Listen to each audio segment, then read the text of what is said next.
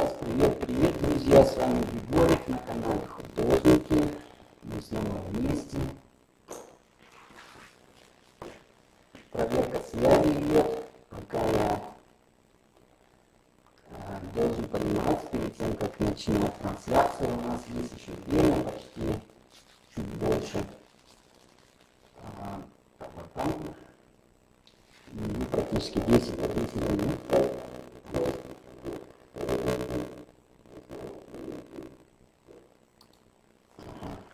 скрип.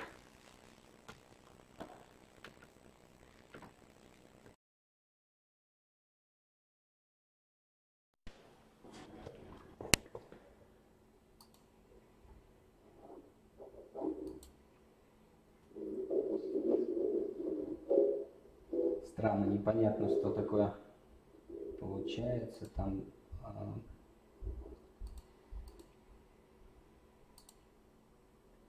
Почему хрипит камера?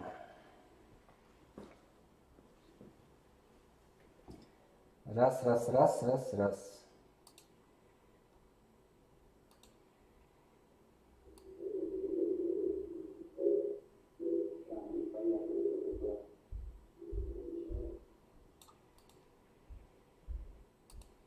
Так, вроде сейчас настроился звук, сейчас вот Сейчас вот в данный момент надеюсь, что меня будет хорошо слышно.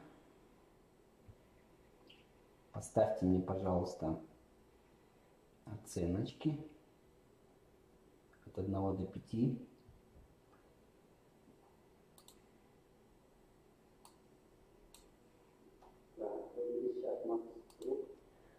Вот я слышу, что вроде все хорошо.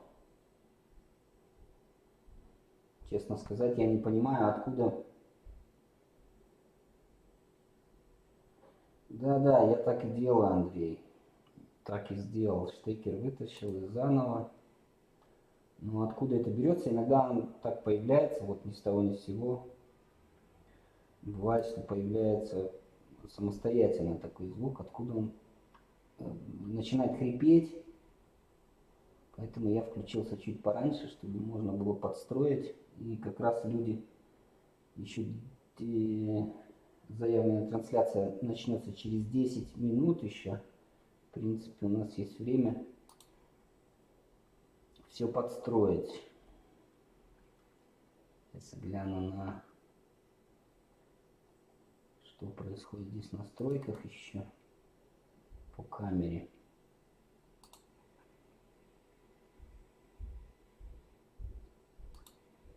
Странно.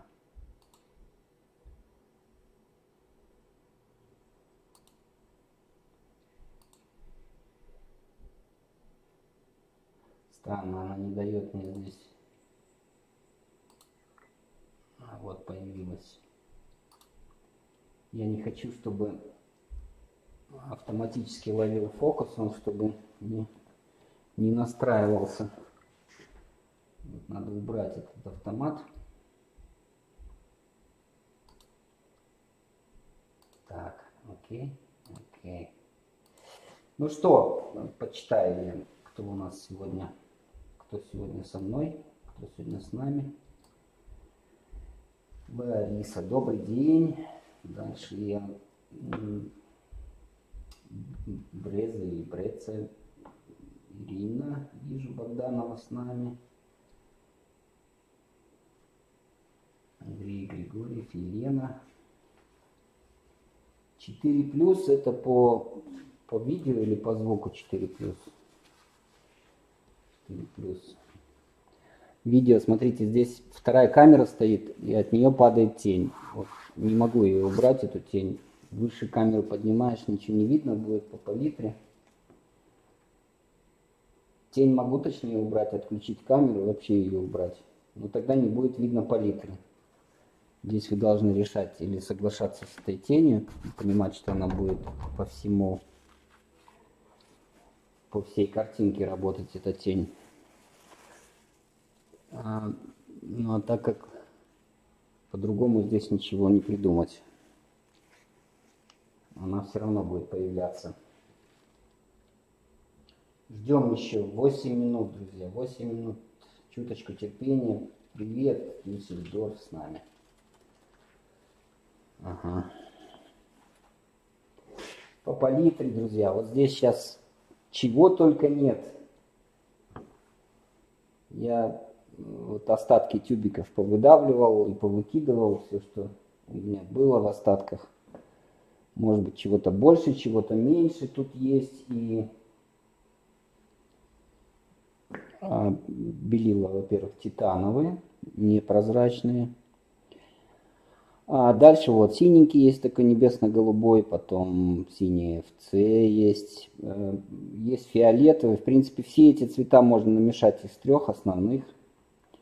А дальше есть сиена жженая, два желтеньких вот тут получилось у меня, один из них лимонный такой, он зеленит. И теплый, это средний, желтый. Зеленый даже не помню, что-то такое из тюбика выдал. В принципе, его тоже получить можно достаточно просто. Коричневый.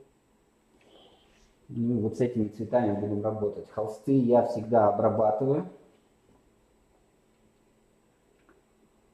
Да, пусть тогда остается, ладно. Холсты я всегда предварительно обрабатываю так, так как они у меня хорошо впитывают масло. И вот я первоначально уже смазал. Сейчас он начинает себя впитывать появляются вот такие вот штучки. Вот. А для чего это делать? Для того, чтобы краска хорошо растягивалась по холсту, иначе будет сразу сохнуть, что неприемлемо для масла.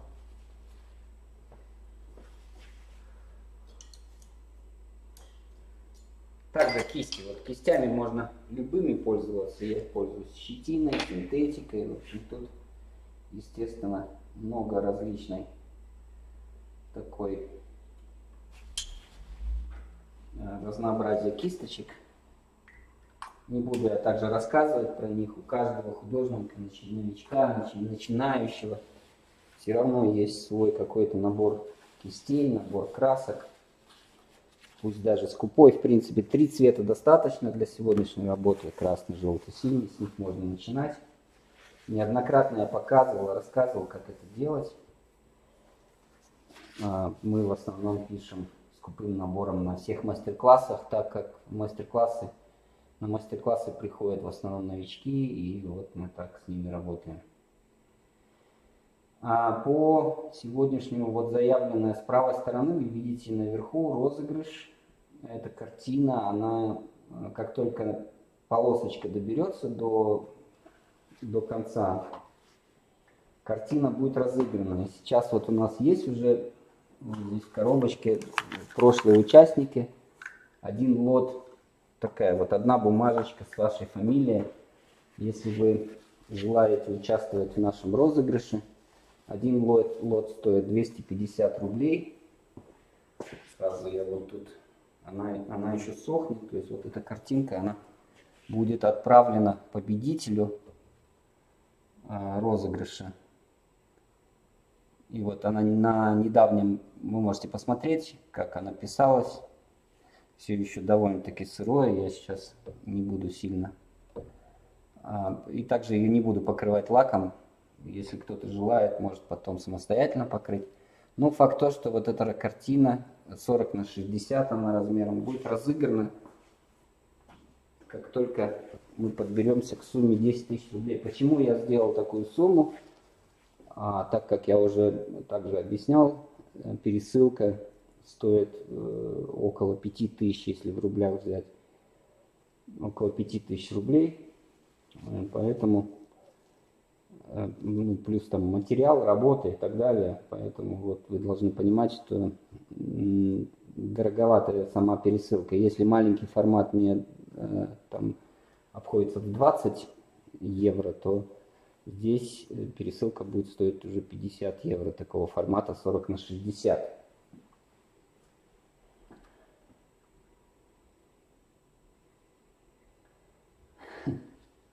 Саша присоединился. Нашей секте привет передает.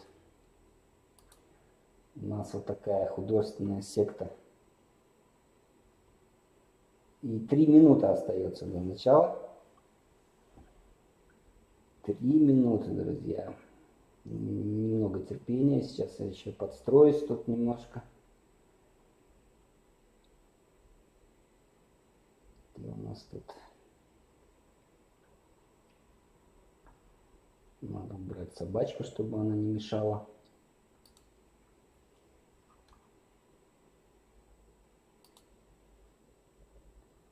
Ну все, люди подходят, я вижу, что есть уже участники. Это всегда радует, что я не один сегодня. И что вы тоже вместе со мной бездельничаете. Кто-то будет смотреть, а кто-то писать, может быть, вместе такую вот работу. Она посередине домик деревенский. На берегу, может быть, речки, озера. Неважно. Мы возьмем саму суть этой картинки, не будем ее копировать в точности. Как получится. Попробую вам рассказать, э, как можно проще э, сделать такой пейзажик. Алло. Да-да, я начал, да. Да, у нас осталось тут вот две минуты и, в принципе, мы начинаем. Ну, мы, потому что я уже с людьми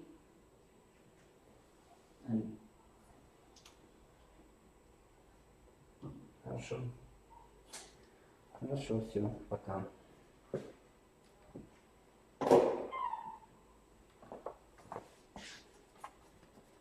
Вот еще сделал я такую фотографию. Сейчас она, возможно, будет отсвечиваться здесь. Не знаю, насколько ее будет видно. Да, палитра, она как раз лампочки находятся сверху, поэтому смысла показывать фотографию нет, она заявлена здесь вот есть на самой картинке. Возможно, что веб-камера будет искажать цвета, а невозможно, как обычно она искажает. И с этим, конечно, ничего не поделать. С этим тоже нужно смириться. Финал работы вы увидите уже по фотографии, возможно, выложенной в группе. Ну и также картинку, вот эту заявленную фотографию, можно скачать везде в наших группах. Ссылки на группы есть а, прямо под видео. Там же и первая ссылка, а, которая работает на сегодняшний розыгрыш. Это а, те, кто захочет участвовать, 250 рублей. Лот стоит, попадает ваша фамилия в коробочку.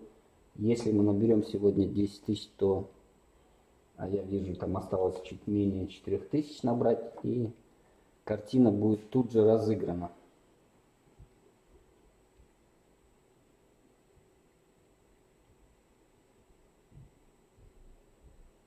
Спасибо вам, пишет Ирина.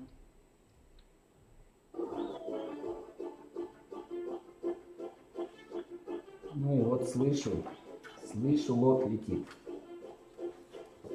А, Пока не вижу, кто он. Ну, сейчас. Надежда Зотова.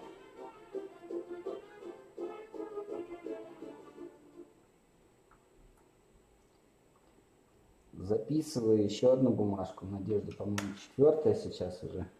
Шансы можно увеличивать. А, один лот стоит 250, два, соответственно, 500 рублей и так далее. И вот еще очередная бумажка попадает, не помню, третья или четвертая, но она также попадает в корзиночку. И посмотрим, что получится у нас, может быть, сегодня вечером, может быть, уже на следующем вебинаре. Как только наберется полосочка полностью, мы разыграем эту картинку, которая вот в правом верхнем углу. Что ж, друзья, одна минута, в принципе, мы можем начинать. Надеюсь, все собрались. Глоток кофе еще. Екатерина, привет.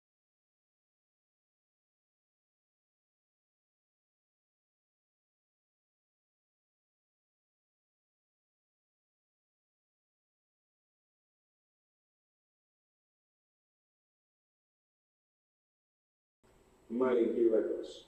Денежка моя дошла за картину. Я отправлял с телефона и не смог проверить. И еще раз всем добрый вечер всей секте Александра Григорьева. Ага. Шмель присоединился. Я знаю, что Шмель участник. Денежка дошла. И бумажка записана в прошлый эфир. Мы не добрали, то есть уже два эфира прошло с розыгрышем. И было перепроверено все.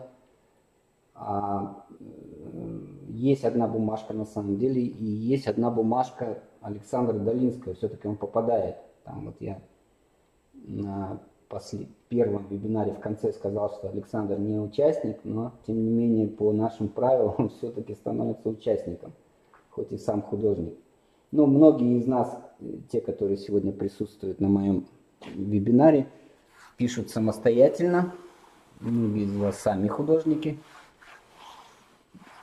Вот. Но правило есть правило. Кому достанется эта работа, я не знаю. Все будет зависеть от розыгрыша. И, кстати, друзья, я заказал барабан с шариками по номерам. И вот, возможно, я буду постоянно делать такие розыгрыши. Маленькие форматы будет поменьше, там около трех тысяч. А вот такие вот, к сожалению, такой большой формат невозможно отправить дешевле, поэтому вот до 10 тысяч придется набирать.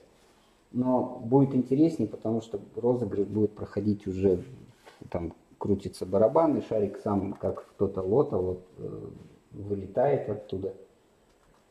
И не нужно будет мне руками все это замешивать в бумажке. Э, Будет все по-честному. Как, впрочем, и сейчас по-честному, но вот мы пока не можем. Так вот в коробочку попадает, и в коробочке мы потом размешиваем, и потом разворачиваем бумажку и смотрим, кто же у нас победитель. Четыре картины я уже отправил хозяинам. Сейчас вот досыхает еще три последних работы. Вот видите, сколько уже? А, Четыре, пять, шесть, семь. И вот это восьмая уже работа, которая также найдет своего хозяина. А, не вот это, а вот точнее э, «Утро» называется картина. Ее можно переименовать, но я ее назвал «Утро». Там вот солнечный светик. Она есть во всех наших группах. Еще, может быть, в конце я покажу ее еще раз. Ну, что нам нужно? Вот сейчас он напитался так чуточку. Для чего я это делаю? Все время рассказываю об этом. Особенно новички переспрашивают. Не все холсты нужно обрабатывать. Именно те холсты, которые на самом деле втягивают масло в себя. Так, чтобы краска быстро не сохла, не жухла. Тут же мгновенно.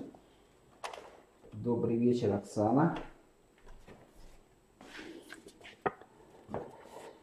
А, избавиться нужно сразу от белого полотна. И вот чтобы краска не жухла, ее также нужно э, первоначально вот холстики обрабатываю, иначе она будет тут же втягиваться в, э, в холст.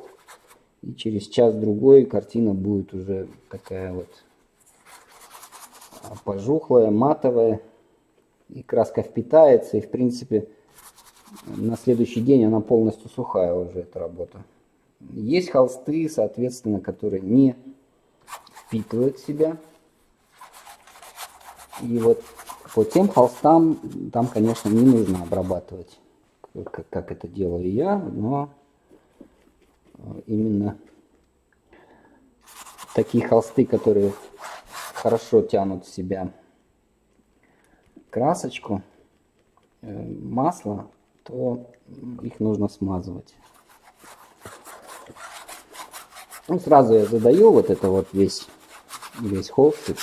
Естественно, я его сейчас немного здесь вот притемнить надо, там, где речушка у нас чуть выше. Скорее всего, это, это может быть озеро. Вот, кто как хочет. Не знаю, откуда взялась эта фотография. Она уже, по-моему, пару лет у нас в группе находится. Давно на нее смотрю. Давно хочется написать этот пейзаж. И вот сегодня я решил, точнее вчера, решился на него. Так, чтобы поработать вместе с вами, сделать такой некий мастер-класс. Смотрите, по сразу здесь можно вот по задним планам, там на довольно-таки темный фон, и так, чтобы примерно с ним определиться, это середина работы находится, середина картины находится, и вот от середины чуть выше, если середину мы находим чуть выше середины, вот этот задний план из стоящих, растущих заднего леса, там может быть все что угодно. Пока я пользуюсь только, только синим цветом. Ну, плавненько сейчас будем добавлять этот, в этот цветик, вносить другие тона. Сейчас можно просто-напросто определиться, где что по, по каким по перспективе, по воздушной перспективе.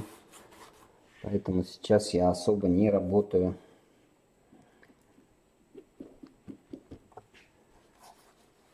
сильно э, цветами. Ну и вот э, докрашиваем место, где будут находиться облака. Смотрите, все так пастозно довольно-таки. А вот именно с такой задачей справится, естественно, любой новичок. Нет здесь вот такого чего-то страшного. А сразу нужно понимать, откуда падает свет. Видно вот сток сена по этому стогу. Также видно по облакам, что свет падает у нас с левой стороны. Ну и вот э, по травке видно, что все-таки облачно, и где-то облако находит тенью на землю, на траву, а где-то трава светится и довольно-таки такая яркая на передних планах. Вот э, с этим нужно справиться.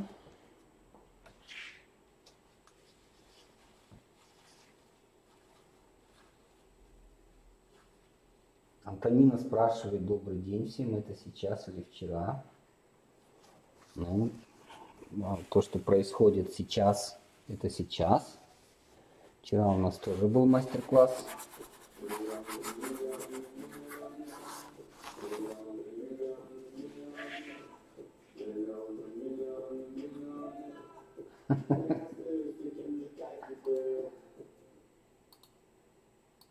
Пропустила. Я сейчас задержка идет, к сожалению. Не вижу я сразу. Да-да, Александр, из Германии, прямо из студии вещаю.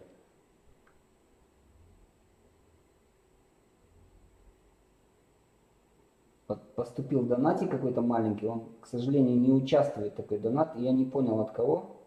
Людмила, да, скорее всего. Ага, вот здесь строчка побежала.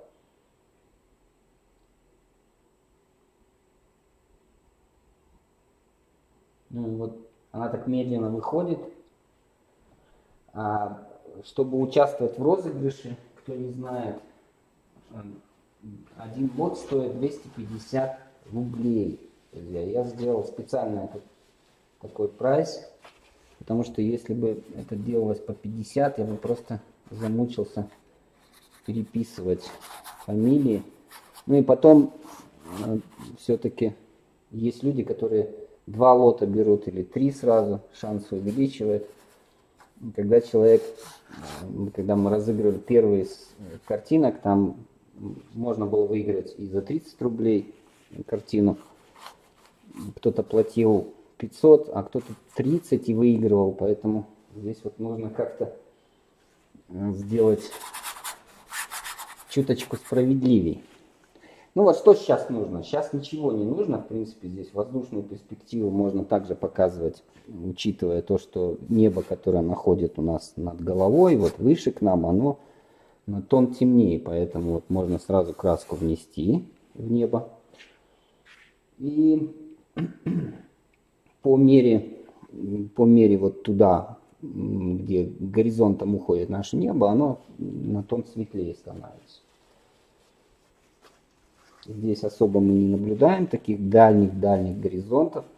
Единственное, что мы можем а, увеличить и сделать интерес нашей работе, вот этот, вот этот лес, который здесь на заднем плане, чуть-чуть воздуха в него пустить, не сделать таким зеленым, темным, а именно таким чуточку. Можно в фиолетовую идти, можно в, в синеве оставить. Не закладывать сильно зелености туда. Ну а сейчас работаем сразу над небом. А, вытираем кисточку. Здесь вот два варианта. Один из вариантов это мастихин. Очень, кстати, удобный вариант, когда, когда мастихином разглаживаем вот, старается, что-то пишет. Возможно, его придется когда-нибудь отключить.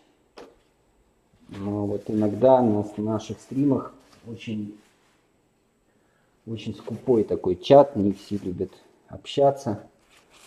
Поэтому мы включили еще в, в чат робота, Найкбота, для того, чтобы хоть какое-то было, чтобы не было так скучно. Ну а потом Найкбот, он следит за плохими, плохими парнями вдруг кто-то напишет а, плохое слово, то он сразу выкидывает из, э, из Ютуба и все. На этом до свидания.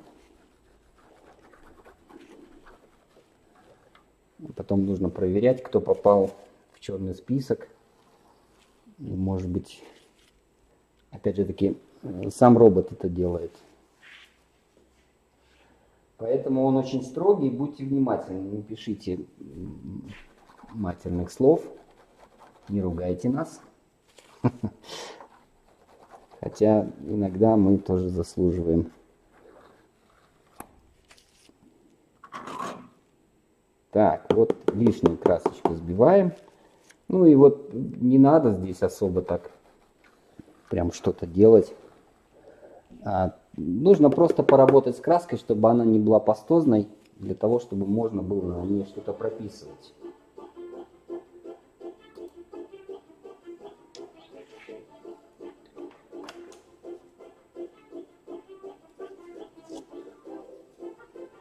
Вот, я вижу у Оксаны, Оксана проплата сразу на два лота 500 рублей.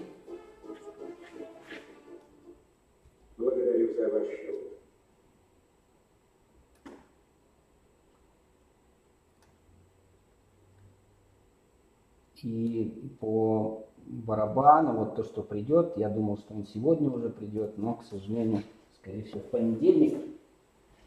Там было бы проще, я бы сразу вам номер, сказал бы ваш номер и все, и вы под, этим номером тогда встаете.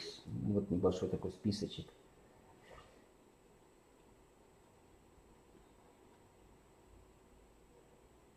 Спасибо за донатики. И вот две две бумажки. Они сразу попадают в корзиночку. Складываем их. Все бумажки одинаково сложены, одинакового размера. Первый пошел.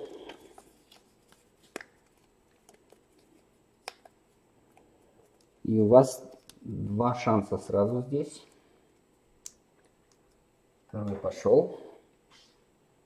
Ну а мы продолжаем практически все сегодняшние участники, они также становятся участниками. Привет! Привет! Участниками нашей лотереи. Так, ну вот что, э, на задний план, как я уже сказал, пока вот я не буду сейчас с облаками особо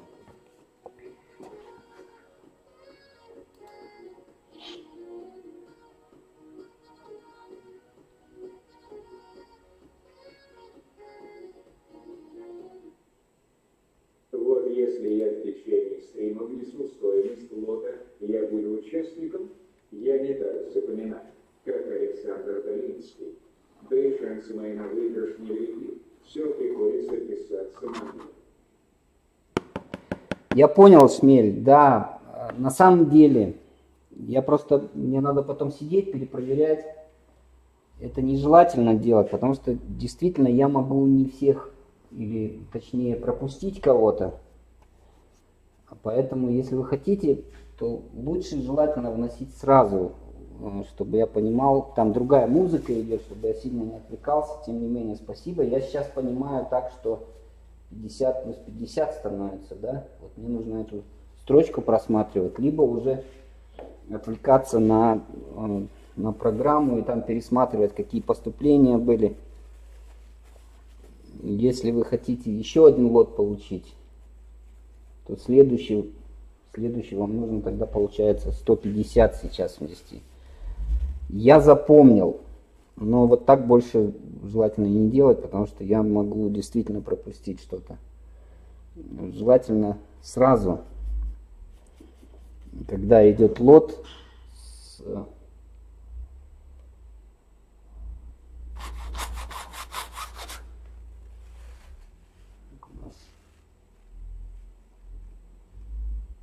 Одну секундочку, тут человек паркуется и паркуется.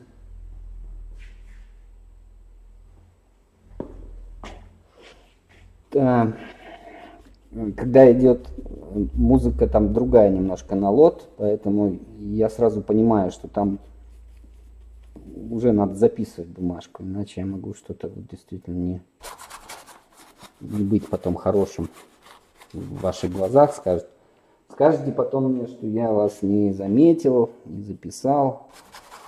А это всегда, всегда, конечно, не порадует ни вас, ни меня. Здесь вот чуть-чуть я красненький внес, чтобы еще немножко затемнить, потому что подложка все-таки, она довольно-таки такая темненькая. Ну и подыгрывает, сейчас все подыгрывает, в принципе, весь Э, весь фон, который задан уже, он сейчас нам играет на руку. Также вот передний план пока я не вношу сюда, ну хотя можно уже в принципе и сразу внести немножко зелен... зеленого, точнее желтого, чтобы э, больше зеленило. Вот это место темно-темно-зеленый получается вот здесь. темный при темно-зеленый. Здесь уже три цвета работает.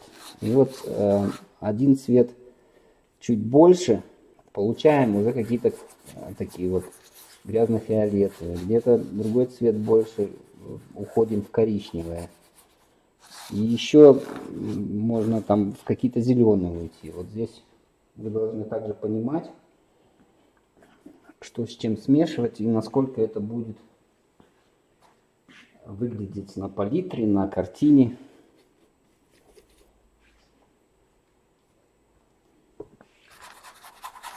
Задаем сначала все теневые, всю глубину вот этого леса на заднем плане. К облакам мы еще вернемся. Ну и вот можно уже к деревцам перейти.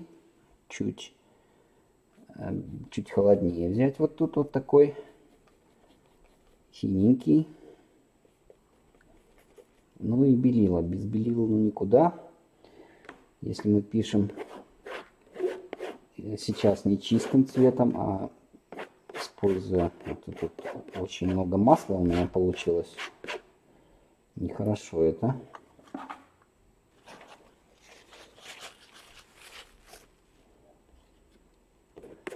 Замешаю немножко сюда красочки.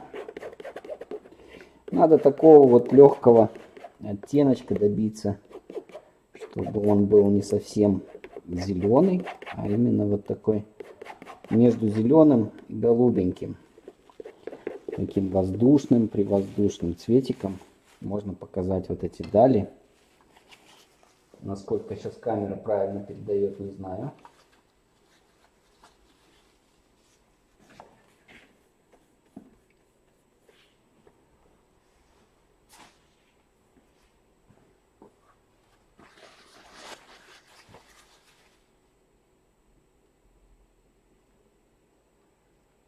Есть вопрос, почему на фотке трава зеленая, а на мольберте синий цвет. Потому что мы не копируем фотографию, это раз. Мы пишем свою картину. мы делаем свою работу, как она нам нравится, как она нам по душе. Ни в коем случае ничего мы сейчас здесь не копируем с фотографии.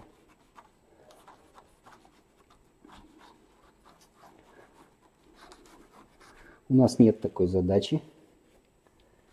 Но и есть такое правило художника. Художники, они любят чуточку врать и приукрашивать.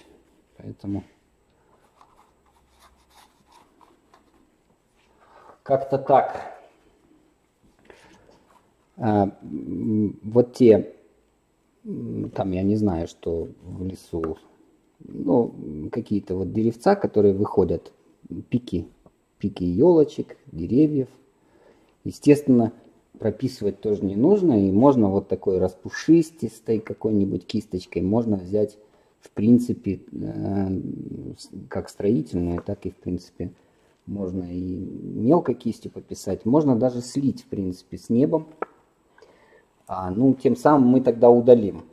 А, так, чтобы не удалять очень, очень так далеко, внесем просто вот такие некие намеки на а, деревца растущие вот там на задних планах. Они где-то вот в темную попадают красочку, где-то светлее становятся. И вот такими нехитрыми намеками делаем делаем задний лесок.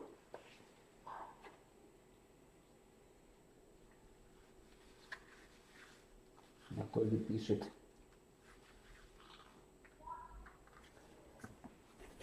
Добавим зеленого, будет желтый. Да, здесь вот мы должны э, искать. Вообще художники, они при написании картины всегда ищут. И поэтому вот мы всегда что-то в картине ищем. Не делаем все одинаково, не копи... даже вот выходя на пленеры, э, что-то мы можем убрать. Вот не нравится какая-то коряга, вот она не на выгодном, например, месте, мы ее можем пересадить в другую сторону, либо дерево посадить в другой стороне, либо еще что-то. Ну вот э, всегда вот идет такой, во-первых, поиск картинах, во-вторых, не делается полностью копий, как природных, как плейнерных копий. А берем только за основу. Если, конечно же, нет такой задачи, то и не обязательно это делать. Ну, а если есть, стоит задача сделать полную, идеальную копию, то тут, конечно, нужно отнестись к этой работе уже посерьезней, а не вот с таких вебинарных тем. Чуточку я делаю наклон такой вот некий вправо, потому что деревья, они все-таки имеют такой вот... Э, Все это в самом конце можно еще уточнить, естественно. Ну вот пока ничего такого не задается, вот задается именно а, эффект, получается эффект такой, эффект э, дальних, дальнего леса, где ничего не прорисовывается особо. Вот, тем более здесь на передних планах еще будет дерево, еще будут облака, все это нужно будет подробно немножечко.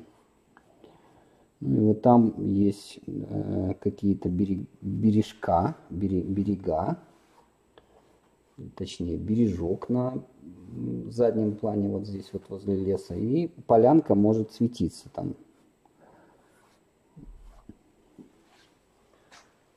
Также я ее сейчас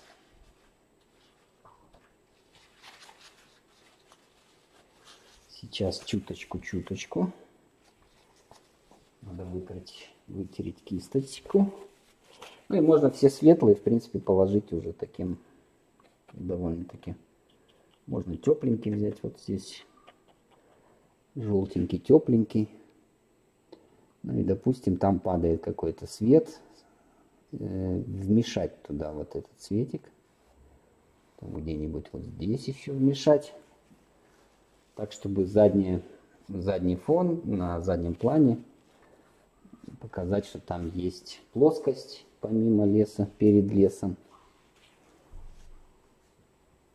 Ну и вот как темным можно наоборот надавливать, то есть вот здесь вот глубина леса, темненькие, растущие какие-то там кустики, и они вот имеют именно вот эту глубину. Задаем их тут же перед этой поляночкой. Но ну, сейчас я не буду особо здесь зацикливаться на, на этом месте. Дальше будем прописывать картину и уже будем смотреть по ходу.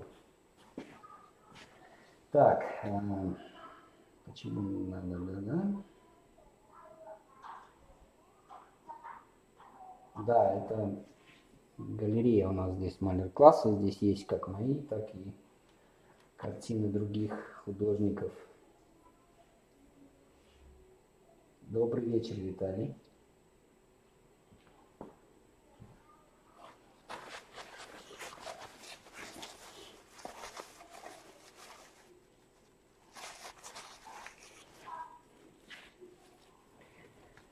Добрый вечер, кто еще присоединяется. Отражения леса у нас нет в работе, так как здесь все-таки настроение такое ветреное, возможно, и по воде вода не может сейчас искажать, отражать э, лес, потому что там все-таки какое-то волнение на этой воде происходит. Единственное, что есть возле, возле самого леска, там есть некие такие потемнее. И мы должны взять, на самом деле, вот этот фон, должны выдержать чуточку темнее, чем небо. Поэтому здесь я сейчас еще затемню немного. Ну и поравнять. Горизонты должны быть более-менее ровные. Сейчас хочу их сравнять.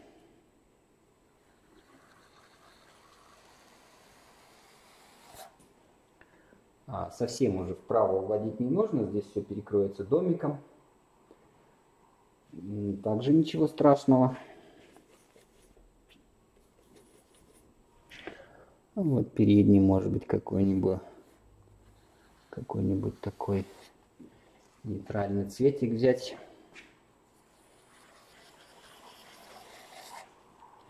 Так, чтобы э, линия получалась более-менее ровной,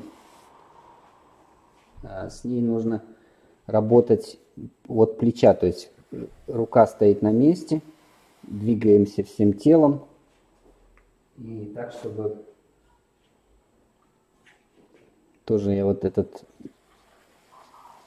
это правило показывал, так, чтобы не двигать самой рукой, а именно вот э, рука стоит и локоть закреплен, ноги на ширине плеч, можно еще шире поставить, и вот двигаться именно всем телом, всем телом, всем, ну, так, чтобы плечо по возможности также не двигалось.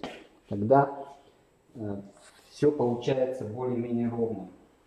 У многих новичков тоже не получается сделать ровные линии горизонта, только из-за того, что они не знают такого простейшего правила. Ну и что еще можно? Можно, конечно же, а, внести сюда на передний план вот таких светлых уже бликов.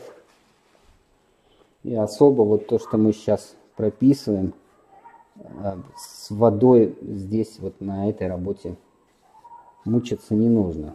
Такая вот простейшая, абсолютно простейшая работка. И вот то, что я сейчас сделал, на самом деле здесь, опять же таки, каждый справится, каждый, абсолютно каждый новичок сможет сделать самостоятельно эту работу. Немножко я забыл про свет. Вот здесь на горизонтах надо было это выложить сразу, но в принципе можно задать вот это настроение и сейчас. Ничего страшного не будет. Ну и также вот а, по облакам, я люблю, очень люблю облака писать мастихином. во всех моих работах присутствует мастихин.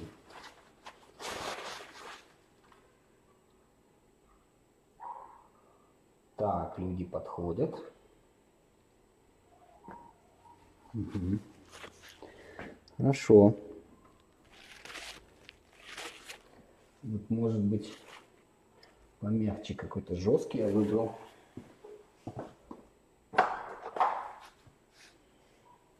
Выбирайте мягкие мастихины. Бывают такие попадаются очень жестковатые, с ними не очень хорошо, неудобно.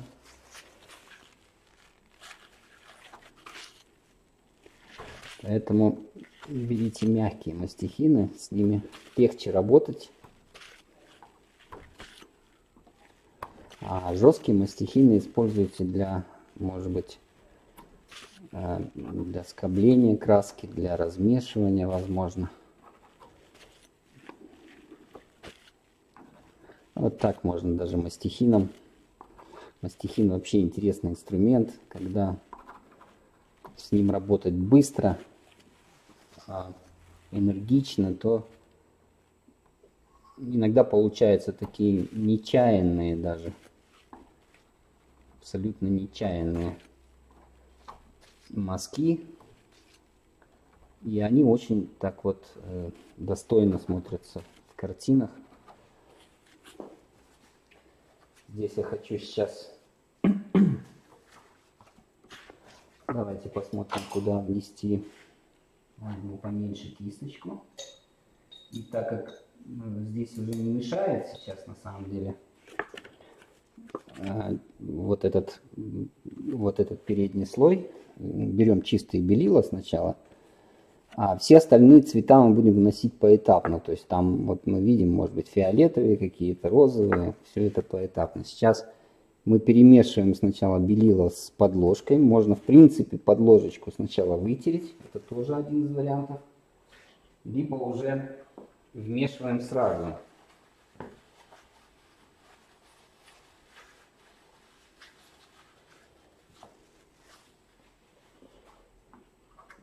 Ну, вот есть вопрос про имприматуру делать, в каком случае. Ну, в принципе, здесь когда, естественно, она помогает. Здесь не надо сейчас ничего. Вот э, лишнюю до подложки можно, до, до самого холста так вот выбирать, потому что мы, в принципе, чтобы сильно нам не высветлять это, это место, переворачиваем, вытираем, иначе сейчас мы начнем вмешивать, и у нас очень много уйдет белил, для того, чтобы навязать несколько раз, будет немножко сложно. Поэтому в некоторых случаях, естественно, можно повыбирать красочку. Тем более бумажки, они не такие дорогие. Ну и вот навязываем сразу вот этот слой, вот это облако. Я взял жесткую щетину. И опять же таки мы не делаем полностью, создаем просто какое-то какое свое облако, не делая никаких таких, не прибегая к стопроцентному попаданию. Сейчас задаем только вот этот, вот этот слой, где вытер красочкой, в него нужно навязать светом. Также вот здесь, вот это облачко, вот практически касается один другого.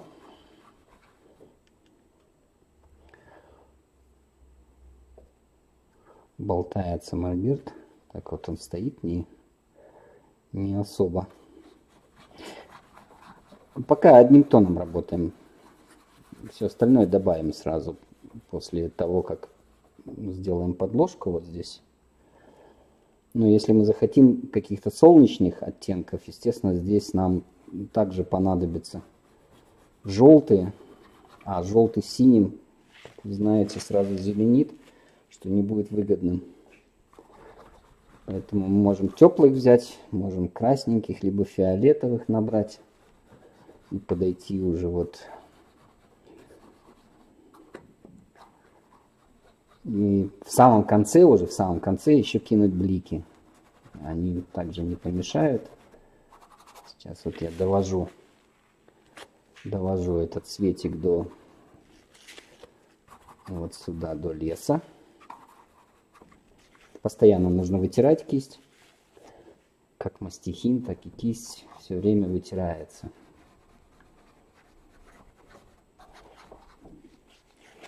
Чуть дальше мы помягчим. И вот смотрите, облака, которые близко к нам находятся, они тоже такие могут быть столбами стоять, широкими,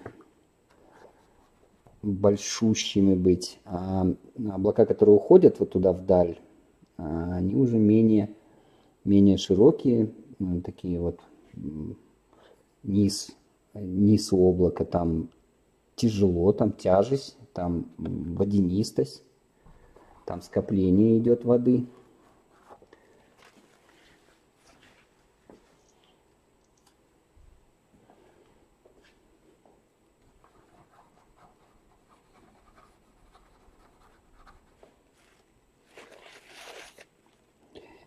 И вот вплоть до в правую сторону тоже уводим. Здесь есть такие коротенькие.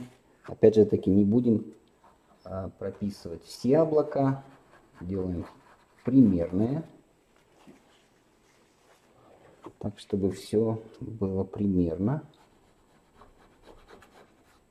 Кисть можно водить щетиной как вперед, так и назад. И вот таким образом навязываем мы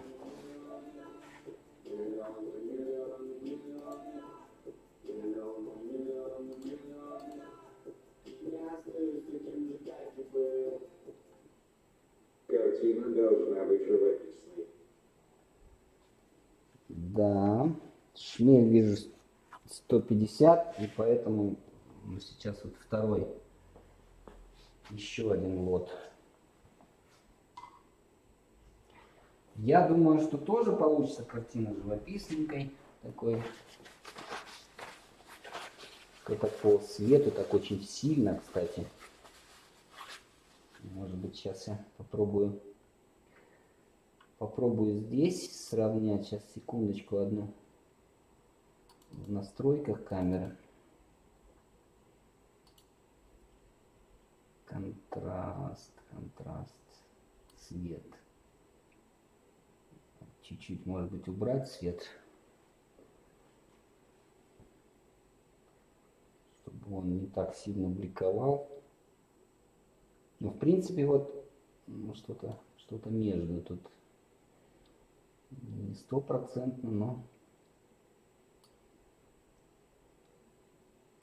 Так, что тут еще контраст там? Контраст нет. Контраст это не то. Вернем его. Забыл, что там было. Так, окей записываю.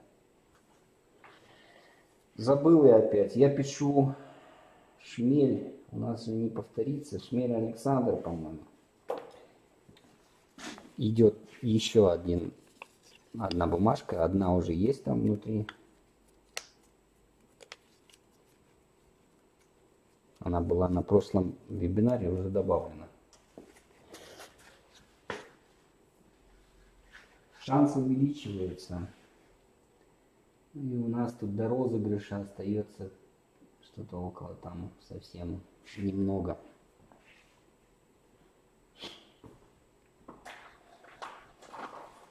Как только эта полосочка заполнится, мы сразу ее разыграем.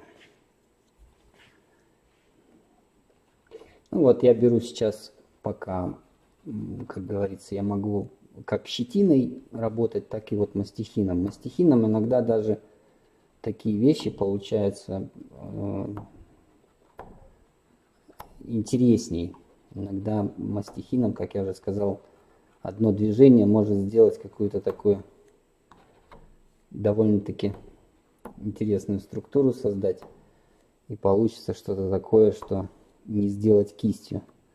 Особенно очень часто получается такие моменты, когда мы море пишем мастихином, и вот довольно-таки часто получается, не, невзначай.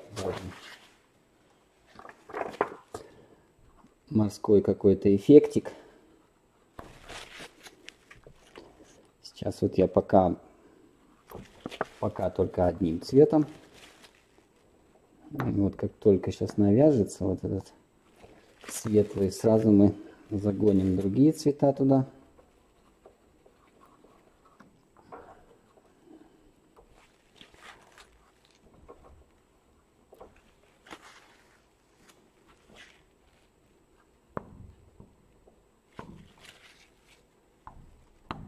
Так, чуточку успокоить вот, этот, вот эту пастозность всю.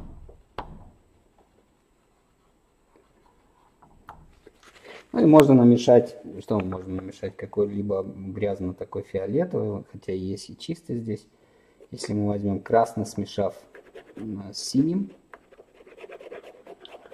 а, чуточку белил, получаем такой грязно-пригрязно фиолетовый. Сейчас я посмотрю, стоит ли его трогать. Или все-таки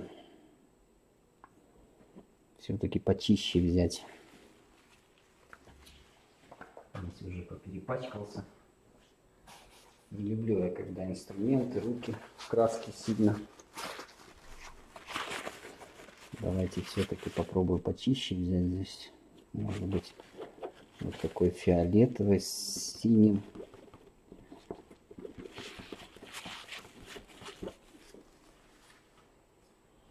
И немножко белильц. Где-то вот тут надо.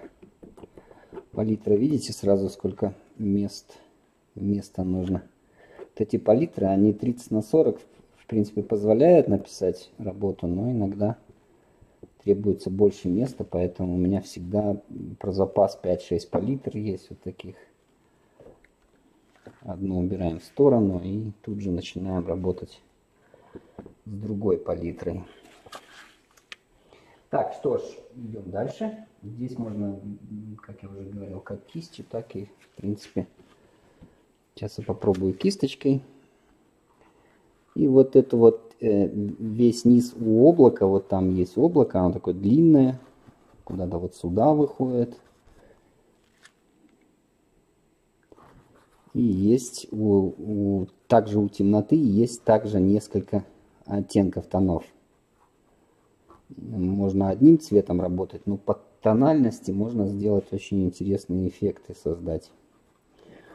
Допустим, вот сюда куда-то вводим вот эту тональность.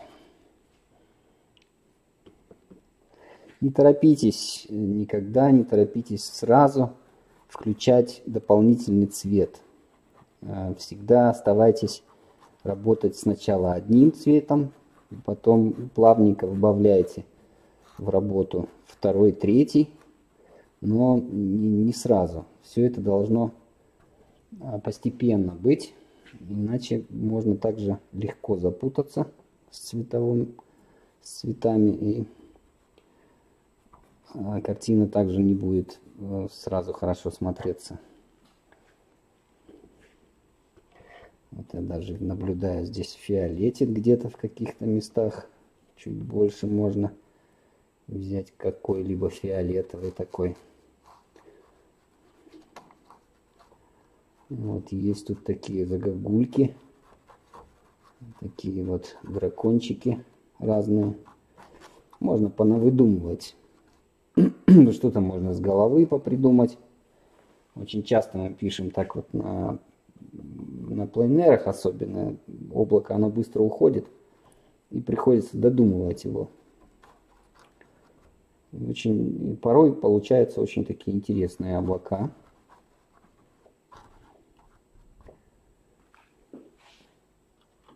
Так, что у нас тут с чатом?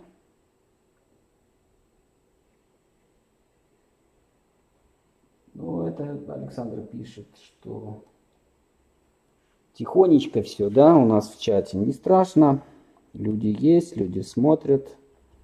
Участники не все и не всегда участвует в чатах, поэтому страшного ничего нет. Сейчас мы еще э, только нач начало практически. Может быть к концу, туда подальше чат заработает.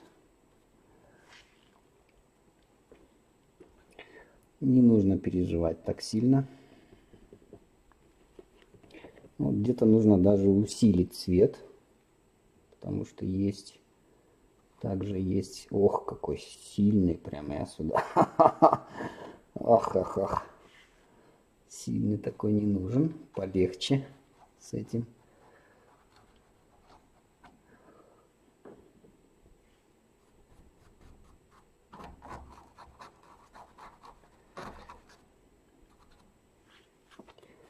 Ну и вот больше фиолетового вправо.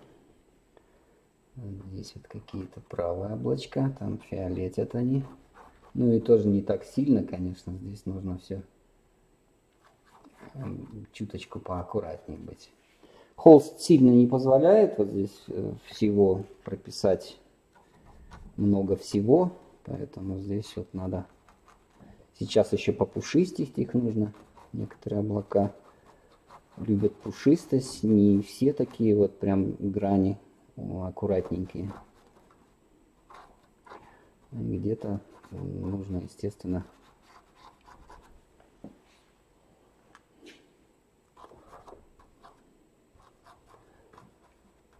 поразбавлять интересом. Почему облако снизу на тон темнее? Потому что там собирается водичка. До самого дождика еще далеко. Но водичка уже есть там.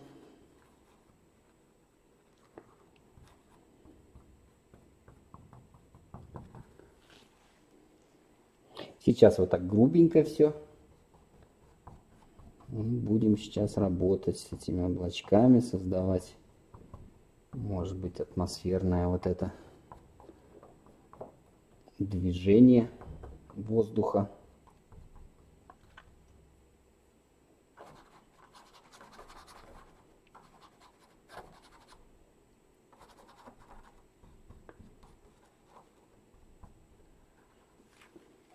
Светом пройдемся еще сверху. Нам нужен. Нельзя оставлять без света.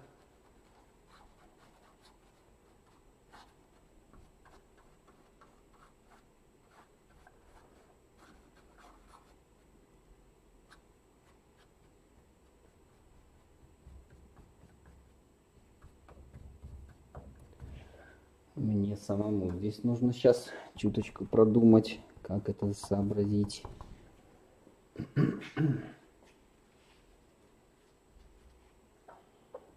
Да, да, Антонина. Все очень внимательно наблюдают сейчас пока. Сейчас особо писать в чате нечего, потому что особо и нет пока работы. Обычно всегда так чат начинает жить уже под конец.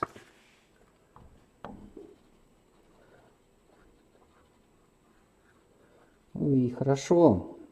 Я так сильно не отвлекаюсь.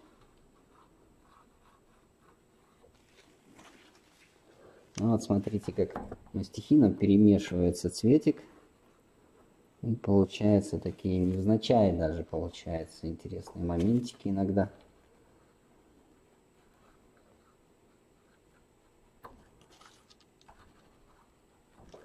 А вообще облака это отдельная тема для мастер-классов. И очень часто люди приходят, мы целый день пишем, только учимся небо писать облачное.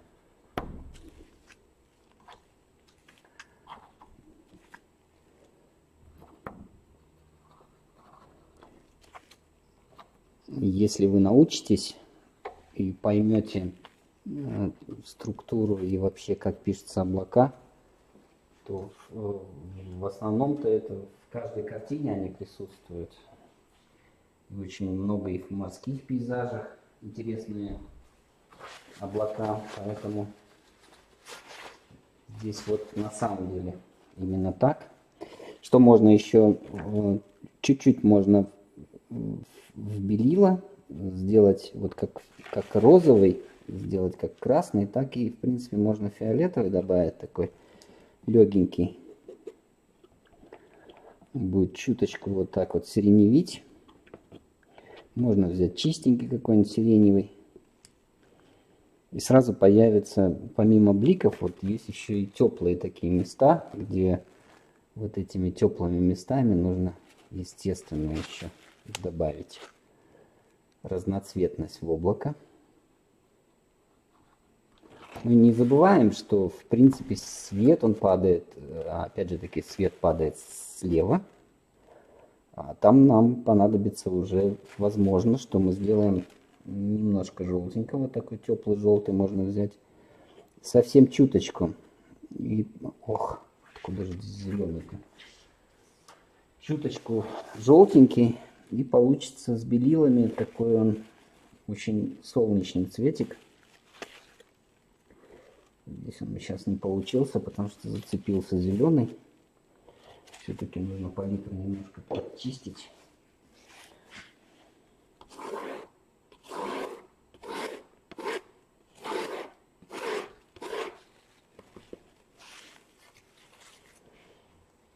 Отвлекусь минутку на, на место для палитры.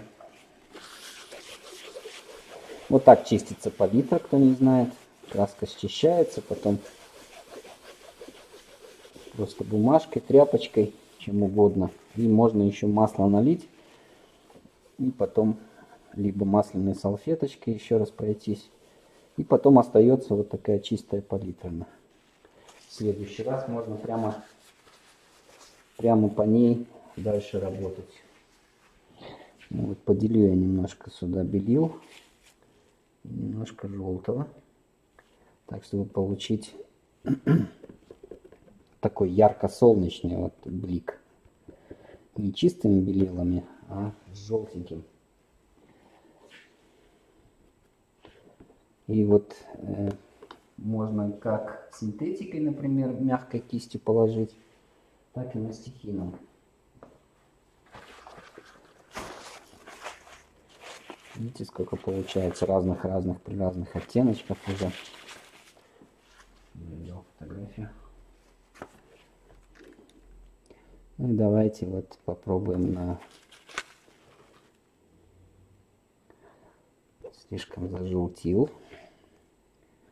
Тут надо вот очень аккуратно с желтым быть, потому что не переборщить его, иначе будет желтить сильно. Опять же таки, все в меру нужно вот так вот брать. Ну и вот облако, которое с левой стороны, то, что находит, ну, солнышко попадает слева. И сейчас я буду его над ним колдовать.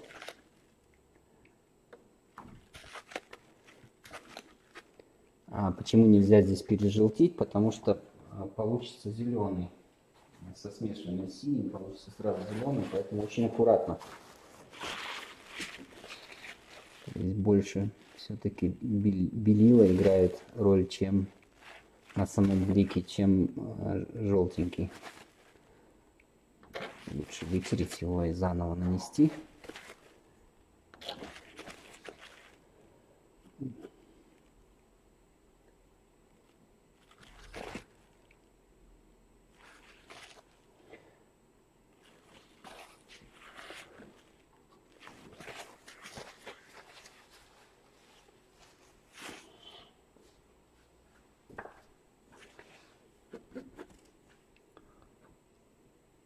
Также вот это дальнее облако, оно здесь светится. И оно такое имеет форму такую же плоская.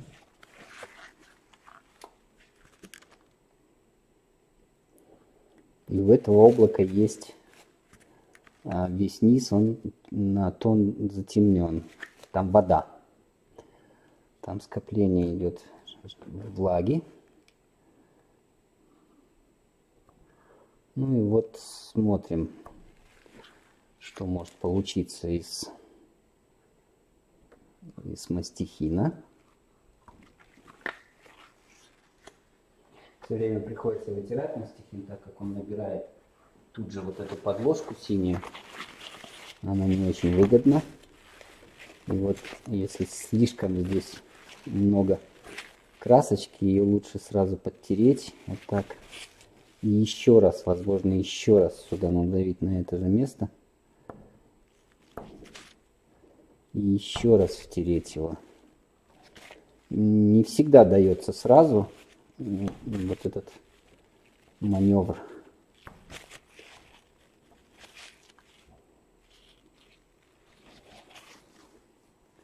Вот здесь вот.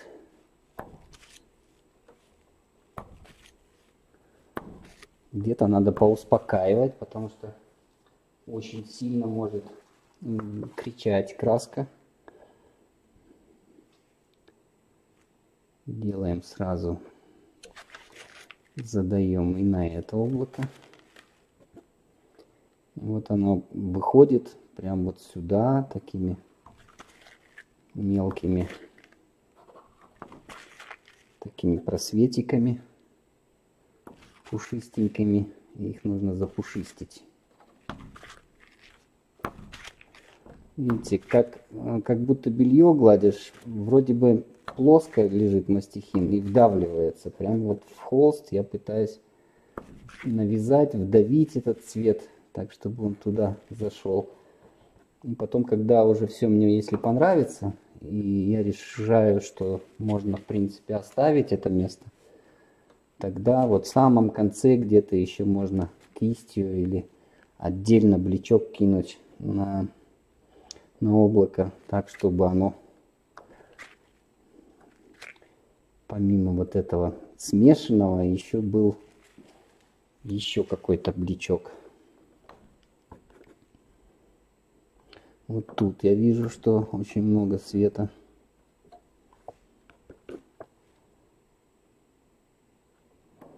Пока а, по облакам идем.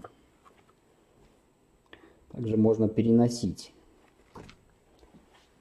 из одного, из одного места в другое место краску. Ну и пользоваться уже Здесь вот, как говорят, пользоваться случаем, что у нас тут где выгодно, где невыгодно, должны уже сами тут мы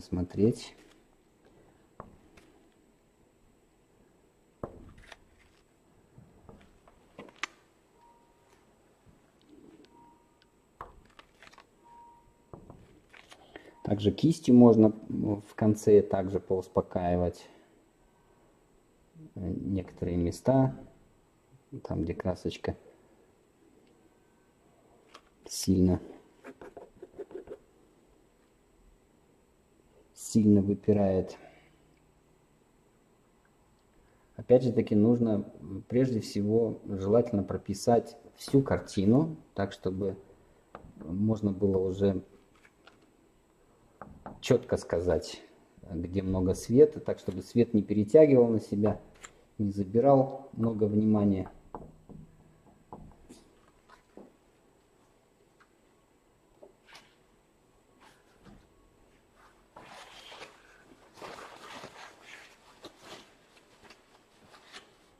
Сейчас я увеличу. Не совсем понимаю, почему передача такая цветовая, непонятная.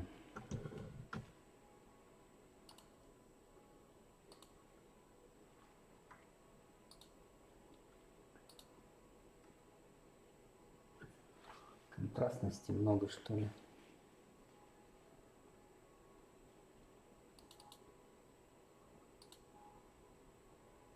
контраст. Нет.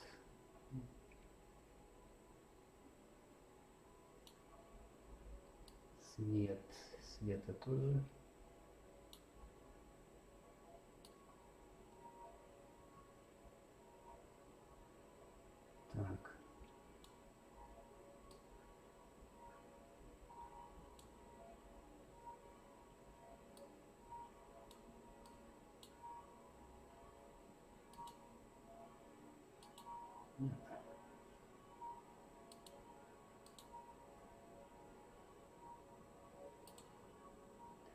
Колокола как здесь бьют. Каждый час, каждые полчаса, 15, без 15, половину. К сожалению, не могу я передать этот цвет вам. Только по фотографии будет его видно. Не дошла еще техника до такого э, супер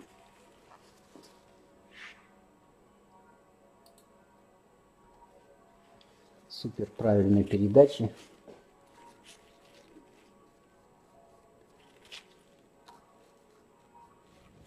Вот, может быть даже не такую. Сейчас попробую я как мягкой, так и жесткой кистью здесь побаловаться.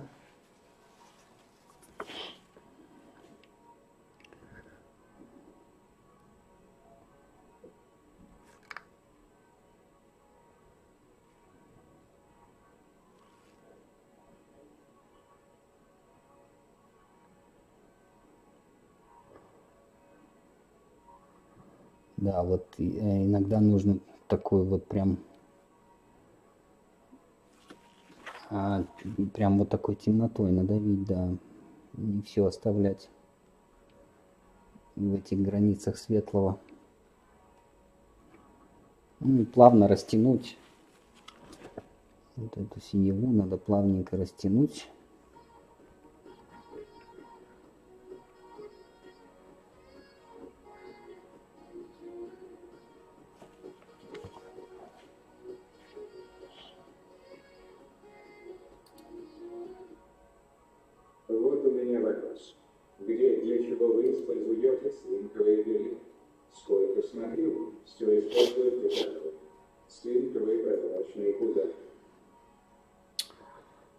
Это элементарно, цинковые белила, они прозрачные. Поэтому, э, как много раз я рассказывал, не только белила, а и покраски. Сама краска, она тоже не вся имеет э, укрывная. И сама краска, она тоже разная. Есть прозрачная краска, которой делаются серьезные работы. Ну а именно, э, правило номер один. Э, есть краска, которая непрозрачная. Вот то, что мы делаем все мастер-классы, обычно мы работаем с такой красочкой. А, а потому что прозрачную краску нельзя, во-первых, накладывать пастозно. Что произойдет? Она по- по мере высыхания начнет трескаться. Это первое. А Вся прозрачная краска, она сделана для того, чтобы подложка а, просвечивалась. И только после того, как вот мы видим, например, а, вот, скажем, Айвазовский, он писал э, некоторые картины, были видны сама подложка, сам холст. И вот когда море или волна просвечивалась, видно было нанесенная краска, но видно было всю прозрачность холста, то есть сам холст еще светился. Получается эффект намного приятнее и эффектнее эффект свечения. Свет можно передать с помощью вот именно таким образом, работая над серьезной работой, мы используем прозрачные краски. Но ни в коем случае не наносим их толстослойно, то есть это все тонкие такие оттеночки, тонкие слои. И каждый слой должен просохнуть. Каждому слою нужно время для того, чтобы это все высохло. Только потом можно писать вторым, третьим, четвертым, пятым, десятым, двадцатым и так далее слоем. И таким образом художники пишут серьезные работы в течение нескольких лет даже. То есть там э, получается, что мы выжидаем. Одну работу я также вот делал, в течение почти 9 месяцев я работал, больше даже над этой.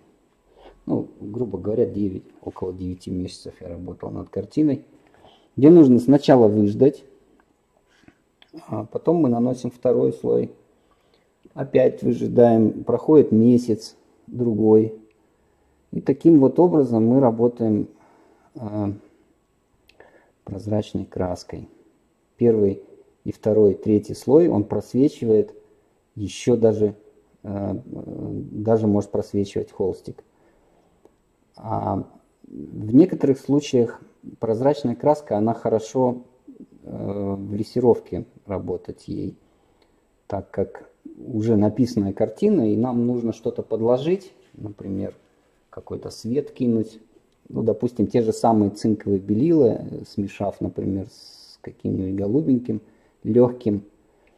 И мы наносим лессировкой туман. У нас видна вся картина, у нас все просвечивается. Но есть вот именно вот этот эффект. Он получается такой зеркальный, как под стеклом смотрится работа. Вот для этого используются прозрачные краски.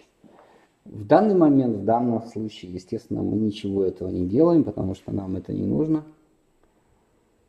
У нас вся краска, она сейчас, если мы будем мешать прозрачную краску с непрозрачной, она будет выглядеть, например, э, одним цветом, но после высыхания эффект будет непредсказуем, то, что получится уже. Многие художники, новички сильно разочаровываются в своих работах в том плане, что когда она пишется, мы видим один цвет, и когда мы уже, а, когда работа высохла, мы видим совсем другие цвета. А э, именно это происходит от незнания и именно вот из-за того, что я вам рассказал.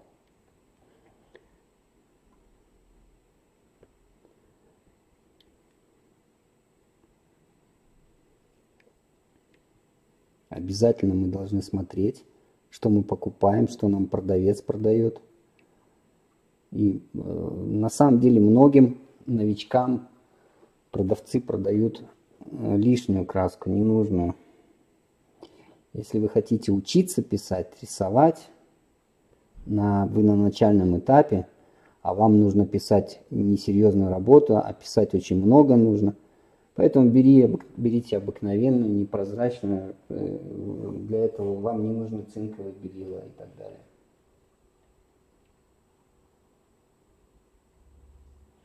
Ну вот по... Есть вопрос, если картину покрыть акрилостерильным лаком, можно ли сверху наложить еще краску? На самом деле, э, во-первых, перед покрытием своей работы лаком нужно выждать как минимум полгода. Это как минимум. А потом вот по лаку это вообще отдельная тема для разговора, потому что мы, вот неоднократно я уже рассказывал и про лаки, и э, не, все художники пользуются лаками, то есть э, не все художники покрывают лаками. Тут все зависит от того, э, стоит, первоначально стоит вопрос, для чего это нужно. Если, например, вы располагаете свою картину на солнечной стороне, то она может у вас не смотреться, так как будет присутствовать эффект блеска. Даже матовый лак, сколько мы не пробовали, матовый лак, он тоже блестит. Хоть он и матовый, но все равно есть эффект вот этого блеска. И после чего не везде можно разместить свою картину. Она будет отражать свет, во-первых. Ну а во-вторых, вот по вопросу поэтому, лак, он также, в принципе, а, как и прозрачная краска, нанести, конечно, можно туда, но получится такой эффект, вот боковой может быть эффект, что э, будет просматриваться именно лак сбоку и сверху, не, важно, что вы там веточку, если пропишете, она будет как будто в полете находиться.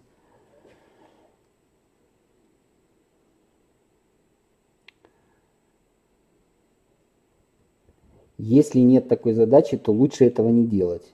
Лучше уже э,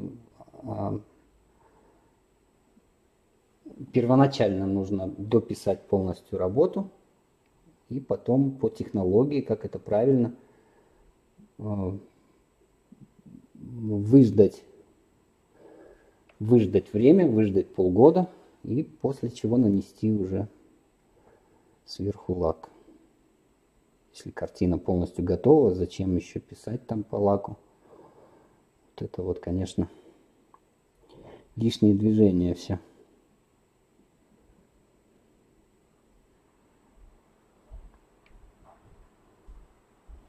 Я бы не советовал, не стоит этого делать, поэтому все-таки писать нужно технически правильно.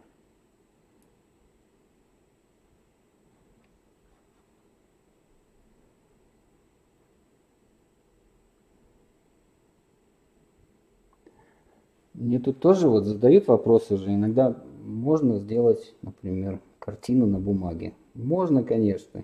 О чем угодно можно. Вот именно про масло спрашивают. Писать маслом на бумаге. Ну, это все уже как бы от человека самого зависит, да. Для чего это делать? Так вот для тренировки, может быть, да, если нет холста. Можно и на стекле попробовать писать. У меня, кстати, были несколько работ сделаны по стеклу.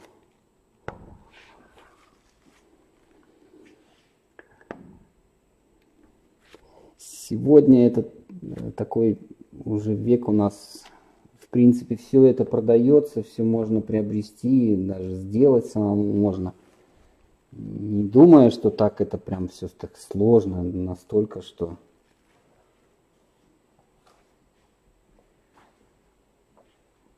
Даже если купить, например, материал, мешковину можно взять, натянуть на подрамник какой-то, на мешке написать.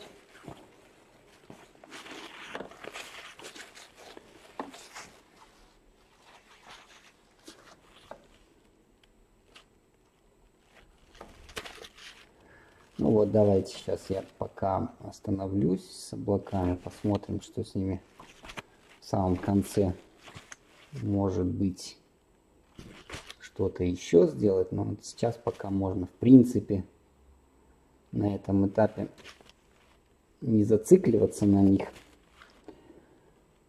И уже вот это вот световое все усиление сделать в самом конце, когда вся работа уже более-менее прописана, что мы понимаем, что здесь вот уже не нужно сюда подходить или что-то наоборот здесь не хватает в облаках. Все делаем поэтапно.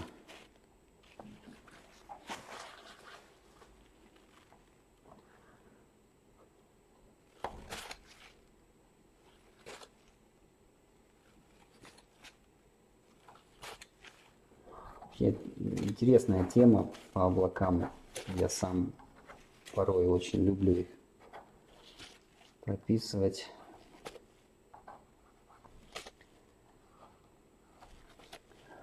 Выдумывать что-то такое.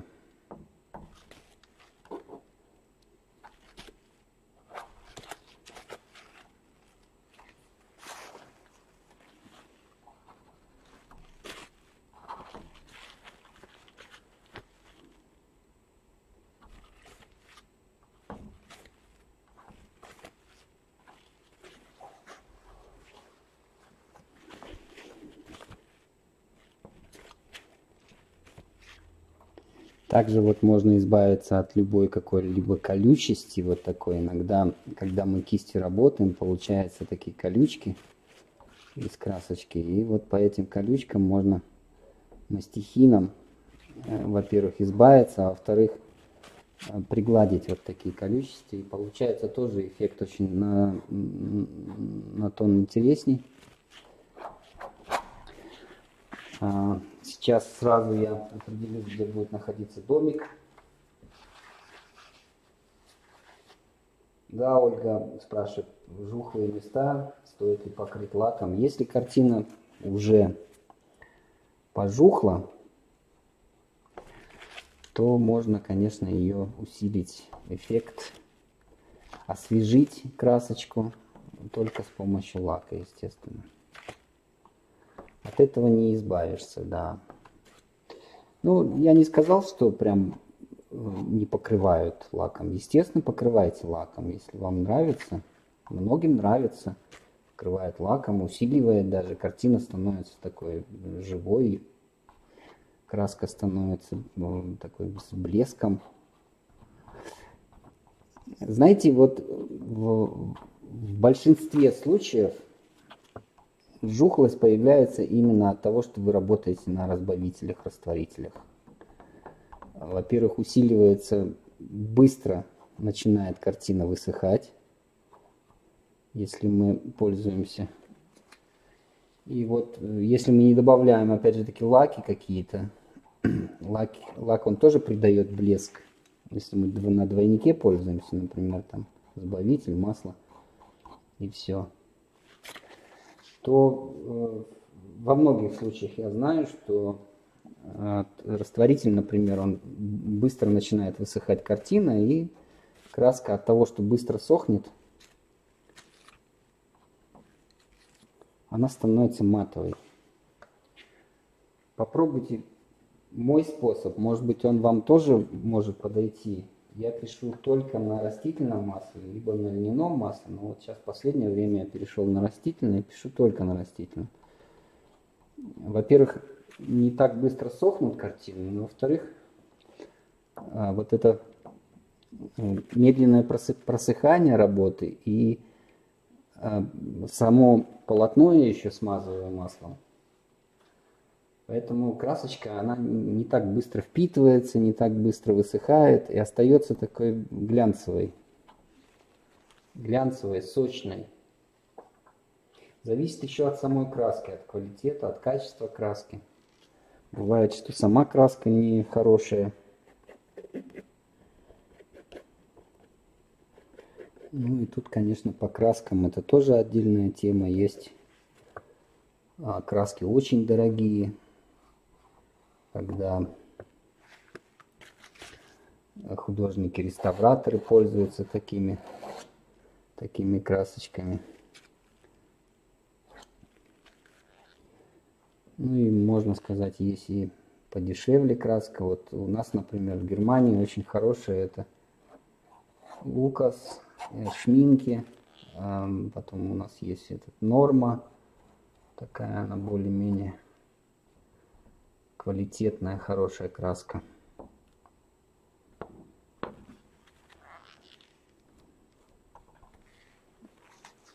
И вот есть такие жиденькие краски, я не буду называть сейчас фирму эту,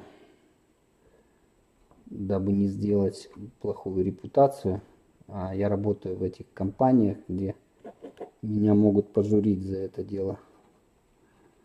Вот. Ну и есть очень такая краска, которая мне абсолютно не подходит, не нравится, и я с ней не работаю. Здесь вот вы должны для себя в первую очередь найти нужную вам краску, с чем вы должны практически писать.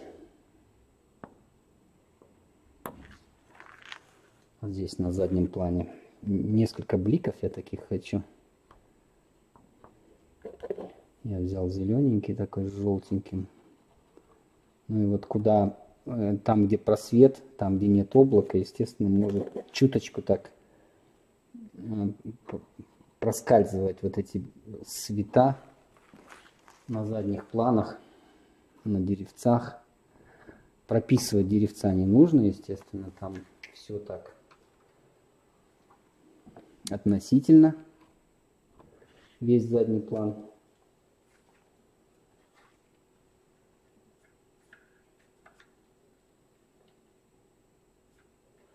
Вопрос опять по разбавителям. Я не пользуюсь разбавителями, только что сказал. Пишу только на подсолнечном льняном масле. Так, находим середину, середину картинки. И вот если мы опустимся посередине, в принципе, у нас получается это край а, вот этого, вот этого крыши середина, и от середины опускаемся. Ну а середину мы можем, в принципе, у нас а, вся крыша проходит практически посередине, поэтому здесь мы плюс-минус, опять же таки, нас никто не поругает из-за того, что мы чуть, э, чуть выше, либо чуть ниже посадим этот домик. И вот так вот, пользуясь мастихином, я сейчас Э, Также выбираю середину. Вот середина у нас, середина, середина, середина, где-то вот здесь примерно. А опускаюсь от середины так, чтобы у нас вот эта крыша получилась. И вот этот скос, как мы находим этот скос, можно прислонить фотографию, и так, чтобы параллельно линия проходила это. А, можно, в принципе, на глаз сделать. Здесь тоже ничего страшного нет. Находим вот этот домик сначала. Чуточку опускаем правую часть домика вниз. Лев, лев- левая сторона у нас. Так, левая сторона повыше, а правую немножко мы на буквально а, не, не строго по горизонту, а именно небольшой такой завал делаем. Ну и вот сюда уходим э, в правой части оставляем, оставляем место. Вот эта параллельная линия должна быть также соблюдаться, две параллели. Потом у нас есть, сейчас я посмотрю, не, как, не так, чтобы ее прям, ну в общем, в общем все. Также вот эта линия, она приподнимается. Если верхняя опускается, то здесь приподнимается немножко. Она не строго в горизонте. И у нас есть вот эта балка. Находится темнота. Потом вот здесь есть еще одна домик, пристройка какая-то. Чуть ниже она идет, эта крыша. Ну и также вот чуть-чуть приподнимаем. Дальше есть еще какой-то дом там сзади. Его можно поаккуратнее посадить так, чтобы был он не, не на одной линии, а можно его немножко завалить, э, при- принизить. Пускай вот так будет, например. Там есть еще один дом. Пусть вот так он смотрится. Хотя здесь может быть и пригорок, и может и выше находиться. Но все, что вдаль уходит, по идее, становится меньше. И, также вот есть передняя часть здесь. Какой-то карнизик. Чего-то такого. Опять же таки сыроюшка или что-то. Пока непонятно.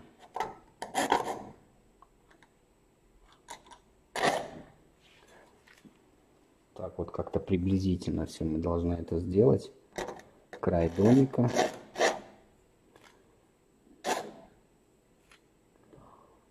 Вот, и также у нас здесь есть окошечки, бревна. Забор это уже в конце.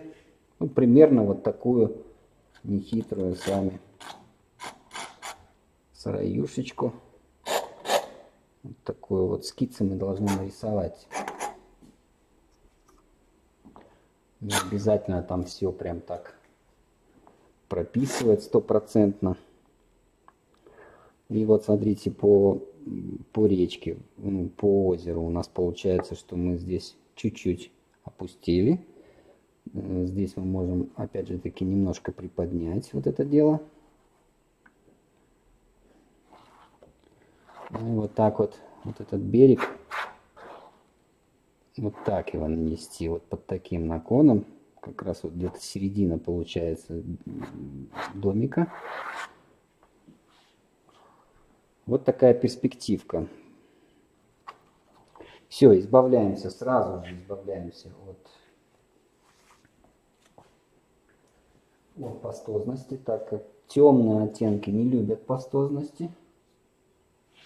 Всю пастозность сразу удаляем навязываем ее сюда, прямо она должна быть в холсте, вот эта краска. Она должна быть там.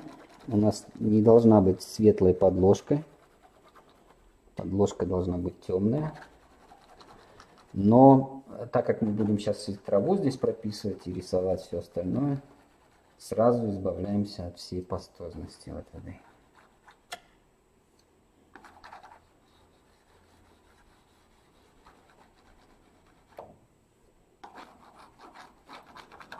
Видите, сколько здесь краски еще находится, много. А она не нужна нам. Мы должны навязать холстик, но э, должно быть темное пятно, и должно быть пастозно все.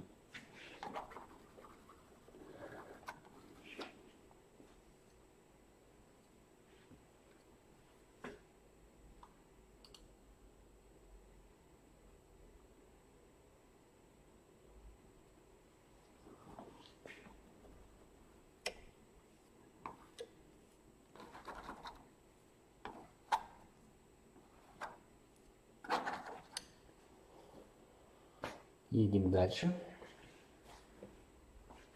Сейчас я почищу только инструмент, руки.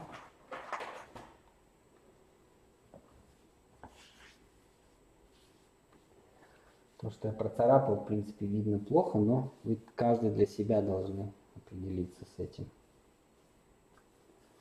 моментиком. Тут вот э, можно если пейзажная живопись, то можно показать, научить. А вот а, именно по перспективам, по уходящей вдаль улицы, по крышам домов и так далее и тому подобное. Машина, когда едет, например, ну, на нас. Здесь человек должен понимать. Не все это понимают. И во многом, конечно же, на вот таких вебинарных мероприятиях не объяснить. А правильно не объяснить. Иногда даже на мастер-классах я часто помогаю людям. Те, которые не сильно справляются с перспективой, но берутся за такие работы.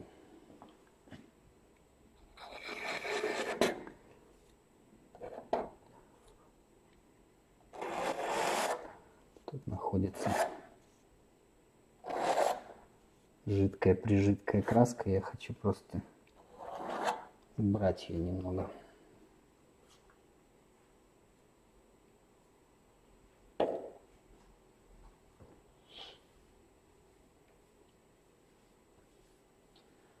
Ну вот то, что сейчас Владимир пишет, это правильно, что грунт надо покрывать. Вообще сам, а, сам грунт это очень важно, как прогрундирован холст.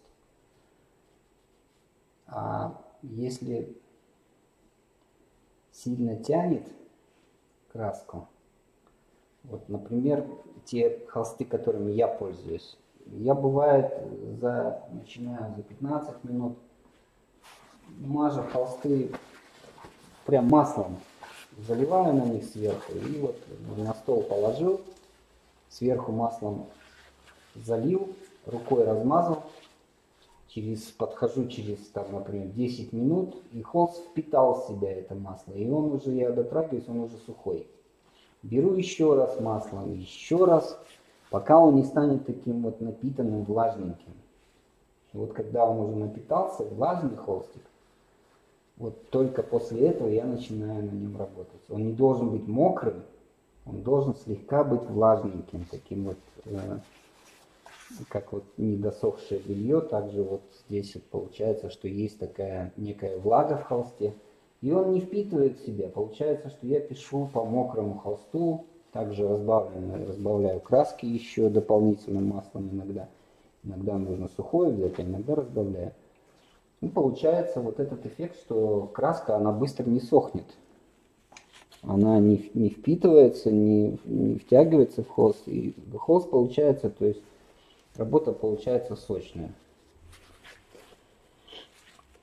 Некоторые не умеют писать на таких холстах, то есть, опять же таки, это зависит от э, у кого вы обучаетесь, чему вы обучаетесь. Вот, э, многие художники пишут, опять же таки, на разбавителях, растворителях, и там уже другой совсем эффект. Вот, а я же пишу практически вот, пользуюсь только таким способом кто меня знает, уже дав, давненько я, если я в России раньше тоже писал на разбавителях, на тройниках, и в лаки добавлял, вот, а, то здесь сейчас в последнее время я пишу только, только подсолнечное масло, больше ничего у меня нет. У меня есть краска из тюбика, подсолнечное масло и правильный холст. Немножко вот я взял лумбра коричневое, взял красный, кадмий красный. Здесь вот я хочу сейчас добиться такого. а, не хочется мне такого фиолетового, либо что-то такое на крышу ложить. Все-таки я ее хочу больше сделать солнечной.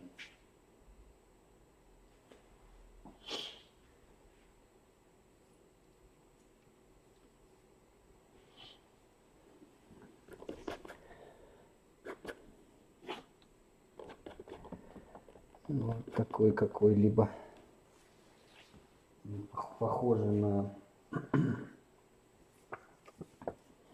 М, Марс коричневый похож. И вот с белилами.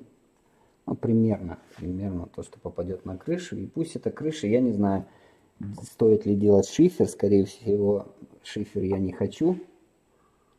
Пусть не обижается хозяин этой, этого домика на меня. Здесь на самом деле мне хочется такую вот старинную деревянную крышу. Сейчас э, нужно опять же таки навязать эту красочку.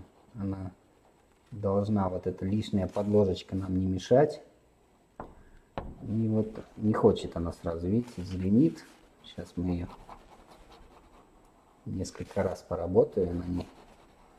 Ну и может быть даже и хорошо, что вот такой сразу подложкой будет у нас по подложке работать. Не сразу яркая солнечная, а именно сначала в такой темный цветик.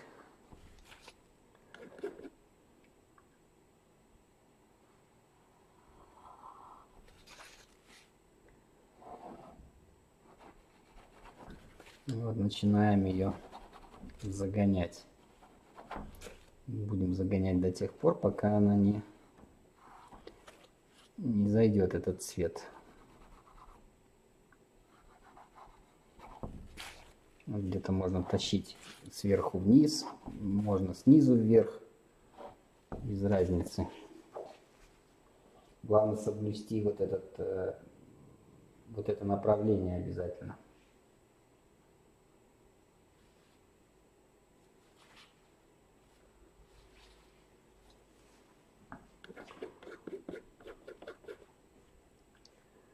Там вот при грунтовке холстов, кто как же грунтует, да, кто на что гораст. Мы раньше делали и желатин, так чтобы добавляли, сначала делали, обрабатывали желатином, потом грунтовали.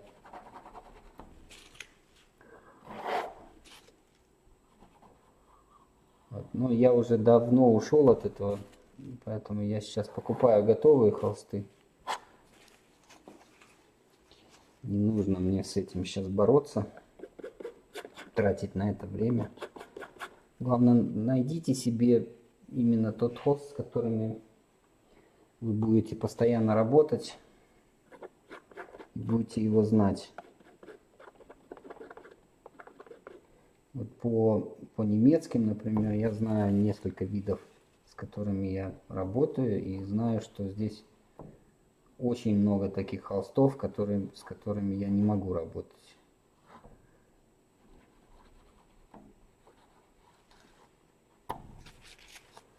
А именно этой техникой на подсолнечном масле.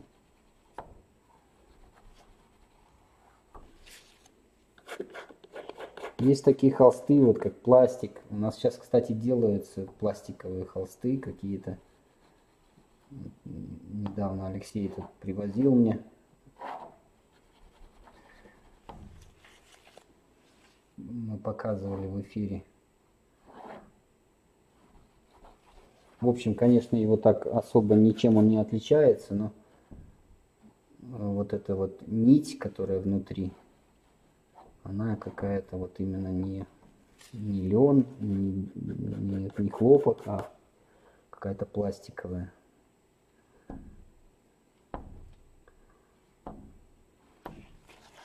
Ну Вот сейчас я несколько раз так вот. Конечно, если вы захотите уйти в шифер, то можете также и шифер, в принципе, написать.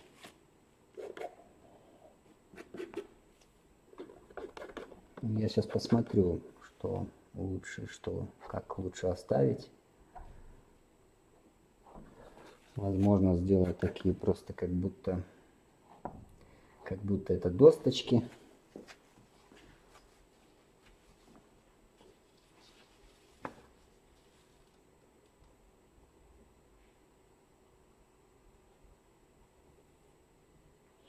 Вот э, Владимир правильно пишет, что можно готовить масло подсолнечное. А, если, если, опять же таки, вы работаете над серьезной работой, трудитесь прозрачной краской, а подсолнечное, оно имеет такой некий зеленцу, небольшая, но она все-таки вот присутствует, видите, она такая зеленоватая. Хотя я беру светлое. И пишу прямо, прямо на нем, ничего не делаю, но если вы хотите э, и делаете какую-то серьезную работу, то при нагреве, например, масло теряет вот эту зеленцо, оно становится абсолютно прозрачным. Можно поставить на солнечную сторону, на подоконник куда-то, где масло потеряет э, вот эту зеленость. Также можно использовать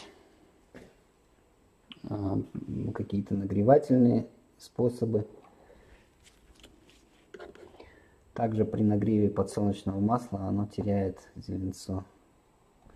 Ну а вот э, на, писав, писать на титановых белилах, конечно, здесь я ничего не делаю. И титановые белила хорошо справляются с этим. Ничего, картины не зеленят, уверяю вас, они все все написаны так. Так, теперь нужна подложка темная, тем, как мы бревна.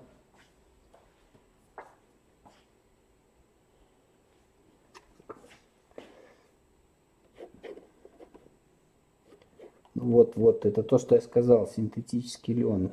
Такой вот он, как синтетика, как пластик такой. У нас по-немецки его называют Kunststoff, Plastik, пластиковый. Холст пластиковый, представляете? Вот. А я знаю также вот художники некоторые ПВА берут, так чтобы а, как, как по стеклу потом. Там, конечно же, вы с маслом не сможете писать так просто. Вот это место нужно притемнить обязательно перед тем, как бревна здесь прописывать. И вот два способа. Можно взять кисточку. Сейчас я возьму жесткую кисть. И прямо поцарапаю вот этой темнотой. Здесь у меня красно-синий. Такой индиго получается цвет. Сейчас я загоню сначала вот этот цветик, вот эту темноту. Только потом на этой темноте нужно будет уже писать. Она есть везде. вот здесь крыша у нас присутствует, вот здесь.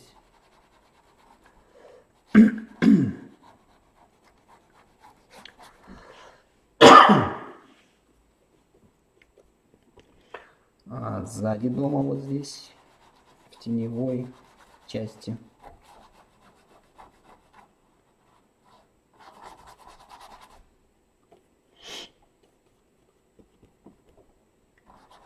Сюда тоже.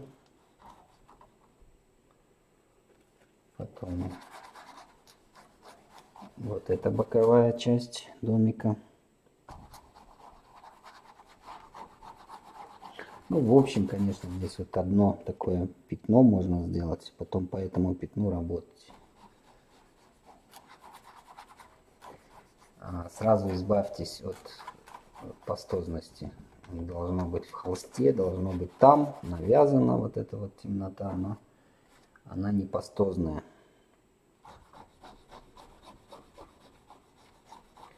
всю пастозность нужно будет убрать.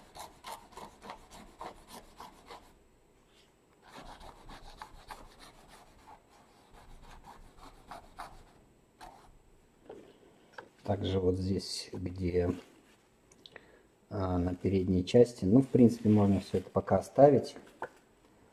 Давайте тогда разберемся с домиком самим. И уже тогда, когда домик будет прорисован, там уже будет видно.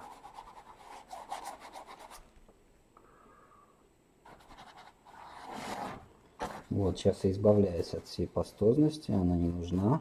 В принципе, также передний план вот здесь, он тоже темнит. Вот эту красочку можно дальше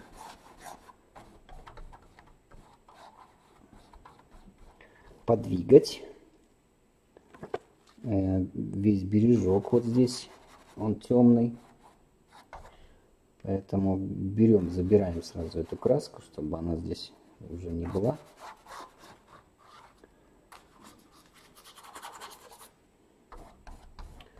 Чтобы она не лежала здесь пастозно, мы ее можем забрать отсюда и перенести куда куда-то на другое место, там, где она нам нужна будет еще.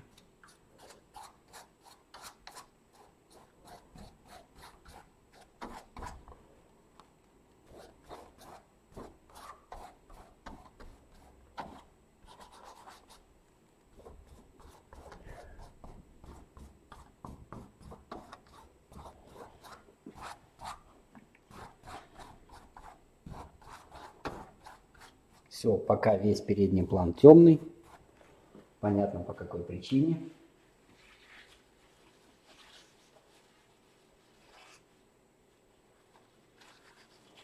Вот по поводу Виталий пишет, что продается иногда подсолнечное рафинированное, вымороженное, прозрачное как вода. Я такое, правда, не видел. Возможно, надо пробовать, попробовать. Все возможно, что что-то такое, такое есть. Все, избавляюсь также. Также мастихином. Вот это вот наводим здесь все порядки. Всю пастозность убрал. Ну и теперь можно вот в принципе порисовать на порисовать детальки. Ничего здесь сейчас не должно мне мешать.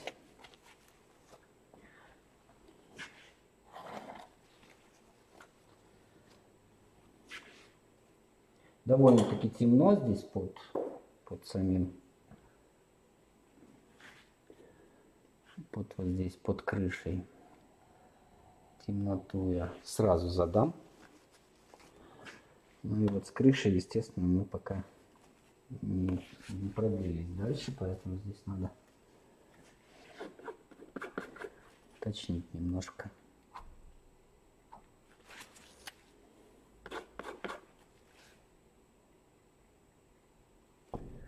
Вот этот вот этот скос, он должен быть именно таким, не влево, не вправо, а именно вот по по правильному скосику.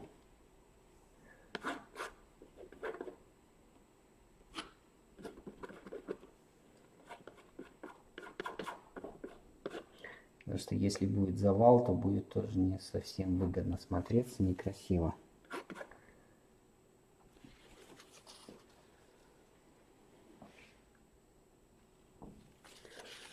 Как я уже сказал, пока я не буду рисовать, там выписывать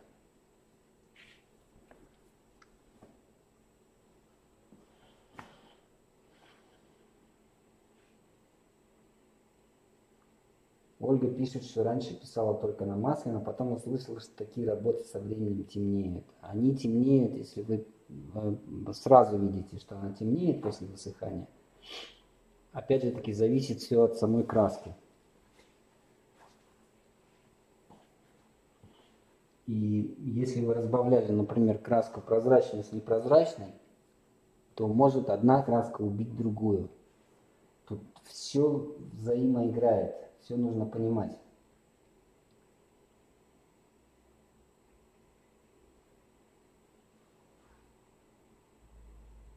Вот тут я не понял вопроса, может ли работа бухнуть от того, что я пишу тонкими слоями. Жухнуть, жухнуть. Следующее слово. А, я уже вот на все вопросы ответил в процессе написания. Не буду я больше отвлекаться на тут вот отдельно, наверное, надо сделать какой-то вебинар, чтобы вы послушали отдельно по поводу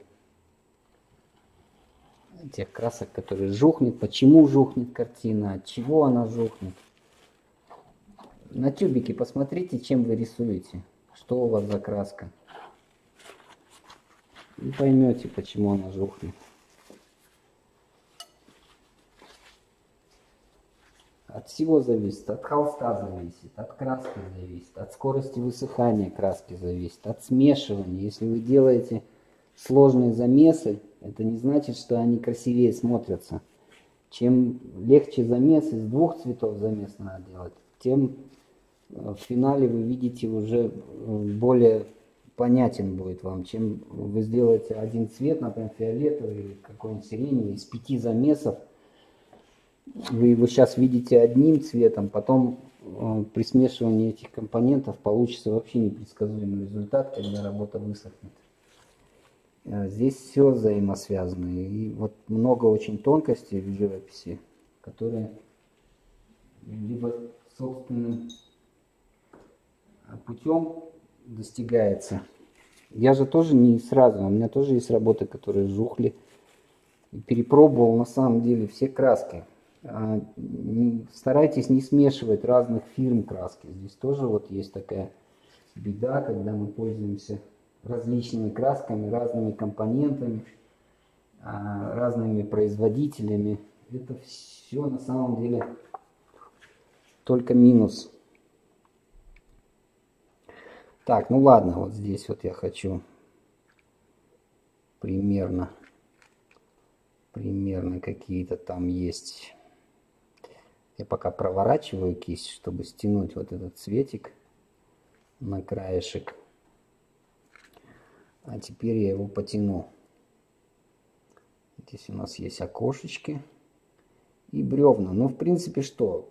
По бревнам можно пока пока протянув вот этот цвет, опять же таки, писать каждое бревно я не буду. У нас есть, у нас нет такой задачи. есть только, на самом деле, есть бличок. Вот там на передней части сюда попадает цветик. Этот бличок можно написать. Сейчас все вот так относительно. А, тут у нас вот есть еще одна еще вот какая-то тут сторожка. Что-то тут такое. Сейчас вот только намеки пока.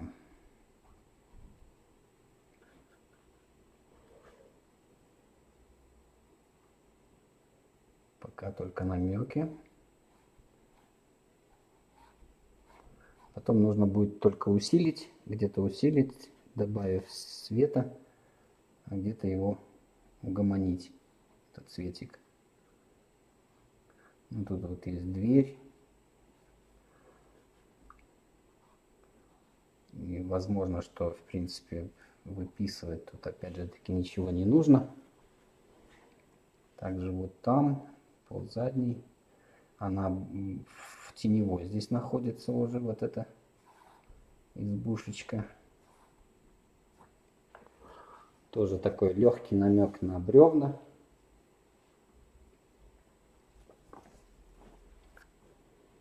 Дальше понадобится. Хочется что-то такое посветлее.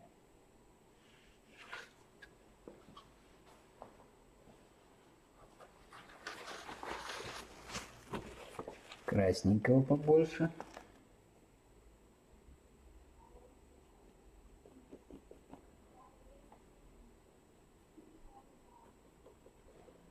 Вот Вот такой он получается с белилами, красный, чуть больше красного и получаем такой солнечный, достаточно солнечный, яркий. И вот сюда такие блички. Там есть поленницы перед домом, не буду я рисовать. Если бы была чуть побольше работы, можно было бы, можно было бы написать. Здесь же, конечно же, это все на ваше усмотрение оставляю.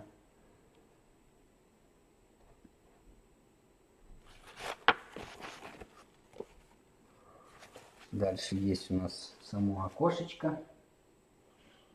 И, возможно, надо еще тоньше кисточку. Как здесь совсем уж неудобно будет. Окошко находится в тени, там больше серая такая. Можно взять даже фиолетовый, вот сюда добавить, засеренить чуть-чуть. Такое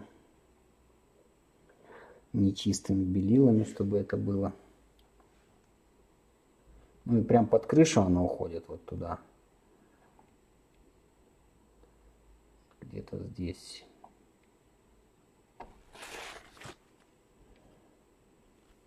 А также она смешивается, видите, сразу с подложкой.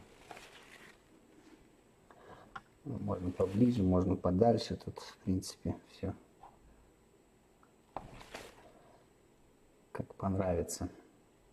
Опять же таки нет такой задачи сделать прям копию такого домика. Ох, и туда у меня пошла. Здесь вот по вертикали надо опустить.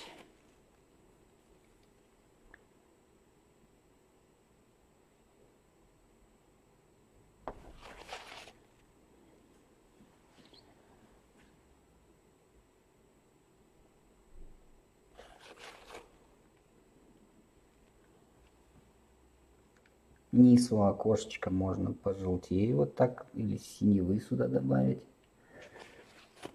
Там может бличок быть.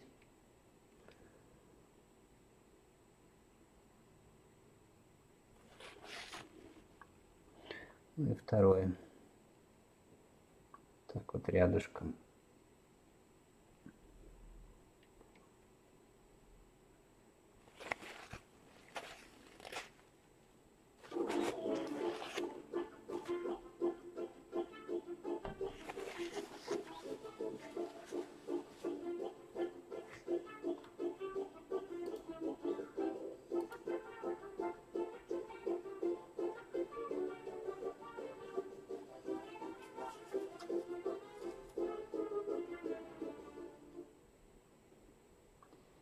Кудряшова Наталья. Спасибо за донатик.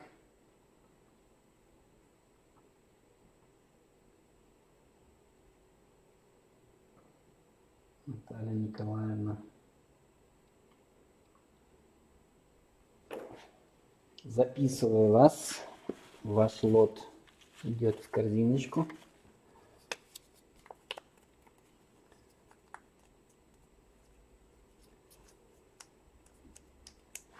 Бумажка попадает в корзиночку. Так, вот сейчас на секунду только.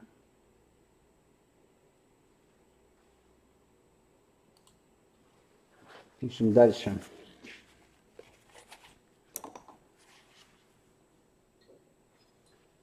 Пишем дальше.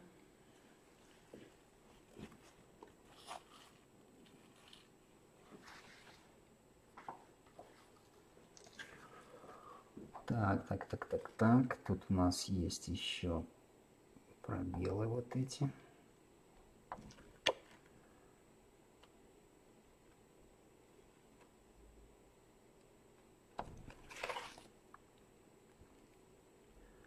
Конечно, желательно такой совсем тоненькой, вот то, что веточки прописываем. Все это в такой еще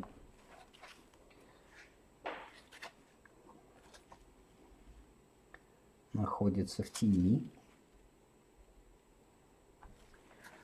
Особо тут опять же таки не надо ничего прописывать, поэтому... Да, и вот есть такая светло-голубая. Ну, можно сначала голубенькой сделать. Вполне возможно. Сюда вот она крыльцо выходит. Сначала задаем его.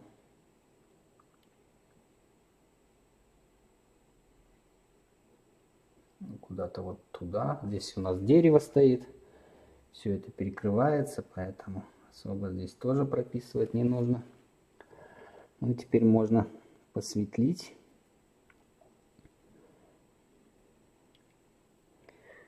И такими светлыми голубенькими.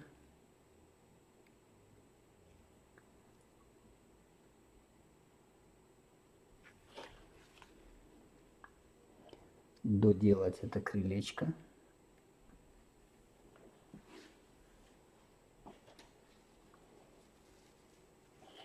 А дальше под крыльцом там идет тоже э, дорисовка.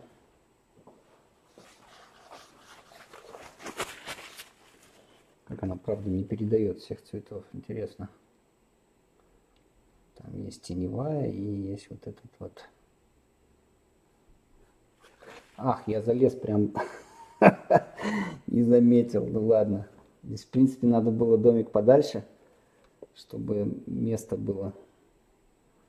Мы сейчас переиграем тогда это дело. Ничего страшного.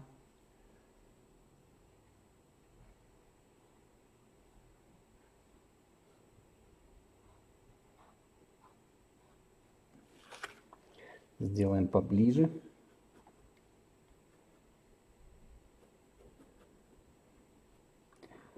И немножко соврем. Видите, какой я хитрый.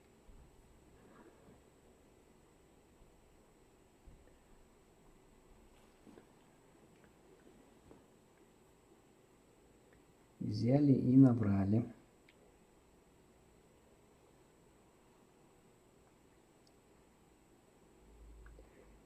И собрали. Главное никому не говорить.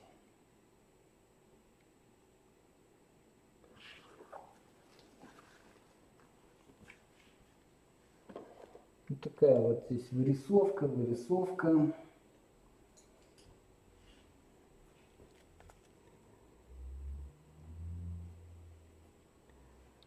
Вырисовочка.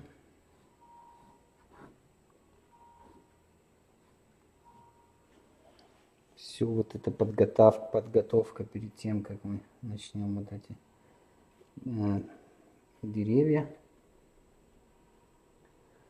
Здесь на переднем плане. Здесь есть тень, вот не может сюда попадать никак свет.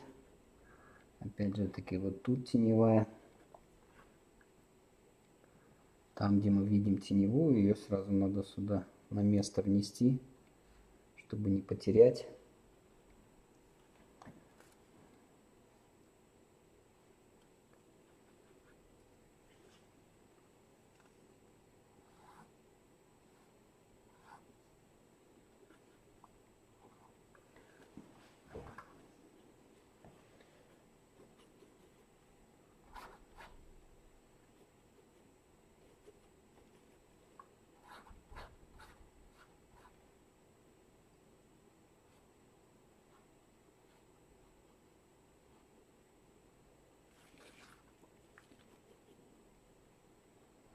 Ну, такие мельчайшие вот тонкости уже можно, конечно, по сухой, сверху, потом.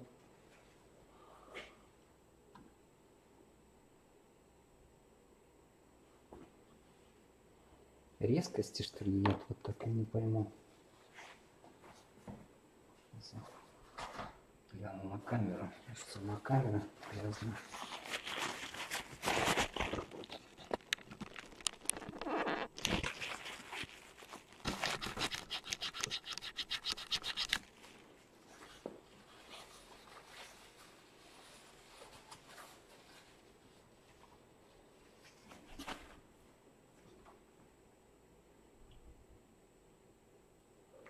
Попробовала здесь еще. Это было резкость.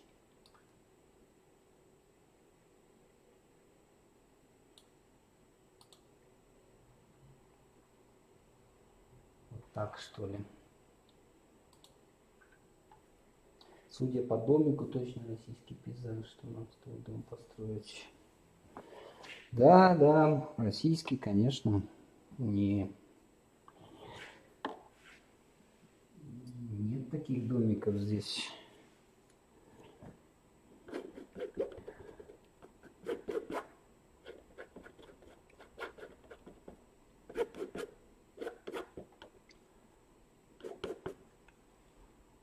У нас таких нет здесь.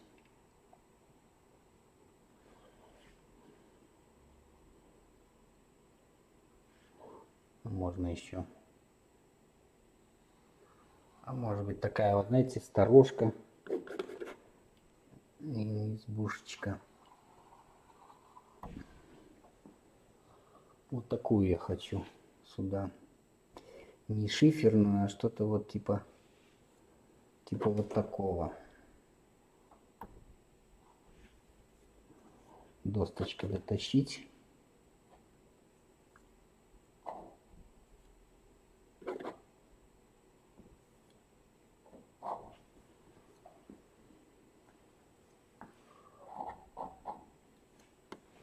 Вот заднюю. Здесь можно чуть-чуть тени в тень пустить.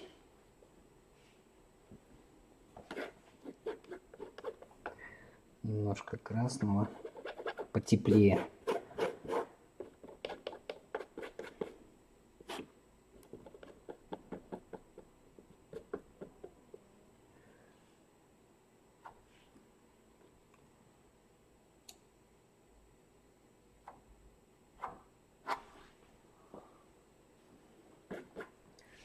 и сразу уже с крышей разобраться, трубу положить, чтобы не возвращаться уже к этому моменту.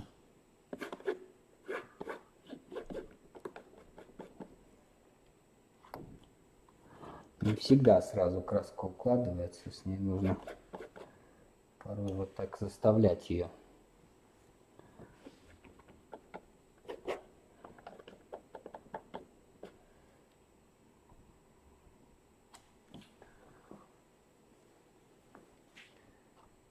Сейчас я помешаю.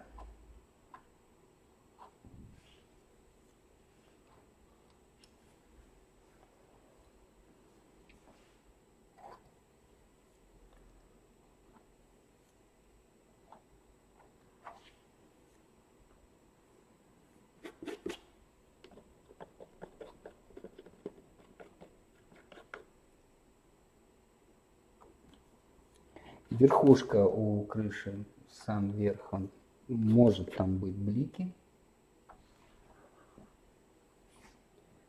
И ближе сюда в теневую уходит. Вот сейчас я замазал, кстати, и задний дом. Забыл я про него. И не, не предусмотрел.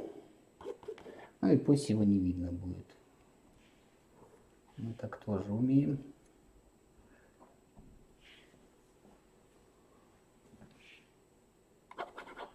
Не думаю, что хозяева обидятся, что их дом не попал сюда в картинку.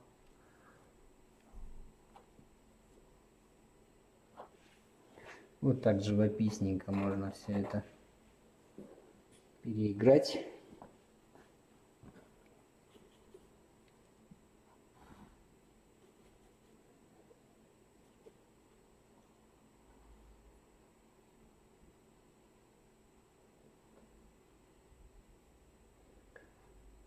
И донести вот так до зрителя.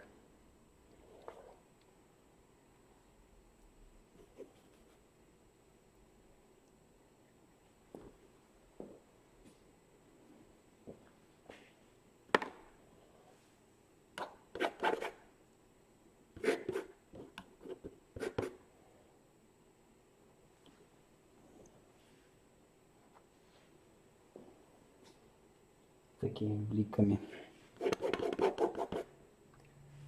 Ну и также можно здесь вот, можно даже три сделать. принципе.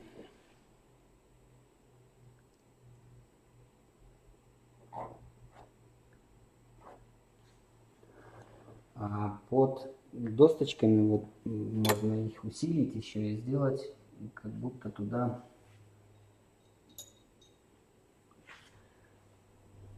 как будто там есть тень. Сейчас я возьму. И вот можно под каждой досточкой сделать еще такую теневую, что тоже усилит эффект.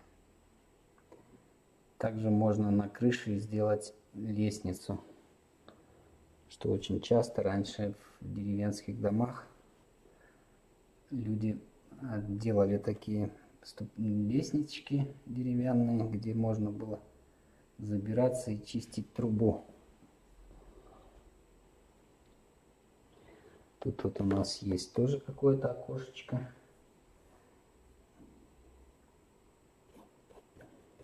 Пусть оно там будет где-то в тени. И не особо так, чтобы оно бросалось. Так, кисточка это не подходит, она уже пушистилась все.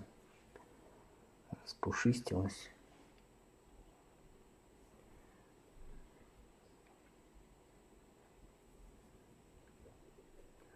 Возможно, это банька, пристройка.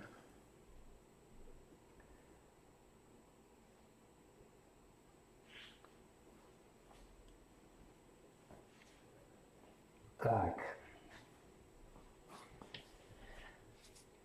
Чат у нас молчит, хорошо, никто не отвлекается. Тут я вот немножко своим домом м, буксанул немножко, поэтому надо здесь догонять сейчас.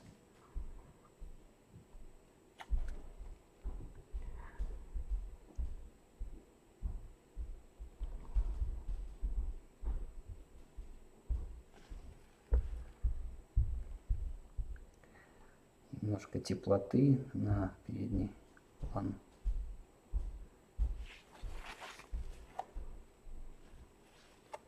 И вот тут есть такие сама дверь, она по-другому сколочена. Конечно же, вот каждую детальку, если каждый буквально каждую досточку выписывать, это надо сидеть. Еще, наверное, время для этого нужно. Сейчас я особо пока не буду сильно здесь выписываться. Так вот, быстренькими сейчас такими.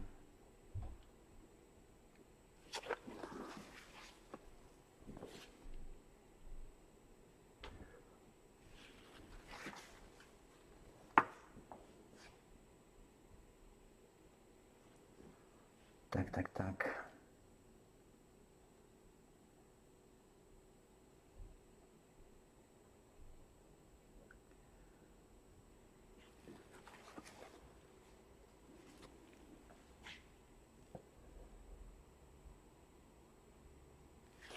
А, Раньше старину любили вообще прописывать, рисовать. Э, Абажуры такие из дерева вырезались на окна, на даже заборы резные делали. Вот. Ну, здесь, конечно, ничего мы это не показываем.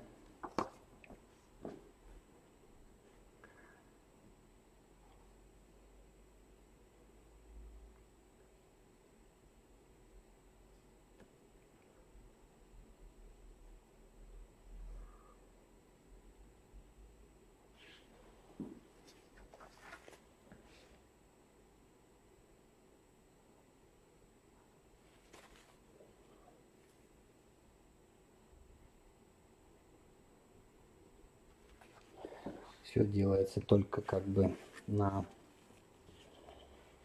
на таком быстром и э, импрессионизме.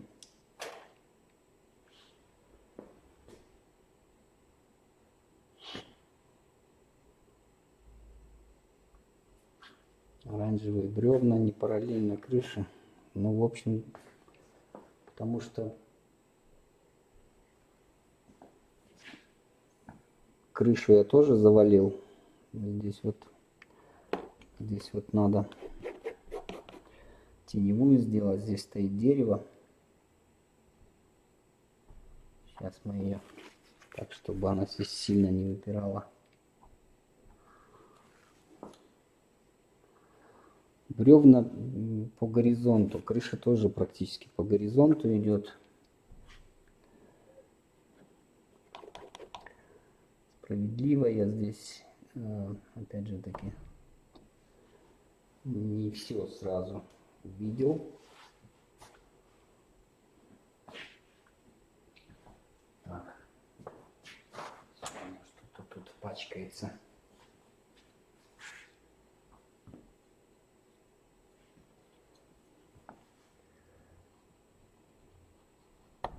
Занести сюда темноты немножко.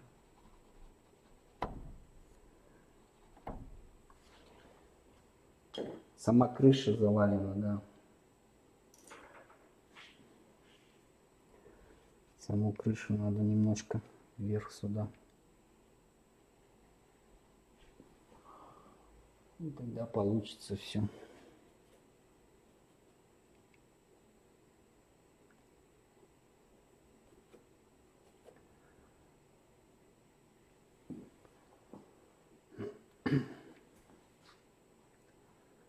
Мне тоже помогайте, я порой тоже не вижу все сразу.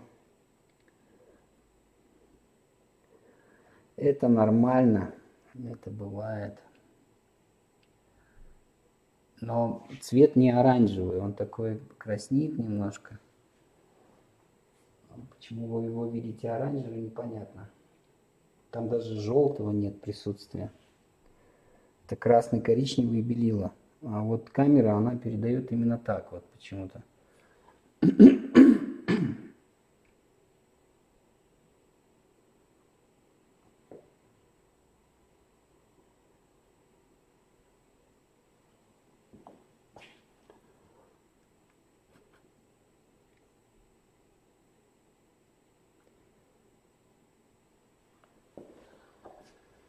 Едем дальше. Там где-то труба была, да? Или... Трубы здесь я не вижу. А, труба вот здесь на заднем, на заднем плане.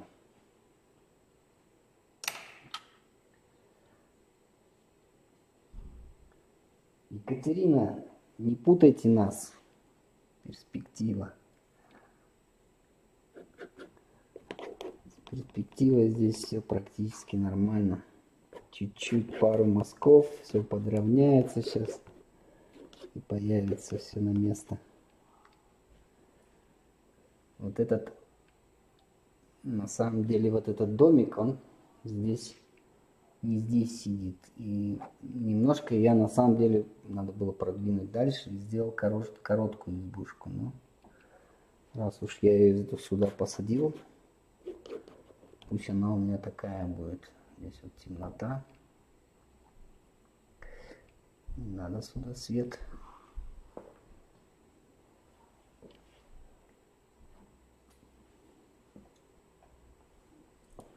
И темнота вот здесь под крышей. Ее тоже надо внести сюда.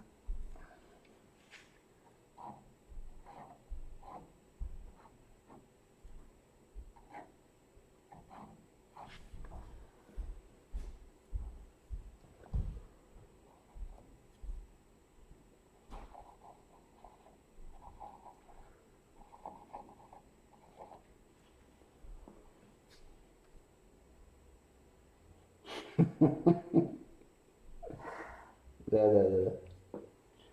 Потом еще под наклоном же стоит картина. Это так тоже не видите здесь. Что тут хозяин натворил. Ладно, все, продолжаем дальше. Поправим в конце всю перспективу, все выровняем, все сделаем.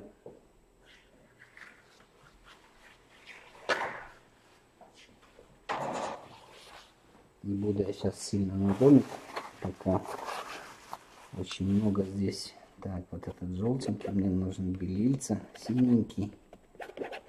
Для того, чтобы получить такой цветик перед домиком, вон там, вот тут он, сюда, сюда этот цветик.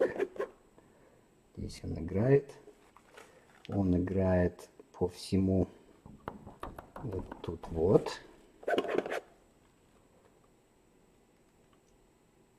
Ну и там поленница. Опять же таки не буду я поленницу рисовать. Пусть она остается в зелененьких тонах. А потом вот здесь эта травка, она переходит на здесь вот более зеленый такой яркий цветик смешанный с, с теплым желтым сейчас нужно кинуть правильный цвет на правильное место. И работа начнет смотреться уже.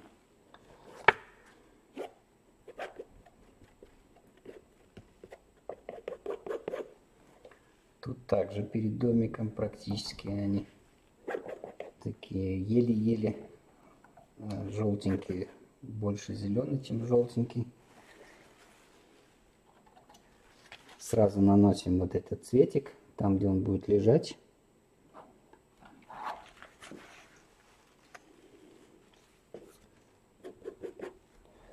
Здесь есть вот еще один домик. Посмотрим, ставим ли мы его.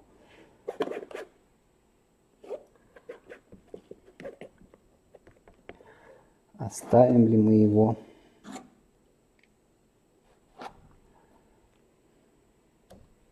Так, чтобы вас не мучило, вот это место сейчас сразу мы накидаем. Занесем эту и навяжем эту краску. Можно немножко красненького вмешать, так чтобы она вот здесь не совсем желтила, она такая была с краснотой.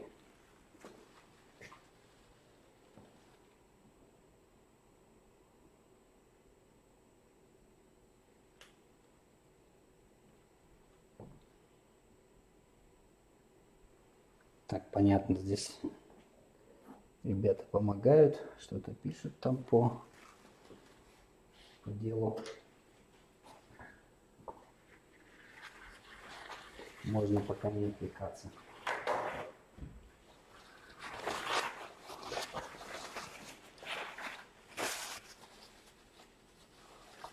Вот здесь на самом переднем плане здесь будет больше красного. В этот же цветик еще сюда красненького. Он такой будет грязно-оранжевый. И вот здесь на передних планах вот этим грязно-оранжевым придется.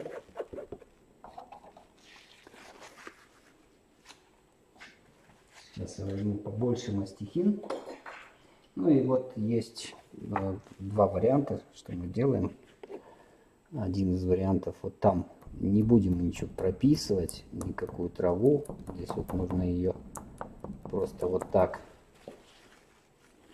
поработать ею. Надо, еще нужны какие-то светлые, возможно, оттенки. Еще светлее, вот в, в желтый я добавляю свет. Белый. И вот там, где будет заканчиваться забор, вот тут вот эти бликами. Здесь есть у нас сток сена. Сейчас надо определиться где-то вот возле угла дома. И он практически вот тут стоит этот сток. Его можно сместить немножко левее, будет интересней. Не обязательно вправо, он так. Вот здесь будет сток. И перед стогом вот тут травка. Дальше. Травушка уходит сюда. Здесь вот не так много света, как я положил.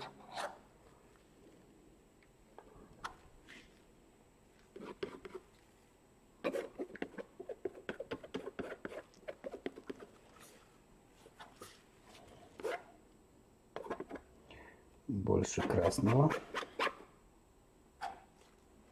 да, такое, такой грязно-оранжевый получается. Вот здесь грязно-оранжевым нужно. Сейчас вот, э, опять же таки, нет детализации, идет только э, цвет на нужное место и все. Правильный цвет в нужное место.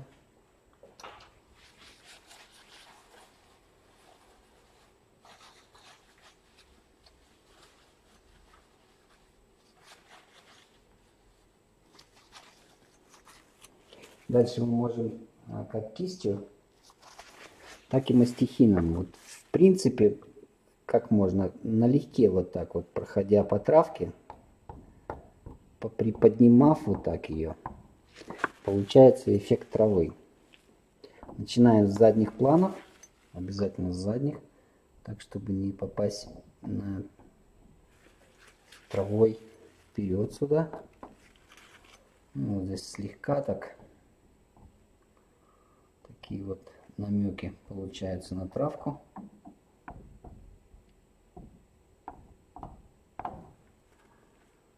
Также вот по светлой теперь, когда мы по мере приближения сюда, она ушла у меня, ее нужно вернуть.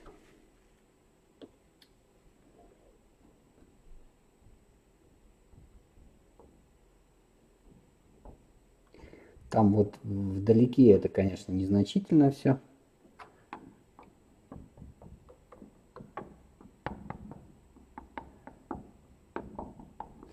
Один из вариантов. Приподнимаем вот так траву. А второй вариант сейчас вам тоже покажу.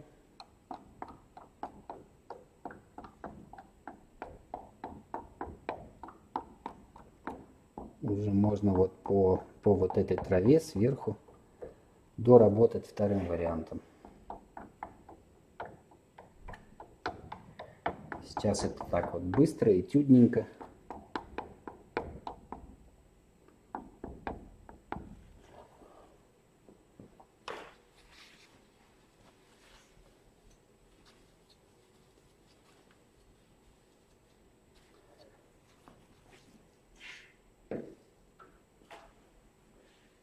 теперь понадобится. В принципе, можно любую взять. И можно и синтетикой. Можно как круглый, так и, в принципе, вот такой распушистистой. Вот, и здесь есть такой способ, еще один, довольно-таки интересный, где мы можем травку пробивать. Вот здесь вот можно такими вот стягиваниями забиваем вот эту травку. И она довольно-таки тоже интересно получается. Но надо вот этот цвет, чтобы он не терялся. Там вот, где мы его видим, его нужно оставлять. Можно вот такими мазками,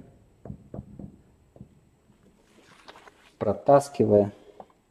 Обязательно нужно вернуть весь цветик там, где он, там, где он должен у нас подыгрывать.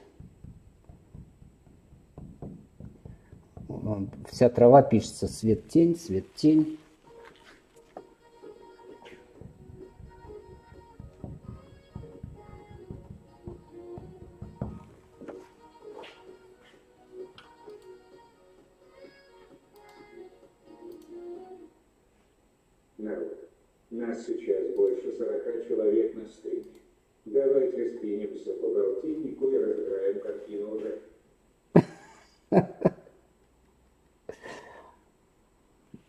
Давайте разыграем уже, посмотрим, кто выиграет.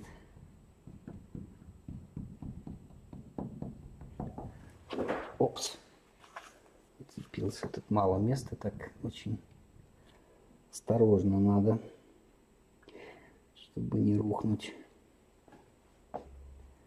Ну и вот теперь разными цветами тут э, сначала с травками балуемся, потом сверху здесь заборчик еще нужно будет. поворачиваю вот так кисточку, она сбивается красочкой, и получается разнотонность. Дальше сюда куда-нибудь можно уйти.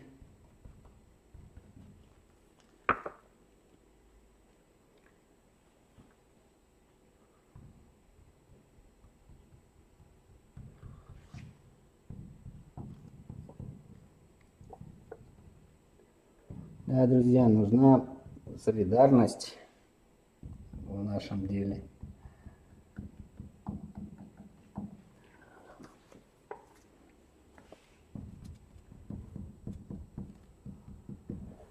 Тут вот так же светом можно подойти. Украсить передний план возле возле стога вот этого. Ну и там вот заборчики, все это будет здесь уже впереди прописано.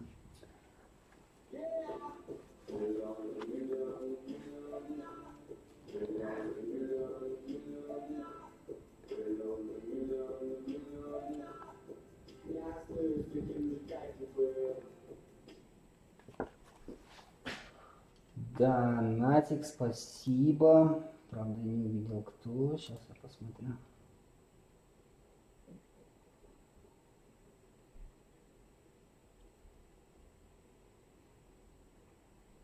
Надежда опять, да? Спасибо, Надежда.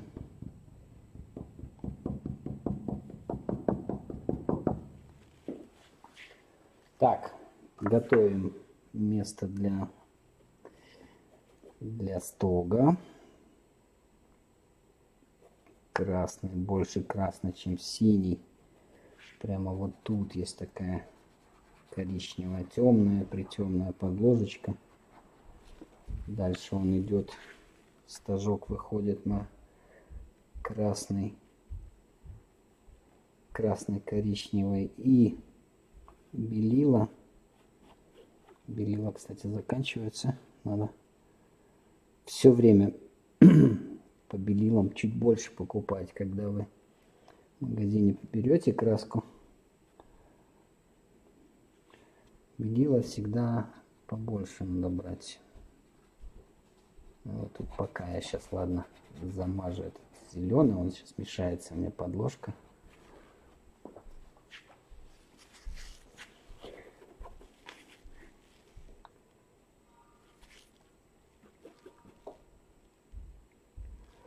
Можно вот такую даже взять, сиену солнечную.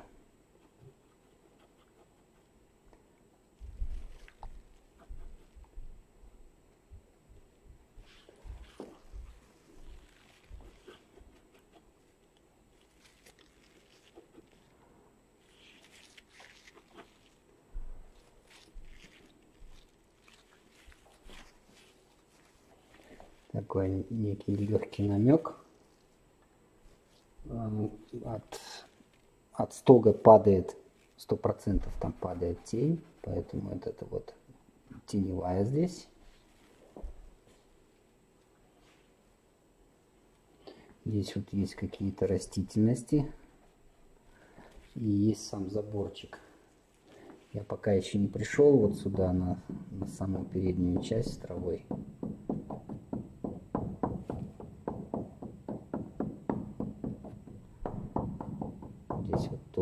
Нельзя оставлять в пустоте. Здесь есть темная травка, но она все равно, она вот так вот подсбита.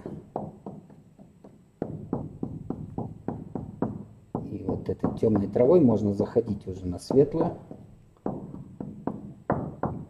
Главное не забить все это как бы в шахматном порядке, не получилось. Ну, нужно хаотично все это сделать.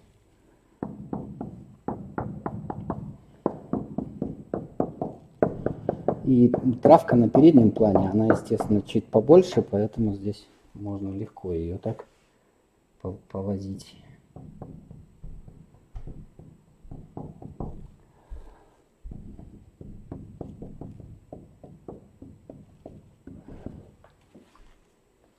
Пока это все, естественно, а, пугает, отпугивает, когда нет полностью не прописано еще все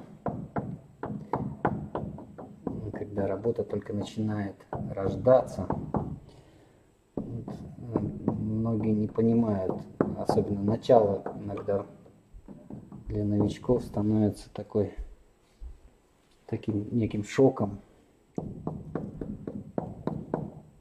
Поэтому всегда нужно дожидаться финала, ни в коем случае не с самого начала смотреть, оценивать.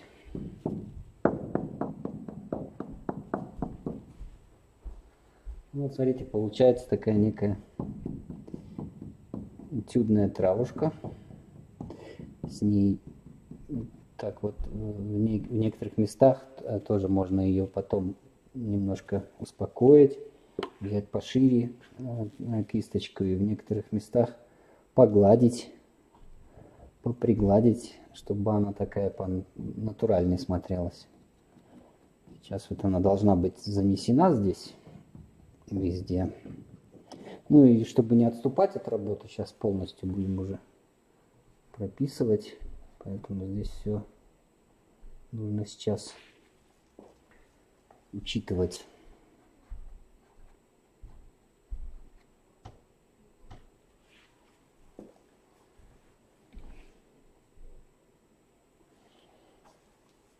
Все, поехали на забор. Что там у нас с забором с таким заваленным на заднем плане.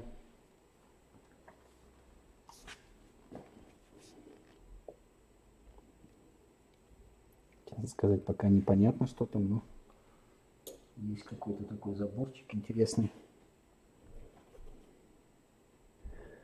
И идет у нас сначала сюда завал.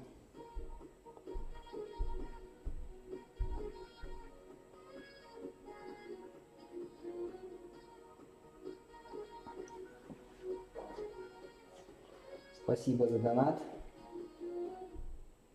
Траву хорошо имитировать веерной кистью. Вот не люблю я верную кисть, хоть убейте. А Веерная кисть, она делает одинаково создает. Мне, честно сказать, не по душе веерные кисти, я них не особо уважаю. Хотя многие справляются с этой задачей веерной кистью. Я же, опять же таки, повторюсь, не сторонник верных кистей.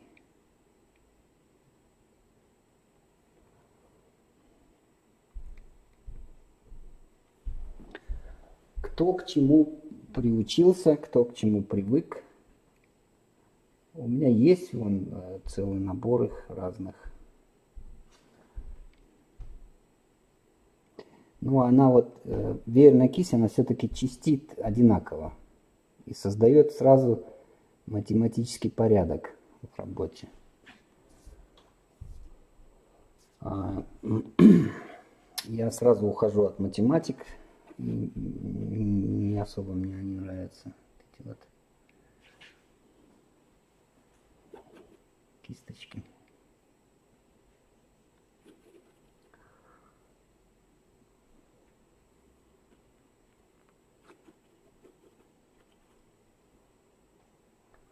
У нас вопрос был любителем верной кисти. Хотя не спорю, ускоряет процесс на э, подчас э, картина получается быстрее с верной кистью. И тут, конечно, я не спорю. Так, ну что мы сделаем? Оставим мы тут или не оставим домик задний? Напишем его. Вот это вот уведем тогда сюда. Так уж я увлекся и забыл про задний дом. Вот эту тогда мы вернем вот сюда в теневую крышу. И смотрите, сразу появился задний.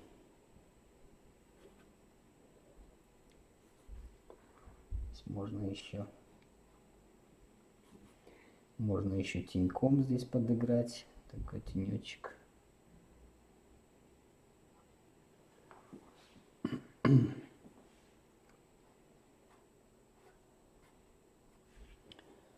Так, так, так, так, так. Давайте с трубой. Там вот есть труба. И пусть она вот не с той стороны, а с этой стороны будет.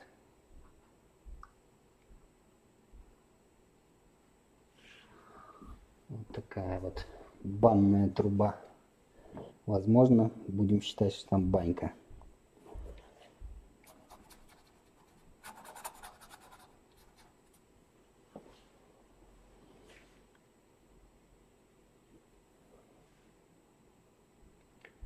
Видите, я переиграл этот домик с крышей. Другие у меня досточки. Ну, вот что хочется. Хочется еще сюда вот записать, дописать.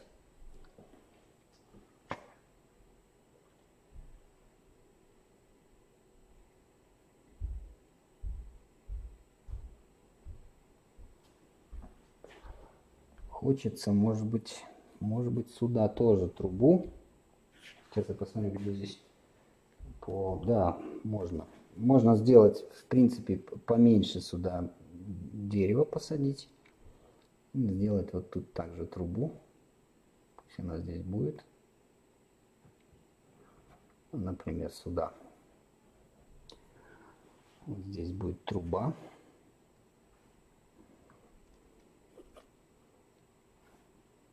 Здесь как хотите, можно кирпичную, можно такую. На усмотрение уже ваше. На ней есть блечок обязательно. Также блечок может сверху сюда садиться.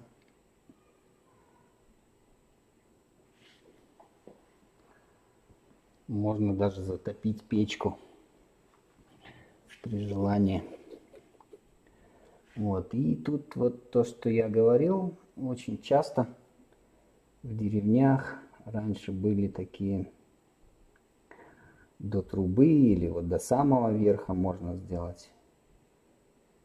Сначала вот теневую сделаю.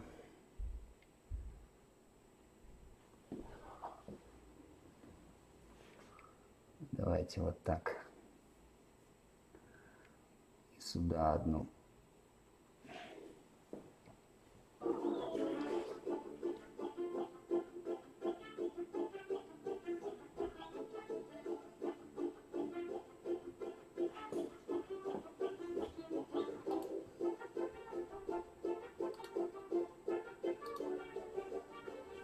Чепелева Надежда. Вау! Вот это 50 упало. Так.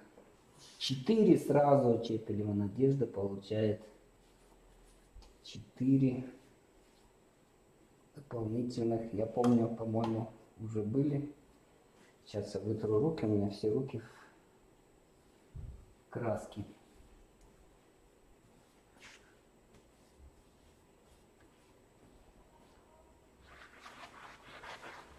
И запишу.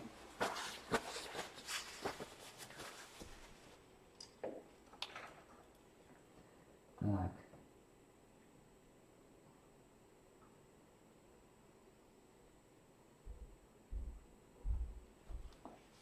Чепелем надежда раз.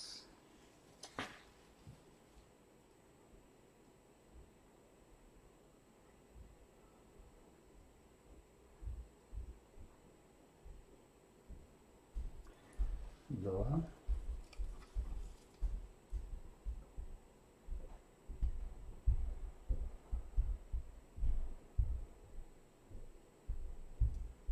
Три.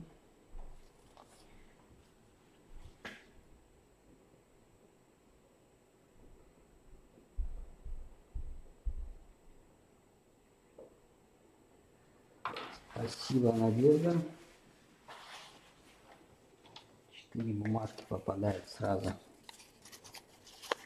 Четыре бумажки с вашим именем. Корзиночку. Раз.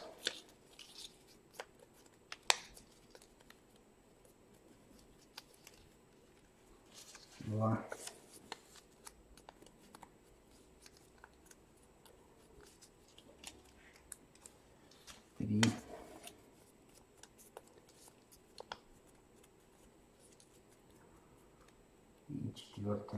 4 бумажки. У нас оказывается там по...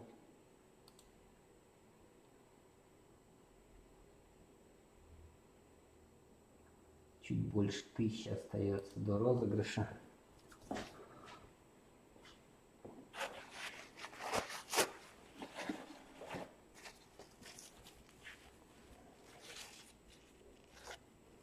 Ну, а я пока рисую дальше. А, пилиться надо.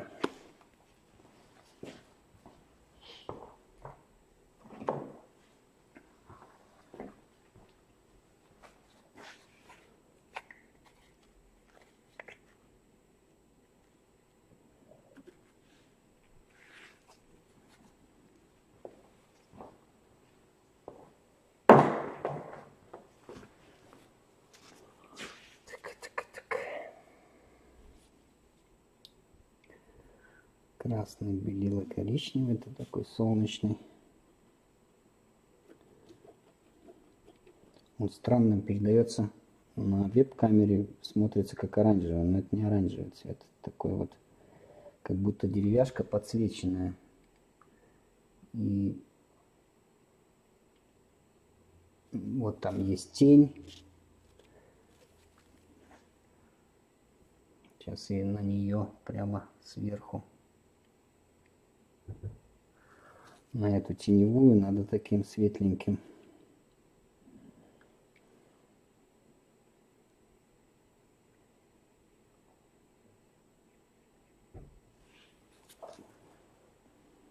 Так, чтобы получились досточки.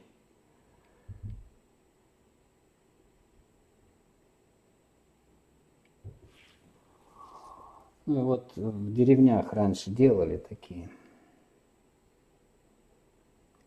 Для того, чтобы можно было трубы забраться к трубе, почистить.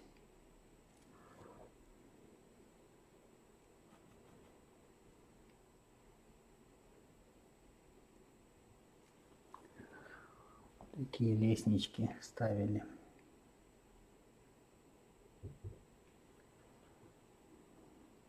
Ну, она получается такая объемненькая.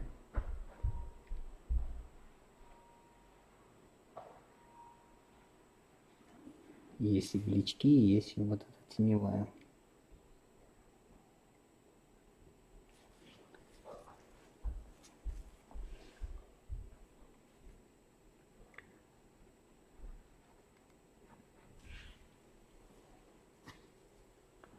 Также от трубы может тень попадать, про нее нельзя забывать. Вот если солнце с этой стороны падает, то от трубы тоже может тень падать.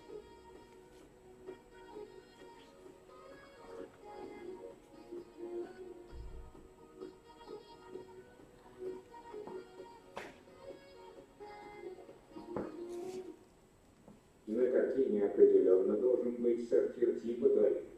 Кустов можно посадить. Можно, можно, можно. Сейчас сделаем.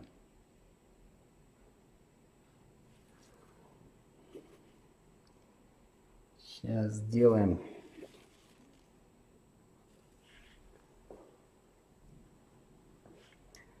Обязательно.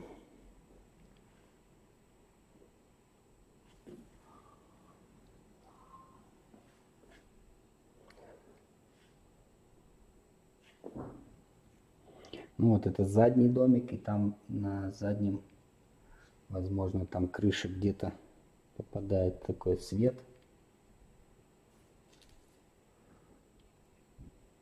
И она отличается, естественно, от переднего.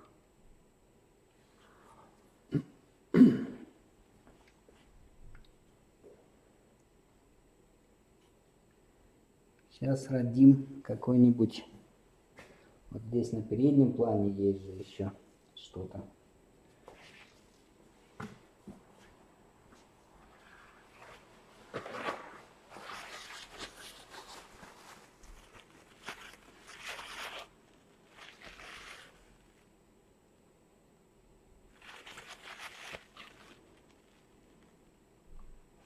Добиваемся детализации постепенно.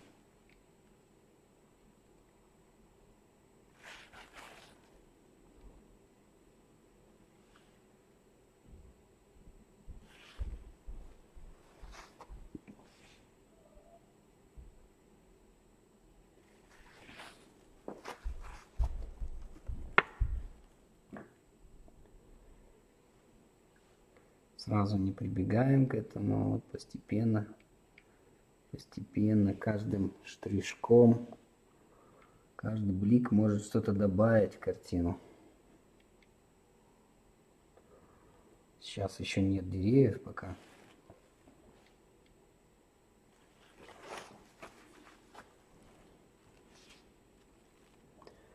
Тут хочется не совсем оставаться без вот этих бревнышек. Они есть там. Пусть не такие яркие, но все-таки все ж таки они есть.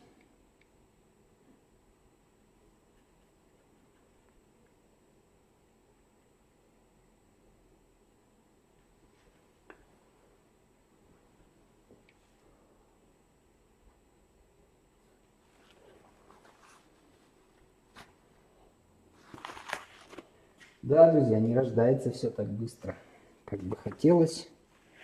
Все делается постепенно. Попробуем сейчас намешать что-то такое темно-зеленое. Вот я взял коричневый, взял вот этот зелененький. И тут вот намешиваем, так чтобы он не... Можно даже синий взять. Вот сюда. Так, чтобы вот такую подложку сделать темно добиться темно-темно-зеленого цвета. Нам сейчас понадобится для, для обеих деревьев.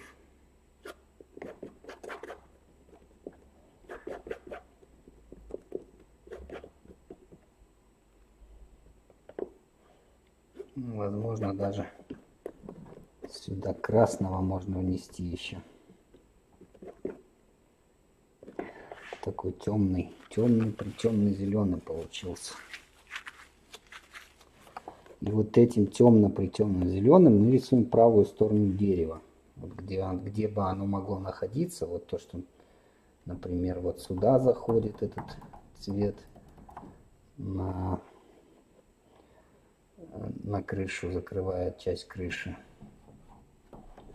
Вот сейчас мы перекроем. Он, в принципе, сливается и с задними планами там по, по задним планам э, леса. Но сейчас рисовать на самом деле все листочки не нужно. Нужно только глубину дерева создать. Ну и вот тут как, как бы нам хотелось приподнять его, допустим, вот до сюда.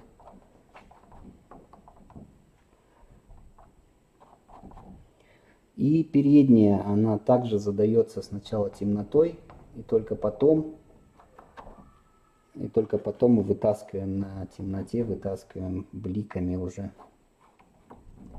показываем светлую часть. Ну, естественно, это, мне кажется, это береза, потому что свисают, свисают здесь веточки, и ну, нужно писать, наверное, все-таки березку. Ну и пусть она будет не такая широкая, как на фотографии. Ну можем сделать поуже немножко. Самое главное вот тут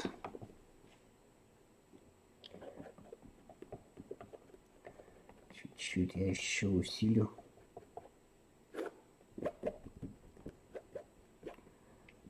Красный, коричневый, немножко синего. Немножко нужно еще где-то усилить. Вот она, подложечка, она также у нас играет. Она также сливается. И сейчас вот здесь будет находиться второе дерево. Где-то здесь с края. Оно чуть выше, вот сюда. Чуть ниже, точнее. Где-то вот тут. Сразу опускаемся. Такой вот Здесь э, сейчас пока игра мастихина. Нет самого дерева, нет ничего такого страшного. Опс.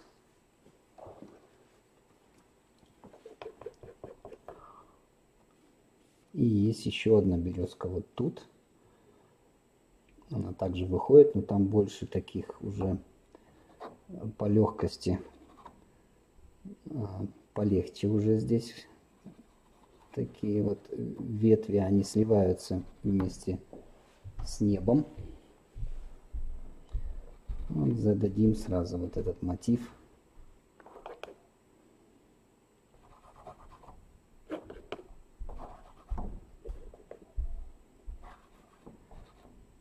Несем деревья, чтобы к ним тоже уже не возвращаться.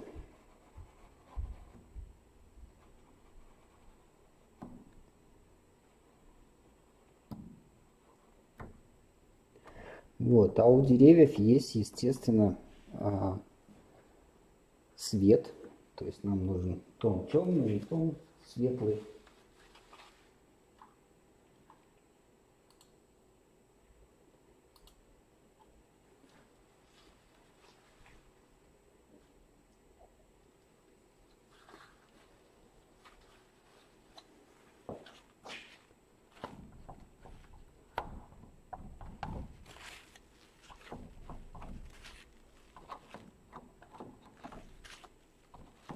Чуточку надо поработать вот с этой листвой.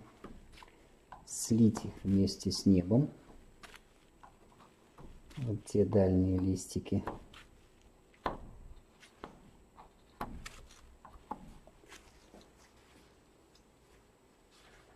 Ольга спрашивает, после написания деревьев не получится, что правый край перегружен по отношению к левой стороне. Да нет, здесь все по композиции, в принципе, все хорошо. Не нужно тут сильно бояться этого. Ничего здесь не нарушено.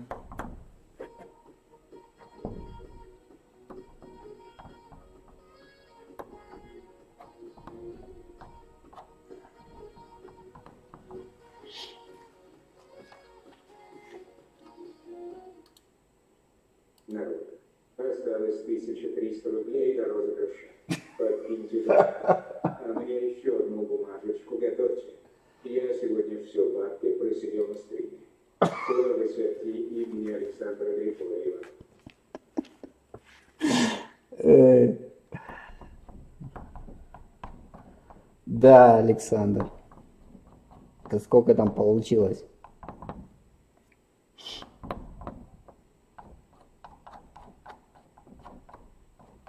Надо посчитать. Уже есть бумажка или нет еще? Шмель, шмель, 50, 50.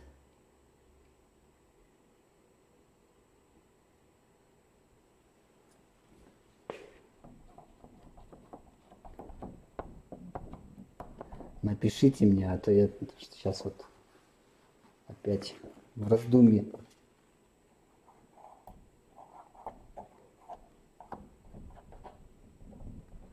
Уже добрали мы или не добрали до,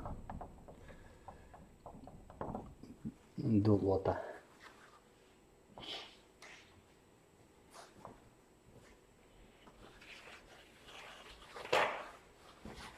Азарт, это азарт, друзья. Последние не надо деньги. Вы что делаете?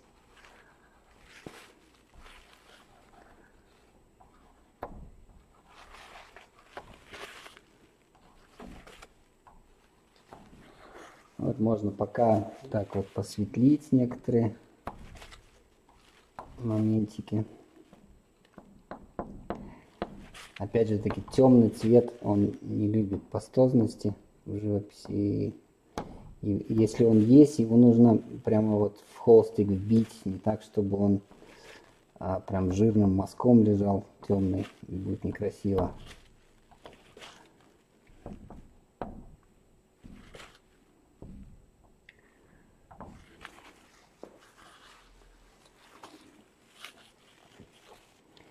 Нам понадобится еще светлый.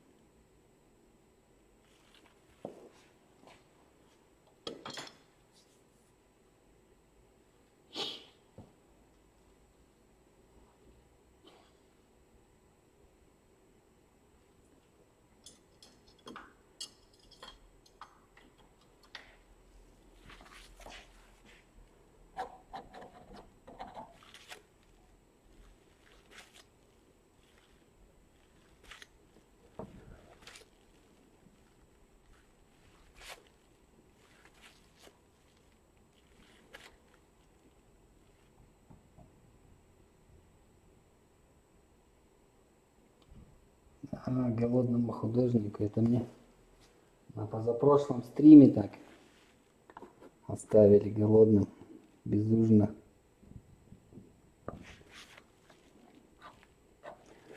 Когда Саша Долинский сказал, художник должен быть голодным. И все. Мне дома сказали, отдыхай. Должен быть голодным теперь.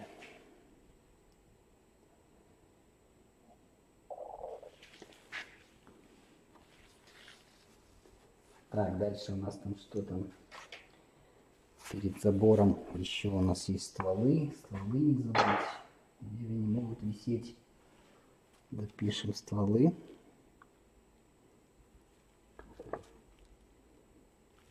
Где они растут? Где-то вот отсюда. Сюда заходят. Сейчас только пока тут я не понимаю, фотография мелкая. Возможно, что там несколько стволов.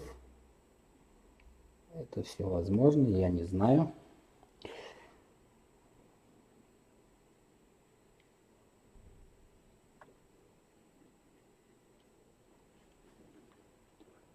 Можно сделать несколько, можно оставить только два. Ну и вот тут какой-то растет. Тоже не буду я сильно опускать. Вот откуда-то отсюда эта березка выросла. Ну и также по березкам вы знаете, там есть как свет, так и тень на стволе.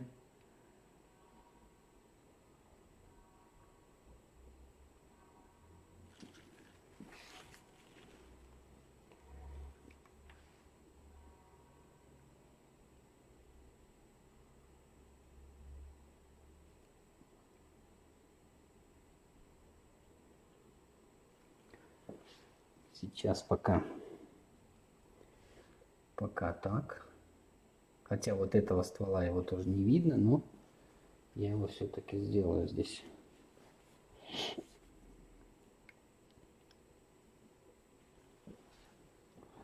И нужна светлая, потому что деревья не получается, нужен объем. Так, Александр пишет 2 по 250 я больше не могу, мне палитра за глаза. А, теперь мне нужно определиться, шмель это Александр, потому что я меня запутали. Там вот при условии заполнения анкеты надо все время писать фамилию, имя, отчество, чтобы не было совпадений. Я записал шмель сейчас.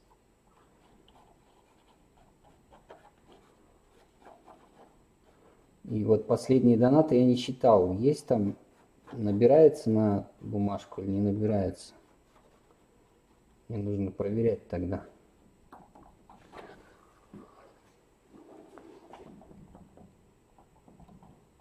Чтобы не получилось. Жмель сейчас выиграет. И все, а люди скажут, а у него бумажка была лишняя. Что тогда?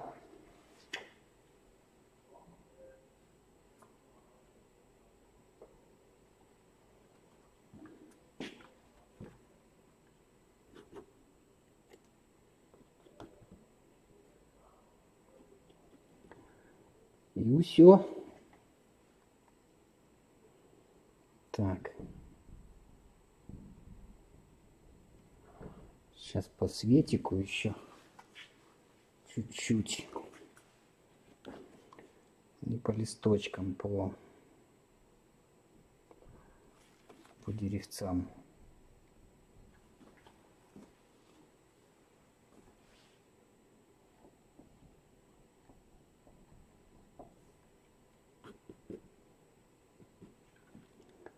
Тут вот есть еще попадает солнце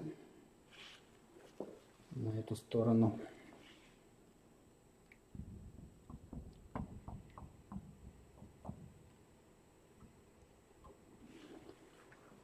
Пастозненько получается травушка.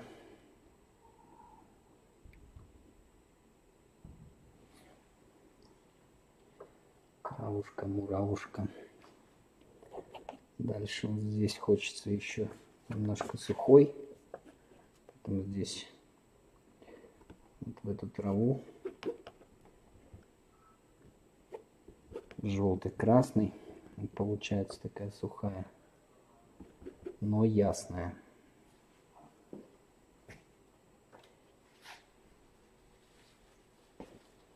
Света Григорьева. Ты-то то, а то прилипнет.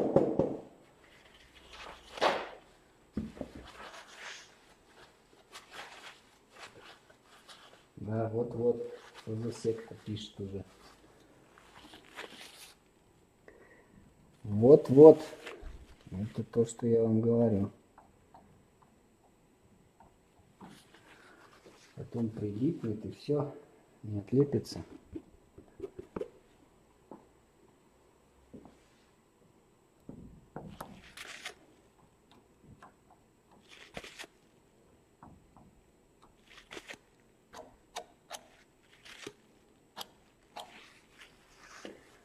Вот тут можно такой сделать сочненький. Вот хорошо, его тоже можно на, в принципе, вот сюда положить, на, на сток сена. Тоже такой огненный.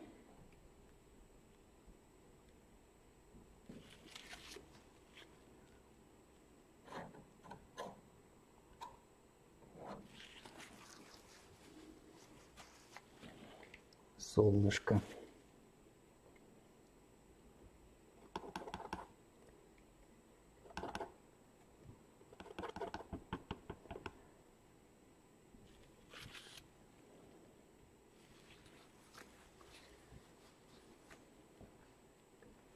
Это у нас по крыше я совсем упустил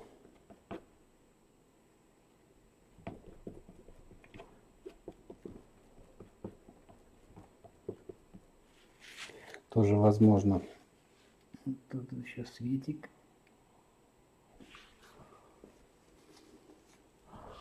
Такой незначительный.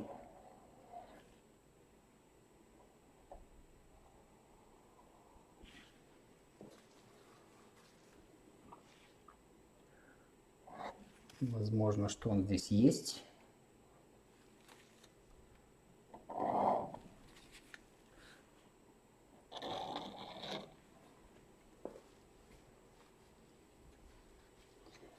Дальше можно что еще здесь? Вот тут забор, так, чтобы понимать. Можно сначала процарапать его.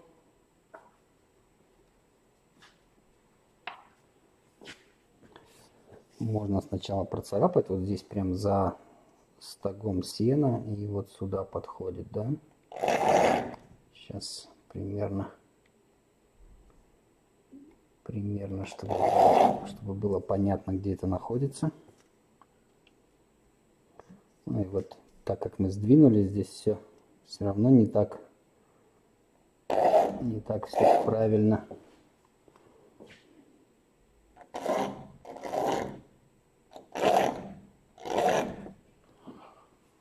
Сейчас я пропишу это дело.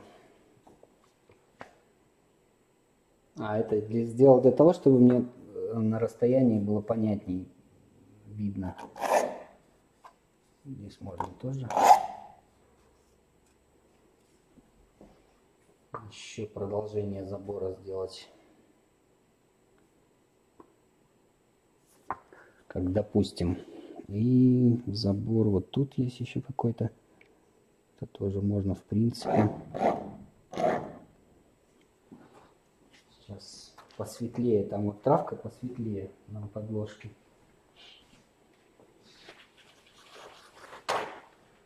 Так, что ты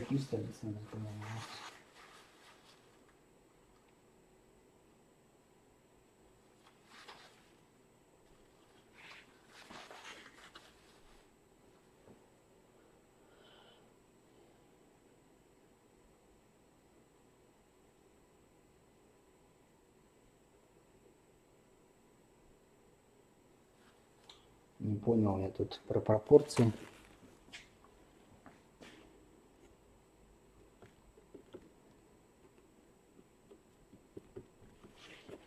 Что-то тут Александр такое замутил с пропорциями, а я не понимаю. Вот какой блик, видите? Можно даже в принципе таких бличков еще по картинке раскидать.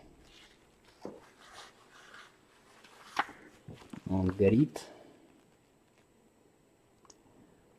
И вот тут с ним, естественно, надо его приглушить немножко.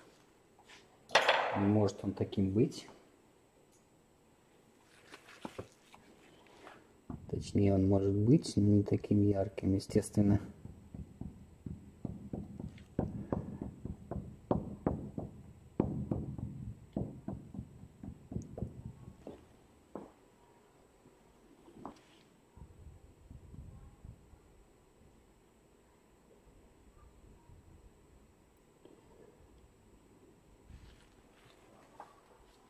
Вот есть еще какой-то домик, не знаю, стоит ли его.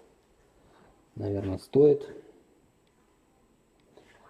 Наверное, все-таки стоит его написать. И пусть он будет здесь повыше. И поближе вот здесь, да?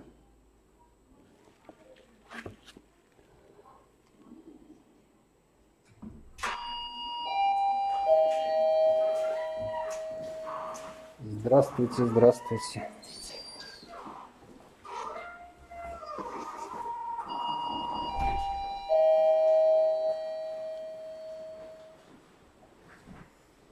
Собака пришла ко мне. А, -а, -а Ксерта.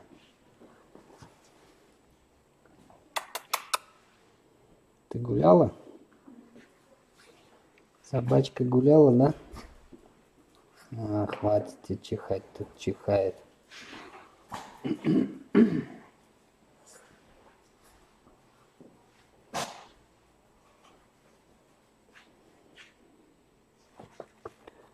Собачка пришла в гости.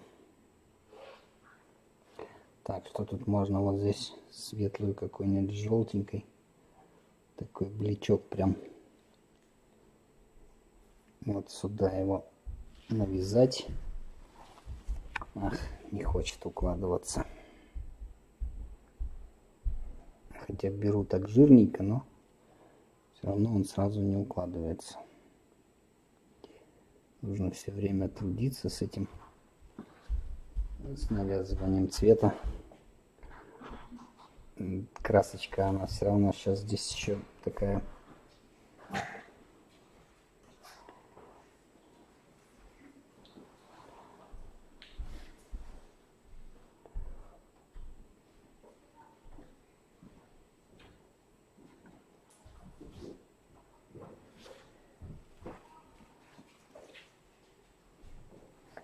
Ну и все, вот тут перед ним, прям перед домиком можно темной травкой в завершении.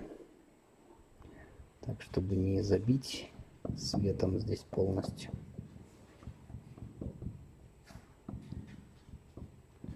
Так, вот на домик можно чуть-чуть пустить. Тут же есть у нас столб, я не буду уж точно писать. Тут у нас есть какой-то заборчик. И можно вот этим заборчиком сейчас темной красочкой, красной, красно-синим можно вот таким такой темный намешать. Сюда же зеленый можно, в принципе, все вмешать. Такой, чтобы он был больше, может быть, чуть-чуть в красный, так, чтобы немножко коричневел. Вот здесь надо жирненько так прям. Сейчас я попробую куда-нибудь его. Сюда, наверное, нет. Так как у нас уже не попадаю я по, по всему этому. Ну, допустим, вот здесь. Допустим, вот пусть она вот так вот протягивая, протягивая кисть, ее нужно все время прокручивать, так чтобы краска стягивалась с кисточки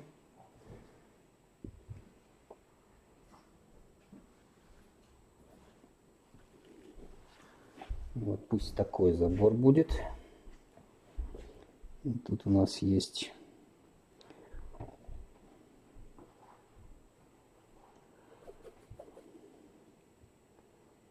Тут у нас есть еще вот эти вот. Также они могут неровно быть, в принципе. Завалены. Все вот так по-деревенски. Колешки вбиты.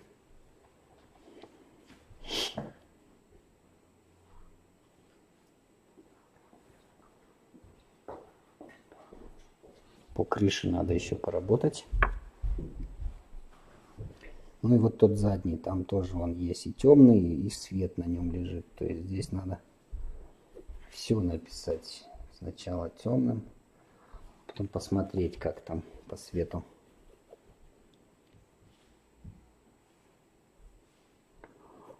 Возможно, оставим. Возможно, нет.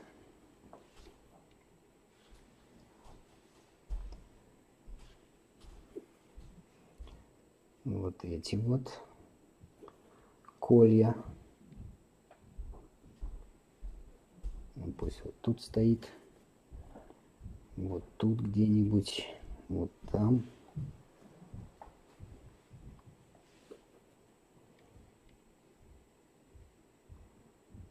Такой вот интересный такой заборчик.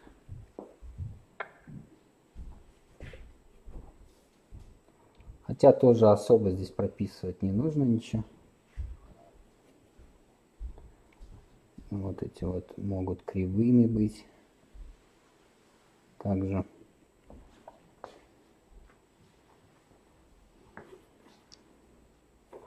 Теперь я беру такой вот посветлее тон. И можно блики положить на этот заборчик.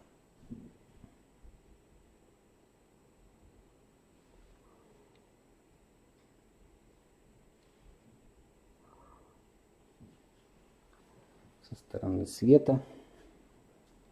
Парочку бличков вот тут можно где-то кинуть. Можно не забивать полностью. Вот если полностью забивать, вот здесь как будто она не совсем правильно так. Поперебивать эти блики нужно. Чтобы они не везде шерстили по, по, по этим палочкам. Ну, тут все в теневой, в принципе, только на самом краю я вижу там, где-то тут брючок падает. Также есть по столбику, может быть, где-то. Вот, особо тоже стараться с бликами не нужно по всей палочке. Только в местах.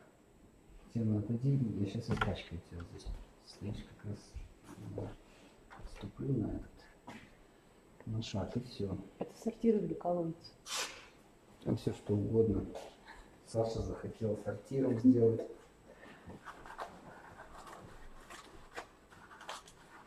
Бегать-то надо, да. А ночью, чтобы не упасть, там забор как раз. Чтобы, чтобы, чтобы в озеро не свалиться. Так что здесь все продумано. То вам не это, не просто деревня. Все грамотно сделано.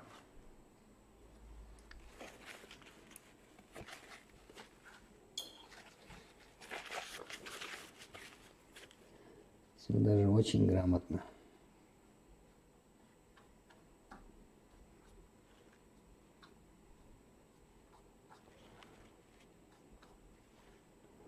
Ну вот по травке тоже она может так вот где-то где-то бликами такими быть яркими, а где-то уходить в такой тенек. Как я уже сказал, вот в самом конце можно, в принципе, вот так вот еще с помощью кисточки приподнимать.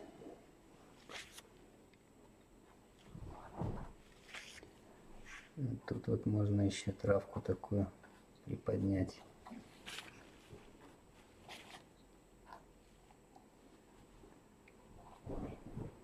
Травы очень много, хозяин, видать, не косил давно. Один бедный сток стоит, сено.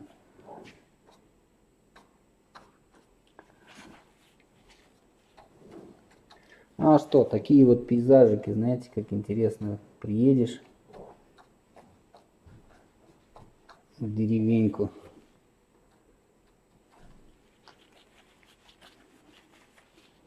вот эти вот а, места, где обычно рыбные бывают.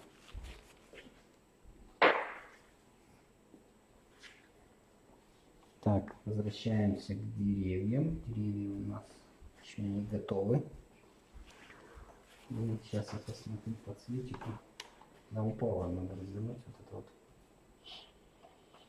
Здесь нужен нам такой светло-зелененький уже. Посветлее. Сейчас вот намешиваю я сразу. Так, чтобы эти блики не потерять потом. И делаем по всем деревьям, делаем свет со стороны света. Но опять же таки подходим к этому делу плавненько, не так, чтобы резко, и не так, чтобы сразу и везде. Высветлять будем постепенно. Вот придется мне облако закрыть тут. Да, много еще перекрывается того, что, в принципе, уже написано, но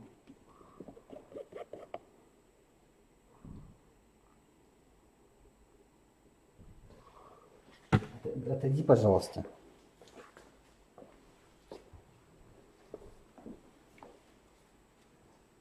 Рухну ведь.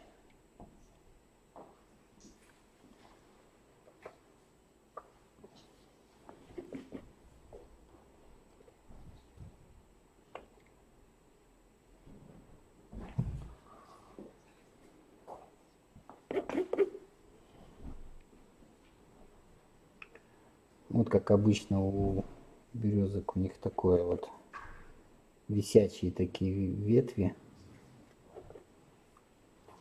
Ну и оставляем, теневую оставляем. А здесь вот только а, пока нет веточек, пока только намеки на листочки. Сами листочки еще можно будет чуть-чуть вытащить. в некоторых местах. Ну а есть вот эта густота пятен. Пятна, они а, остаются пятнами, там, где вот э, много-много э, листвы.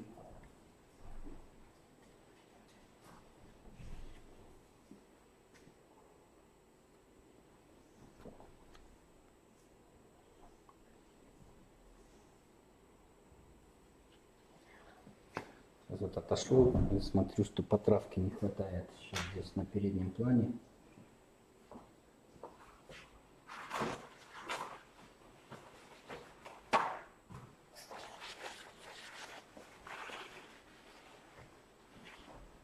Спина, идите домой. Что вы здесь будете ждать? Сейчас у меня еще полчаса, потом уборка, потом через час приду не раньше.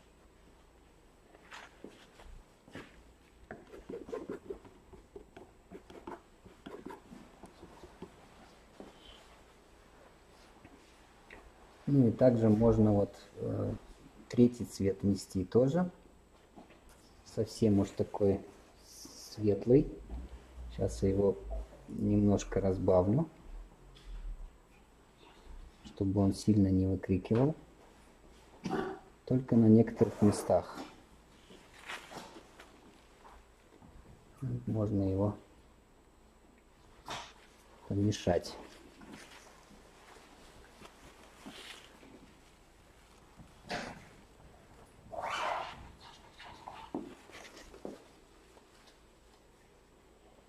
Так, что тут за забором? Перебор.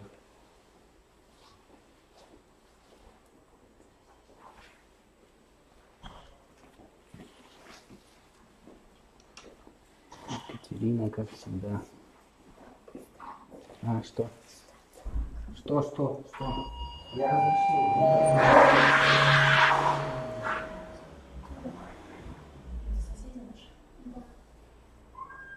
Это этот сверху. Всё, давайте.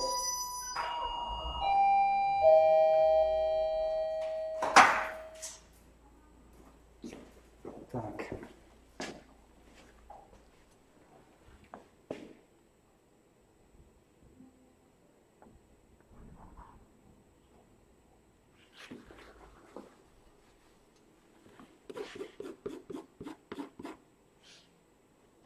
Тут уже фотография у меня вообще в стороне. Практически не смотрю на нее.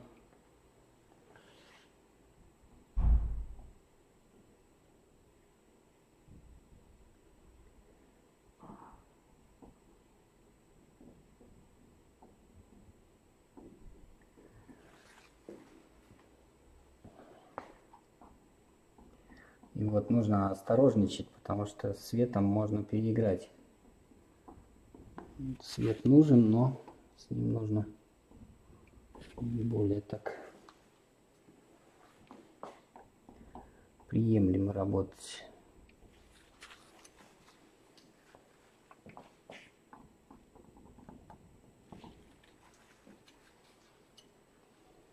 Дальше понадобится кисть. И все, вот эта вся детализация идет потом в завершении уже кисточкой.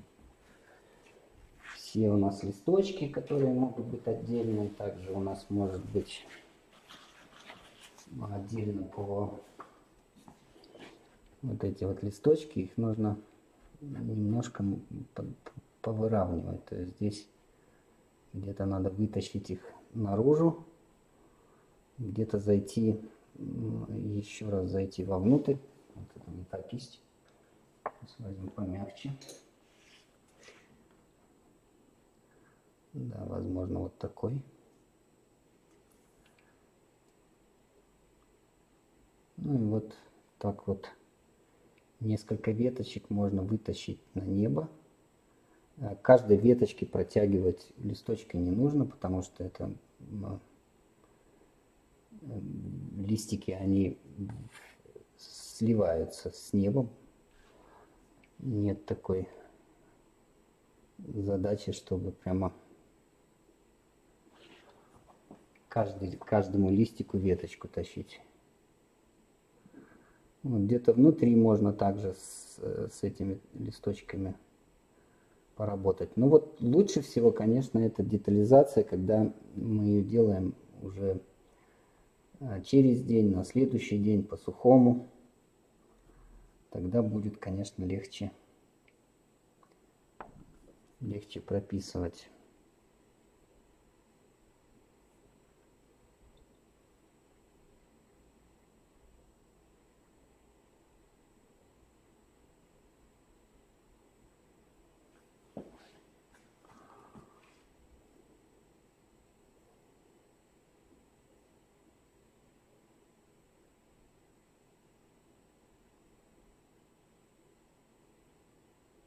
Примерно вот так.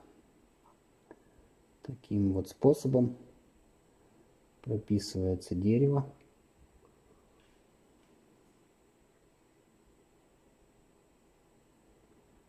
Сначала делается общий, общий фон, создается, и потом с этим фоном работаем.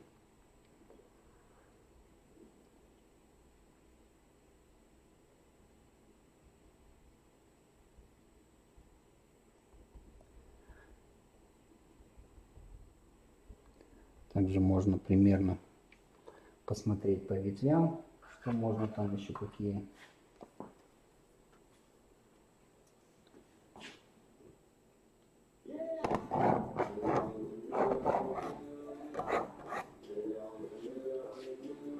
Ага, спасибо за донат.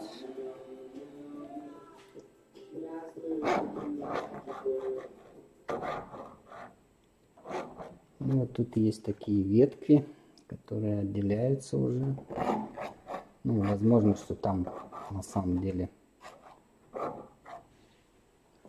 еще есть ствол. Вот там на заднем плане. Э, Совершенно спокойно его можно прописать. Сначала мы э, обычно я процарапываю, а потом уже, если мне все нравится, все устраивает, тогда я оставляю. Или где-то что-то затираю. Но тут вот надо сначала быть уверенным, а перед тем, как быть уверенным, э, легче и лучше всего вот такими, такими методами процарапывания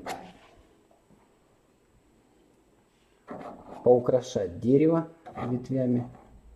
И потом, если все, все устраивает, можно эти веточки, конечно, прописать еще дополнительно, что, в принципе, не будет хуже.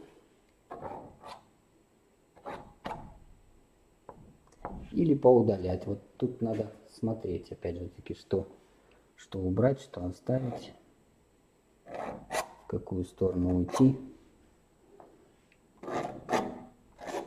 Здесь я, наверное, пропишу еще один ствол, будет неплохо смотреться.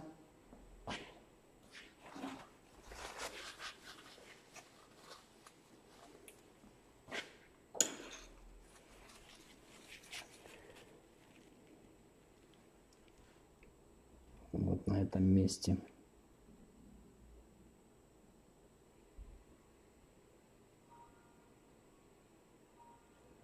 Может делиться.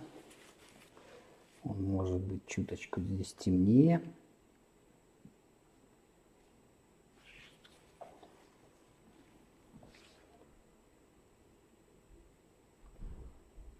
Такую вот в синеву можно его пустить, чтобы он чуточку синил.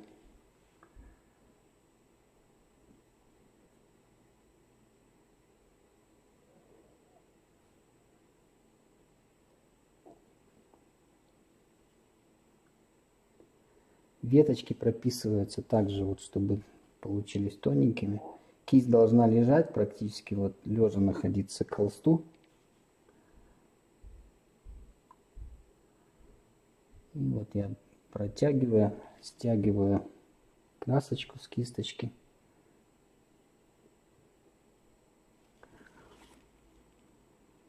Так.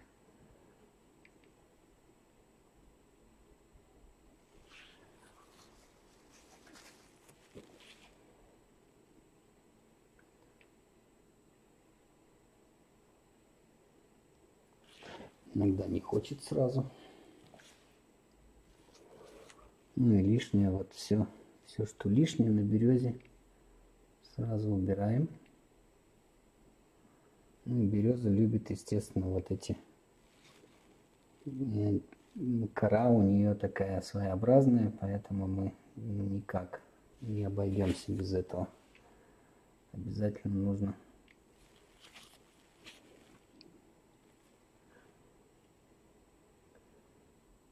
подписать кору.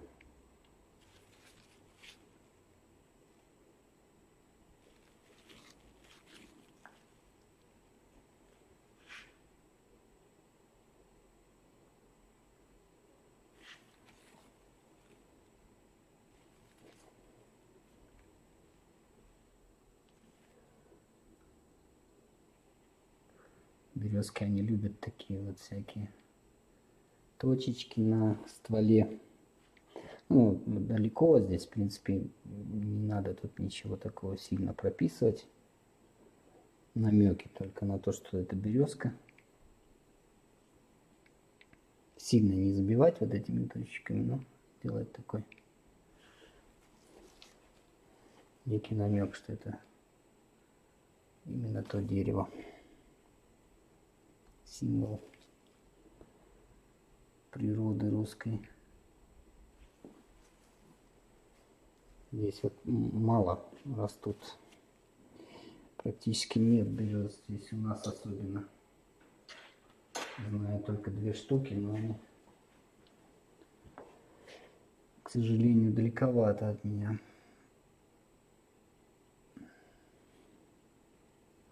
Все, теперь такими где-то синенькими, где-то вот такими слегка а, ветки могут разделяться. Где-то они могут бликовать, не везде, конечно, но вот в некоторых местах совершенно спокойно могут бличок давать.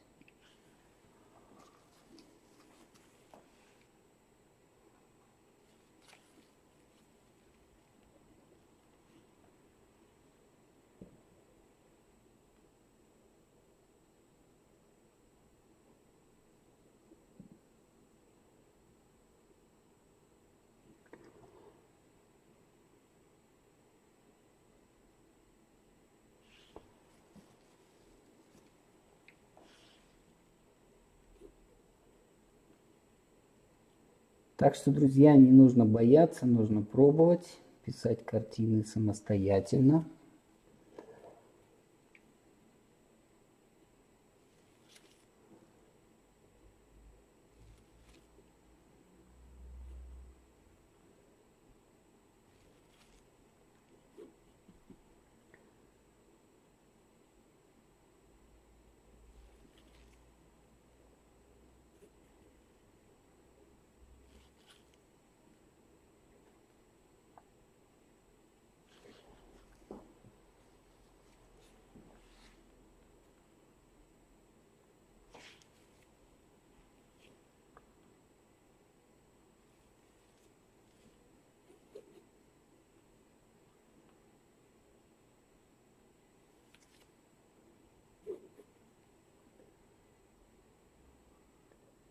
Я обязательно еще, может быть, на днях посмотрю все, что можно здесь дописать, еще допишется, потому что это не сам финал еще. Тут что-то такое, можно теневую положить, что ли, но пока не особо понимаю, что здесь происходит на этом этапе.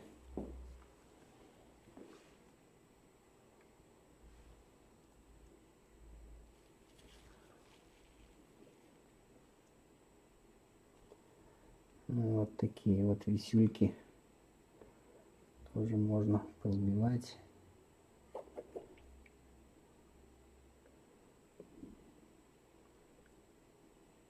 Покатать вот так можно кисточку переворачивать, подстягивать красочку, чтобы получились такие вот интересные.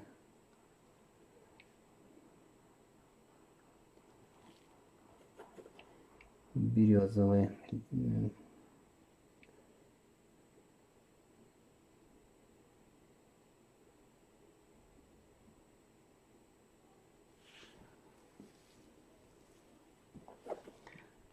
намеки на березку.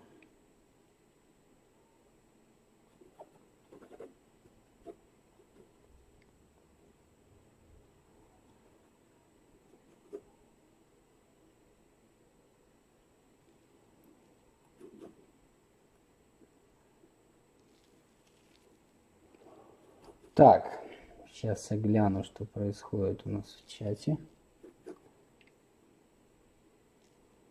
Люди, наверное, уже подустали.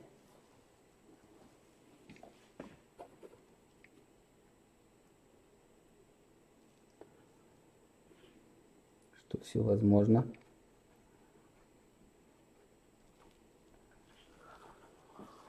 Смотрим, что же тут, что же.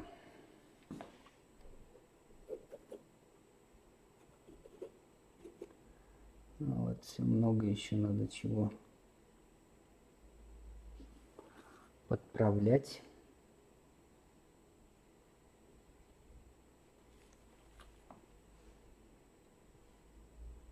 Тут, конечно, можно вот это вот э, детализацией заниматься бесконечно.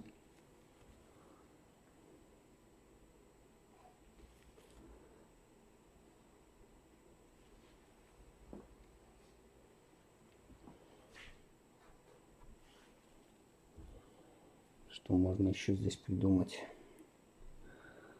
Так, давайте вот сюда посадим. Посадим вот эту.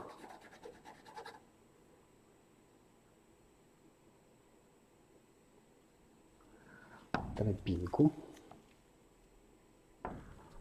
Ее там нет, но хочется, чтобы она была.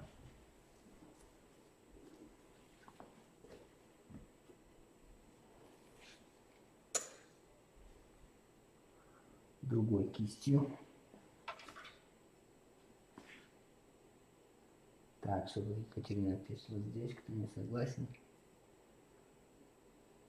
Палки затереть по центру.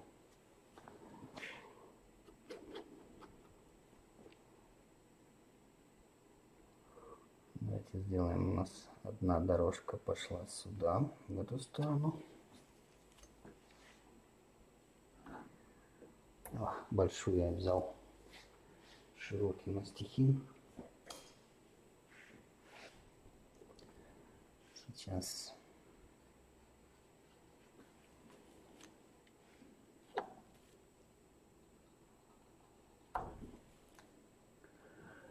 одна дорожка у нас будет уходить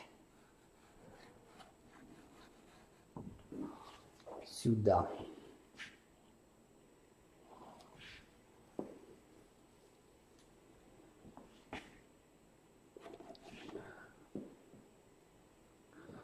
Вот сюда она будет уходить.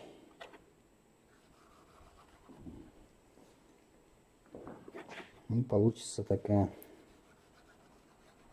но, опять же таки, это на ваше усмотрение. Можете делать, можете нет. Мне такая идея пришла сейчас в голову. Чтобы не оставлять в пустоте это место заросшим. Можно еще курочек сюда понаписать. Будет еще прикольней.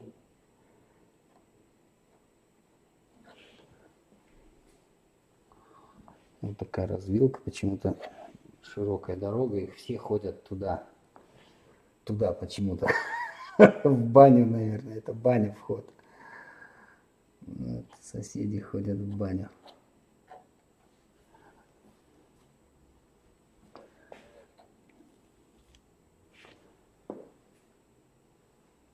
Ну что ж, можно, конечно, и можно еще развить вот сюда тропинку одну. Все возможно. Вот к соседу сюда в гости. Смотрите, как все сразу тут. Тут нету напрямик, вот там вокруг они ходят. Поэтому, возможно, с той стороны. Ну, дорожку можно посадить. Сейчас самое главное сделать травку на дорожку и теневую. Должно все получиться. Тут вот теневая. Вот так, выдумщик, я люблю это придумывать иногда. Что-то такое пишется, пишется, а потом начинаем выдумывать, что можно добавить, убрать, донести еще до зрителя.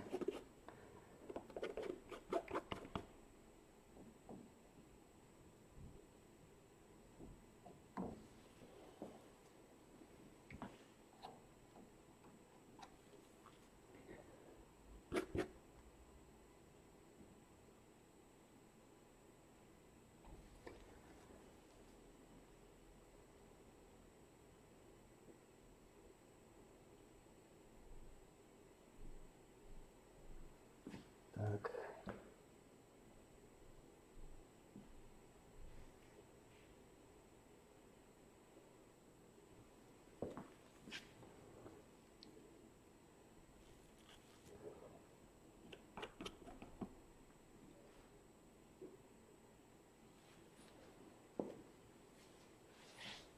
Попачкался я опять весь.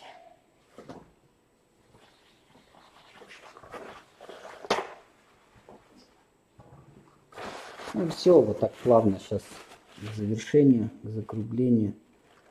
Там я уже посмотрю. В принципе, все я вам показал, что я хотел.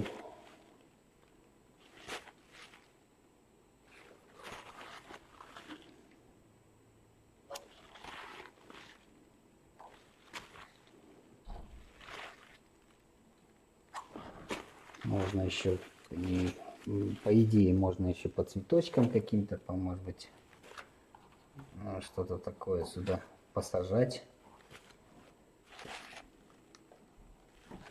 Какой-либо интересный, ну, там, допустим, анютины глазки или что-то такое на травку.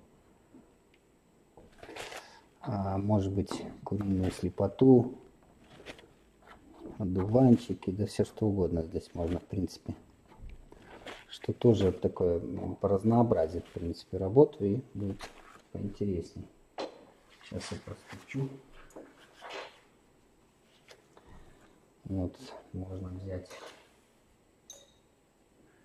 длинную. Вот, надо обязательно, чтобы была жиденькая такая красочка.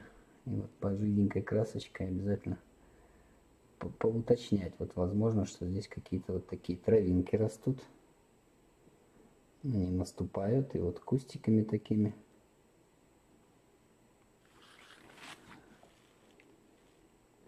Можно много здесь повыдумывать еще с таких мелочей.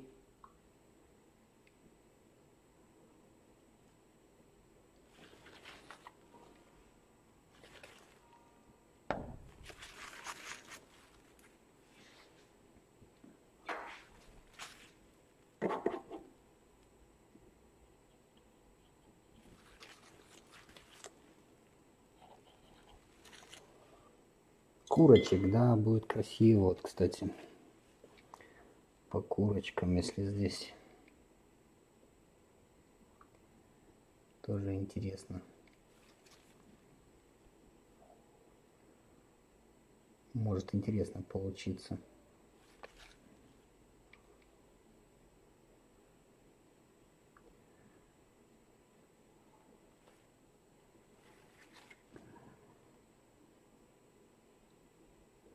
Вот красочка она цепляется, и вот тут вот мы зацепляем один цвет, он тянется потом где-то другой. Э, Принцип такой же, есть общее пятно, от этого общего пятна может, могут идти какие-то разделения. Там на забор, ой, на, на задний вот сюда домик может находить. Кстати, с забором я здесь Забор можно, в принципе, не писать на том плане.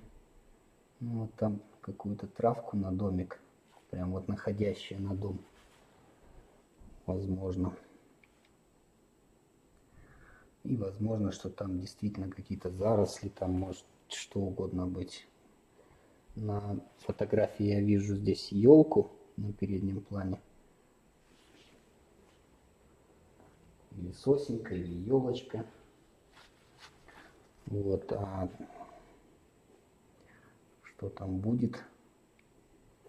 В общем, можно вот так травой переиграть это дело. Тоже будет неплохо. Да-да, по цветочкам, конечно, здесь цветочки нужны еще. Что-то такое. Что-то такое, какие-то вот, может быть, посажать туда траву блички какие-нибудь. Вот мастихином, кстати, они очень такие яркие, сочные получаются блики. И вот если мы не кисточкой, а так вот мастихинчиком, будут интересные такие блички. Их можно где-то вот э, лишнее убрал, затер. Что-то там такое растет. Также можно вот сюда какие-либо парочку.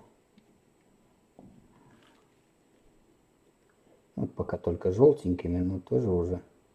Хотя при желании можно в принципе здесь э, дописать. То есть вот не просто а сделать какие-то лепесточки, может быть ромашки прописать. Все вот тут как раз как раз все это возможно.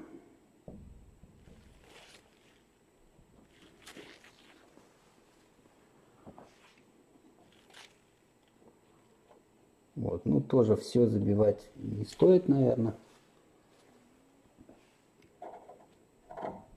Опять же таки попробуйте. Вот у каждого сейчас может своя фантазия сработать. И каждый может по-своему здесь сделать, как он ему будет, как лучше, как на самом деле. Там травку тоже вот так возле заборчика.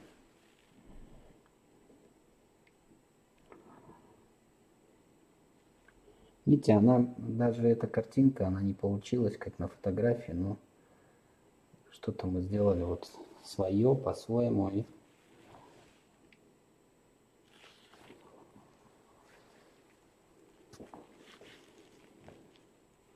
даже с той же дорожкой.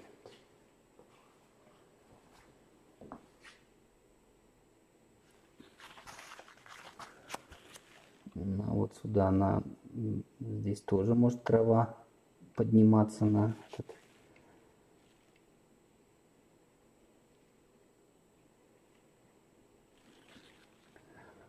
на сам сток сена. Вытер, затер эту краску прям сюда и задвинул.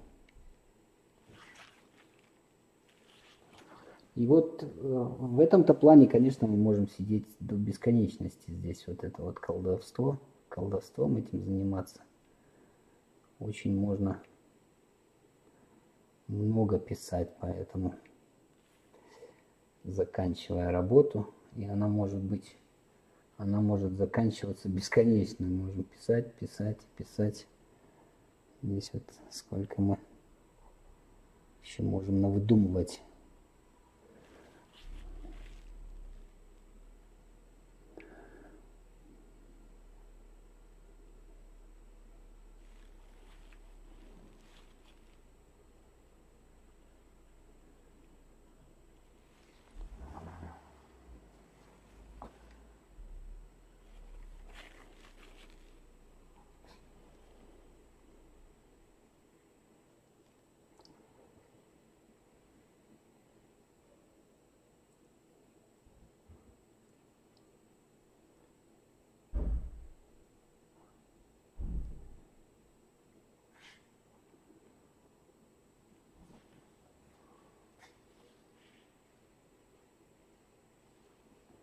Хотя вот, возможно, по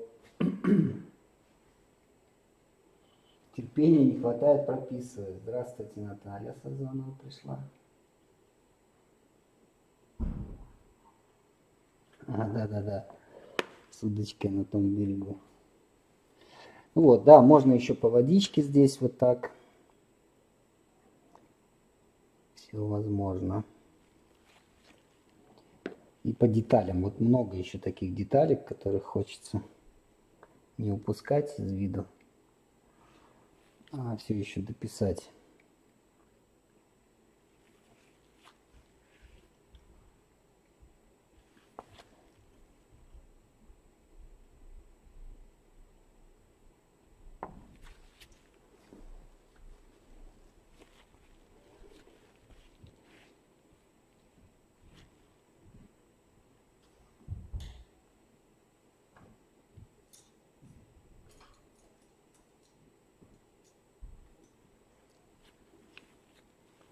Сюда падает свет, и он прям сильно-сильно падает здесь.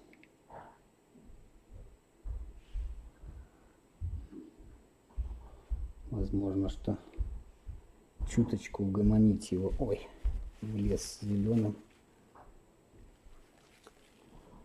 Сюда может быть бличок еще. Сток сена.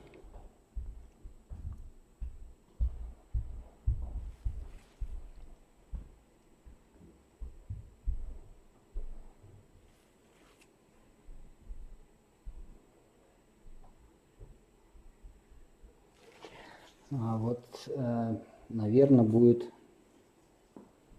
наверное, даже будет интереснее, если так, ну, вот этот забор вообще убрать, в принципе. Он здесь и не нужен. Все надо как-то вот э, присмотреться. Я сейчас отвернулся, повернулся и, в принципе, все это видно сразу.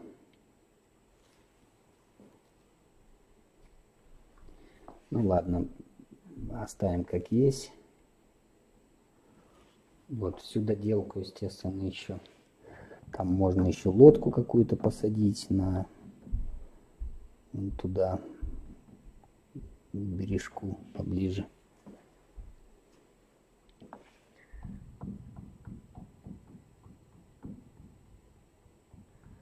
И вот таких вот мелочей, конечно, здесь очень много, которые нужны. Нужна детализация небольшая такая.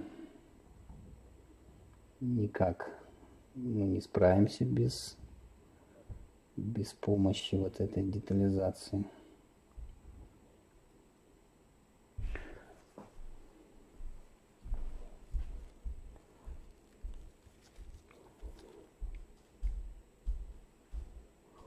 попробовать синенькие. Хотя синенькие тоже прикольно смотрятся, цветочки. Терпение, терпение нужно здесь в любом случае. В живописи без терпения никак. И вот это хорошее, кстати, воспитание живописи. Только живописью можно воспитывать терпение.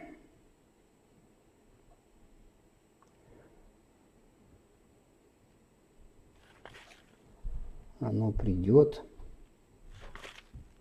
обязательно.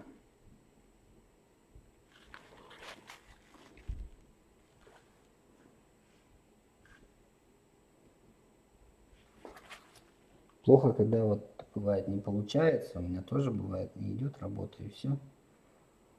Вот тогда остановиться лучше и на следующий день, возможно, будет полегче.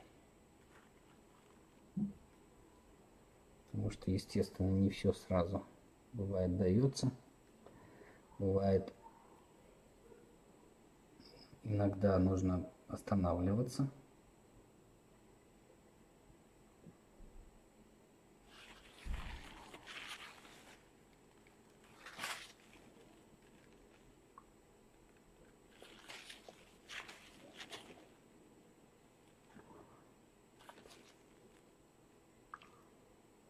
тут вот эта часть, там где в теневой, она должна в теневой быть травка, в тени, а с другой стороны свет попадает на нее. Очень много таких вот деталей, где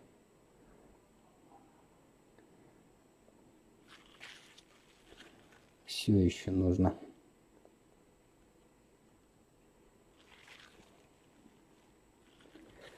быть честным с картиной.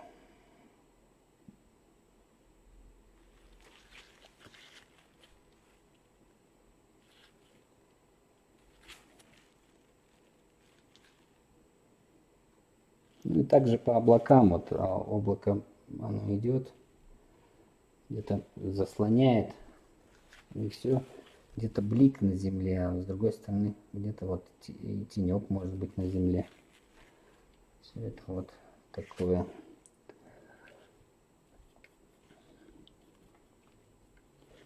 Так, что там по водичке? По водичке у нас, в принципе, по небу, по водичке еще глянуть. И все, наверное, можно закругляться на сегодня. Жалко, что мы чуточку не добрали.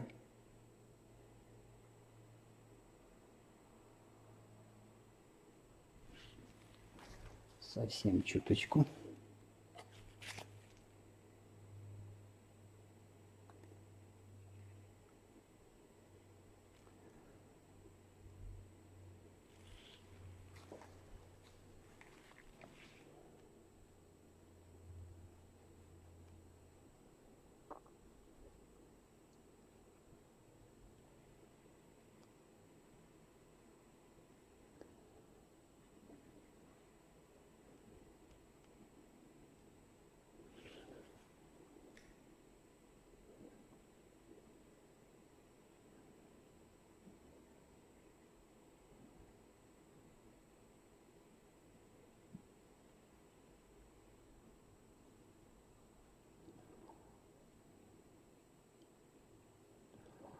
Такой вот рыбацкий домик.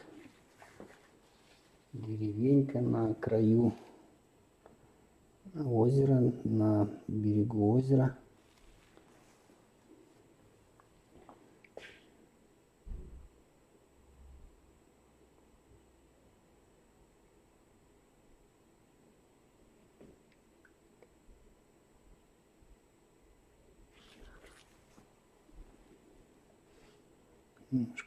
Водичке здесь бличков.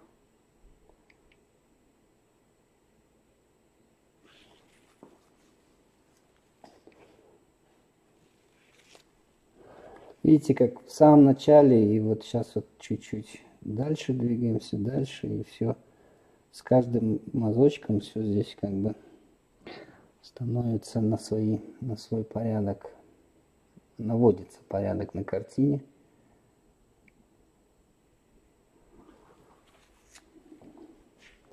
Можно даже вот эти блички оставлять от, возможно, там на воду падает бличок от солнышка.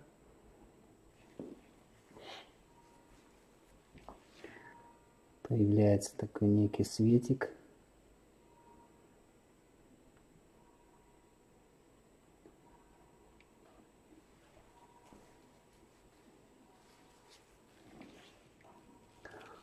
Эта вот полоса не особо мне нравится, ее надо развить.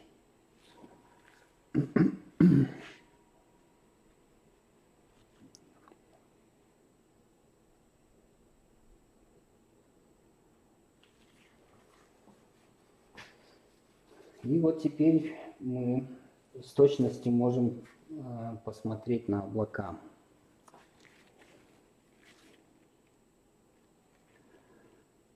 Теперь мы их видим. Где есть э, яркий свет, может быть даже теплый, вот сиеной, кстати, сиена и белый, очень такой получается теплый солнечный цветик. Он тоже может быть в облаках, сейчас попробую, что получится. Да, в некоторых местах его также можно внести, вот здесь вот, где переходы идут главное зеленый не зацепить. Зеленый все испортит сразу.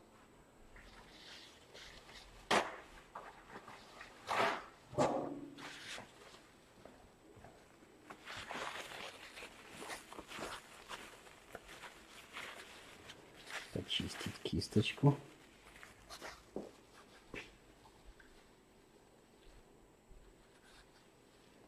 А, еще я забыл, кстати, вот тут же крыша-то она не готова.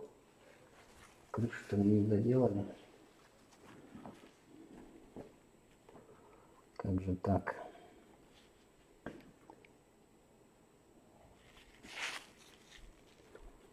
Оставили ее беспризорной.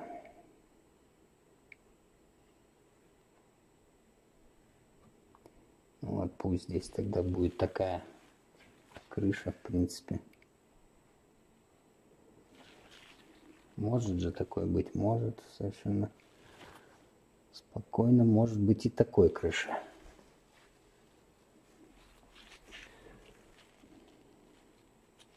Светика там нет, только на бличок вот этот светлый.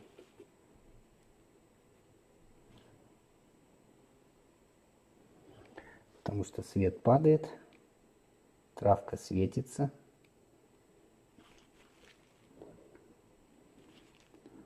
Возможно, вот тут,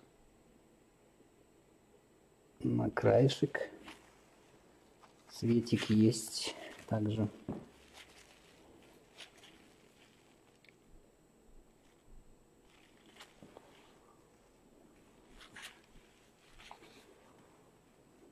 Так, куда я?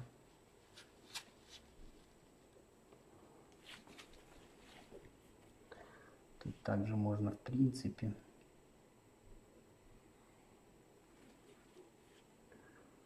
В принципе, можно еще лесенку сюда.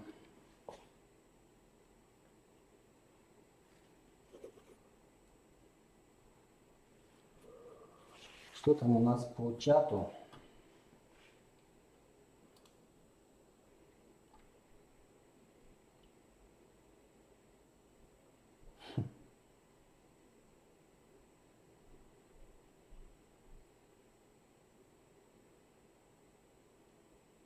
Вот стол, провода, это я все не буду делать. Не нужно.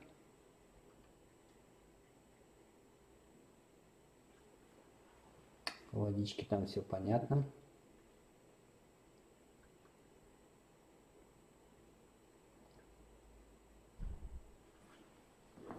Небольшая доделочка сейчас.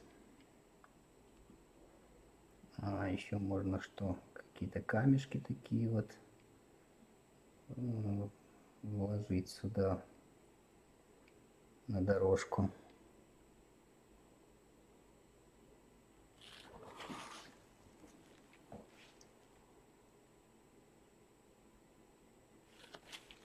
А если с, э, с курочками, то вот лучше, конечно, подождать, потому что сейчас с курями мы очень быстро вмешаем их. Очень пастозно здесь все. Вот так, чтобы эта пастозность не мешалась, ее нужно все-таки картинку выдержать. И уже на по сухой можно будет доделать.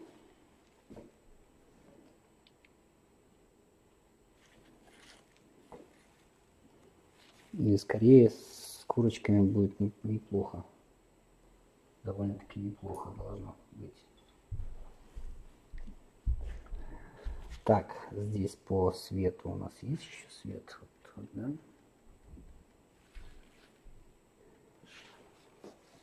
Смотрю, что у нас тут по облачкам. Это может быть еще вот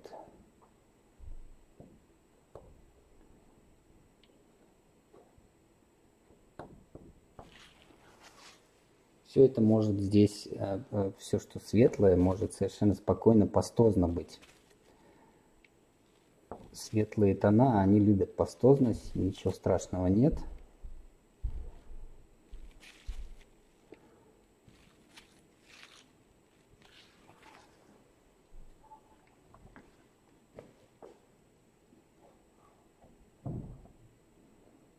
Попробуем туда на задний план еще.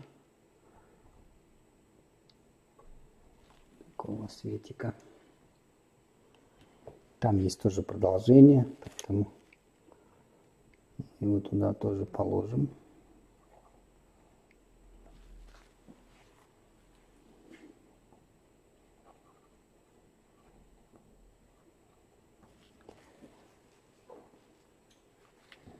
Вот такой получается солнечный яркий день солнечный денек.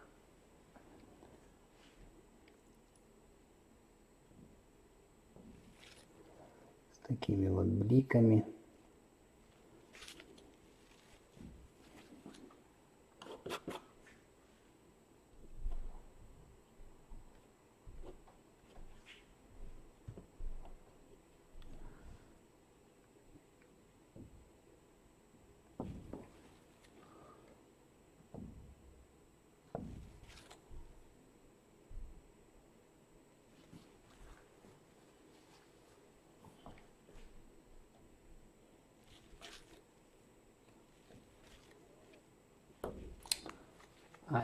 Мучаю ее, мучаю, а она не хочет. Мучительница ты моя.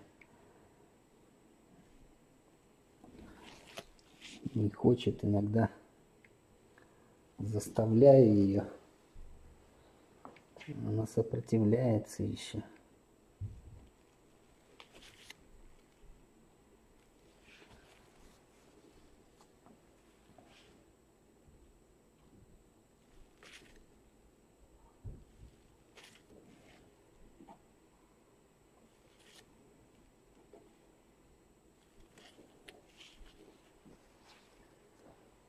Так. По плану вот здесь на самом деле очень все так жестко.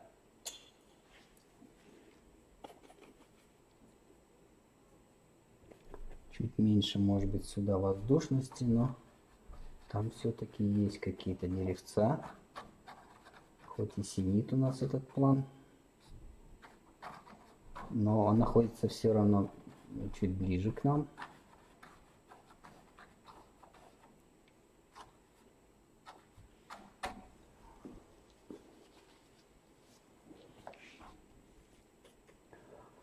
И немножко воздушности сюда. Такой вот легкой синевы.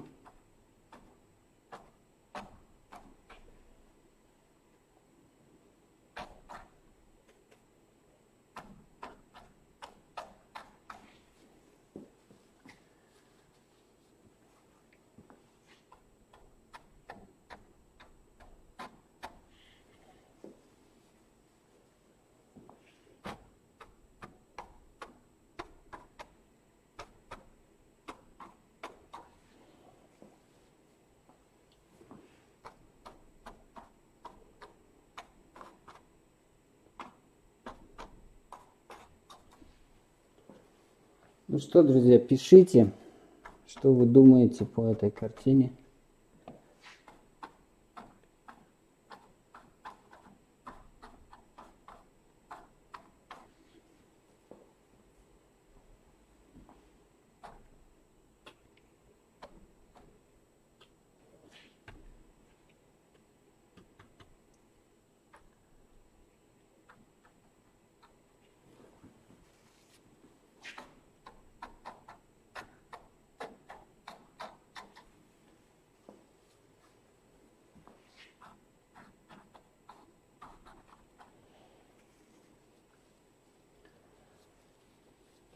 Сейчас я добавлю, наверное,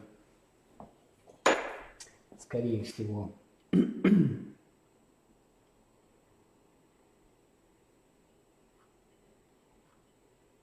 О, еще много зрителей. Я думал, поубегали все. А нет, они тут-то было.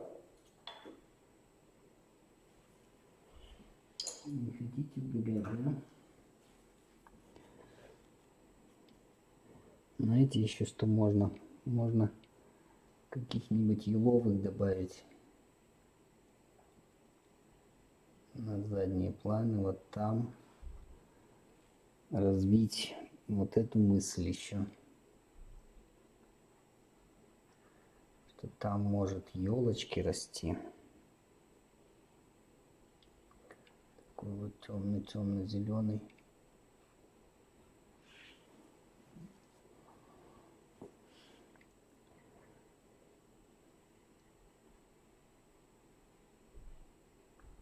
Это же возможно?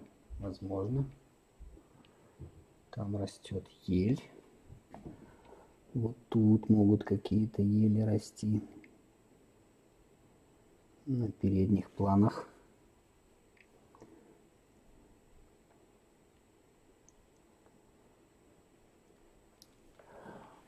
Сейчас мы их попробуем сюда загнать.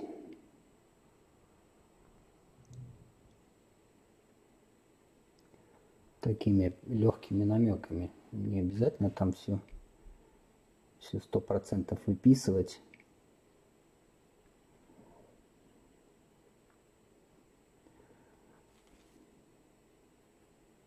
Все-таки это лес, и там может быть на переднем плане что-то такое выглядывать, типа елей. И вот у елки есть, естественно, бличок.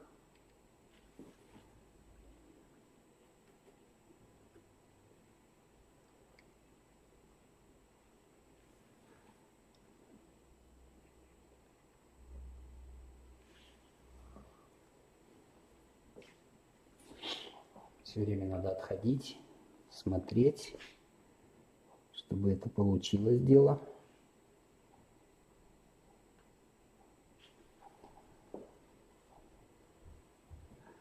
Чтобы хотя бы, чтобы было похоже.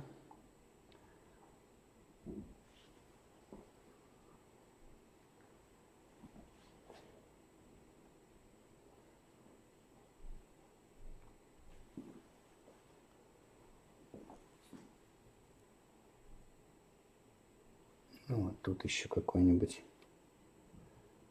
какое-нибудь еловое такое.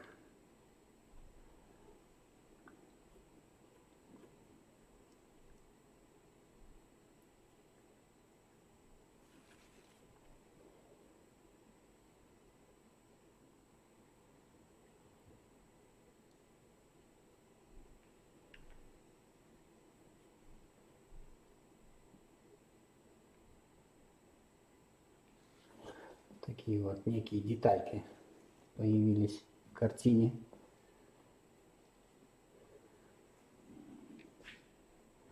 Ну а доработки, естественно, вот я отвожу глаз, смотрю, и где-то вот очень много того, что нужно еще додоработать. Не все здесь так э, прямо прекрасно.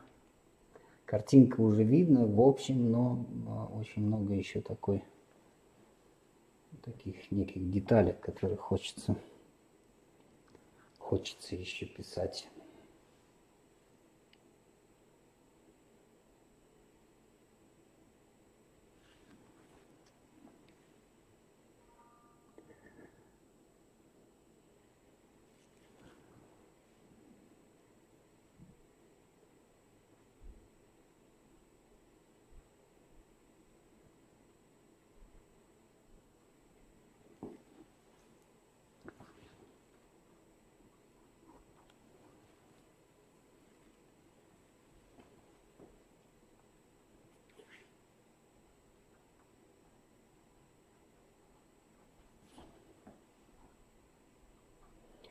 Тут пускай уже зрители сами додумывают.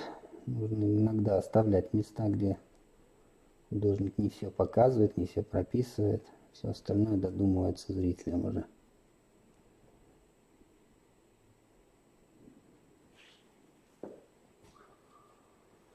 Все, наверное, я могу, в принципе, на этом пока остановиться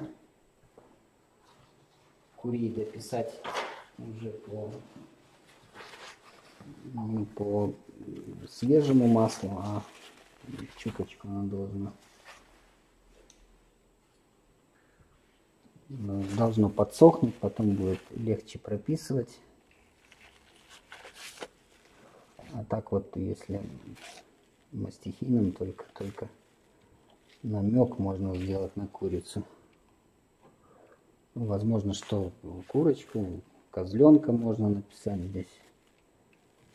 Такое вот. Можно утят, гусят, все что угодно.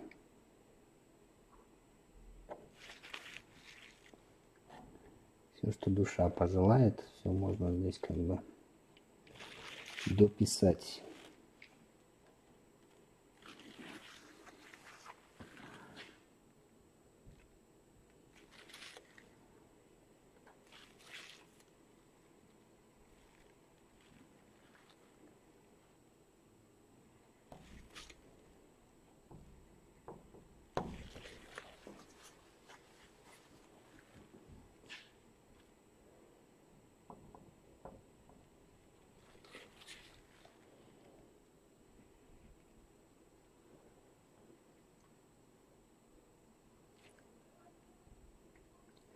Самое главное, ко всему нужно отнестись с душой.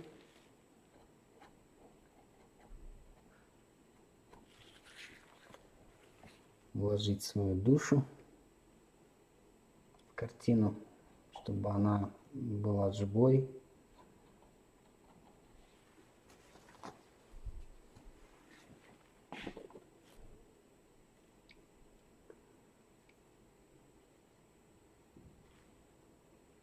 попробую еще немножко вот тут. Возможно, что сюда светик нужен на это место.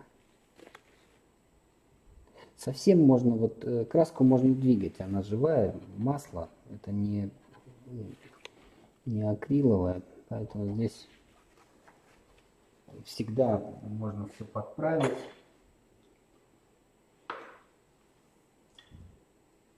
В этом и есть преимущество масла. Когда мы пишем масло, мы можем даже на следующий день вот приходишь, бывает, хочется какую-то детальку на следующий день, через 2-3 дня подправить. И все можно это все подправлять с маслом. С акрилом там немножко посложнее, потому что вся эта структура остается. И мы ну, уже на самом деле все абсолютно не можем подправить с акрилом.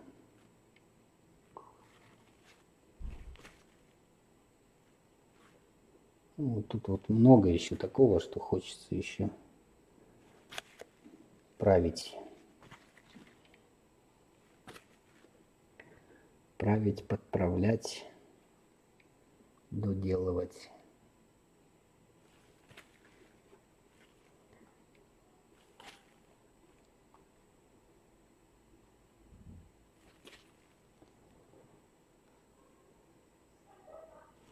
Фотографию я сегодня уже, наверное, не буду, потому что она сейчас уже э, после, послезавтра. Завтра у нас выходной. Послезавтра уже по, по со- солнечной, если будет денек, я на улице делаю фотографии. Так, чтобы она можно было рассмотреть все краски, все мазки, пастозности, все будет видно уже по фотографии. Сейчас на самом деле вебка, она сильно съедает все это. Ужасно, конечно, все это, друзья. В том плане, что не передается все. То, что я пишу.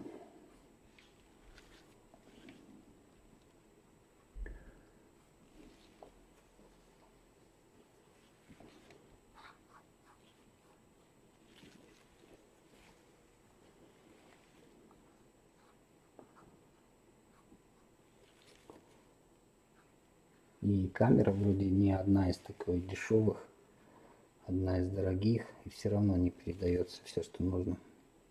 Все, что хотелось бы, во всяком случае.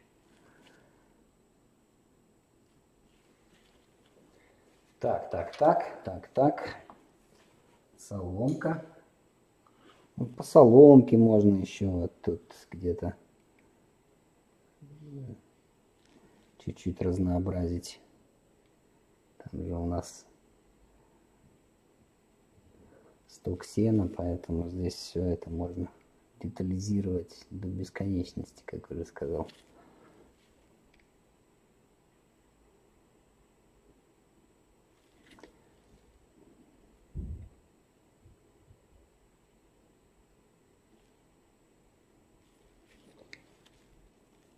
К чему вот этот вот свет здесь попал? Здесь не нужен.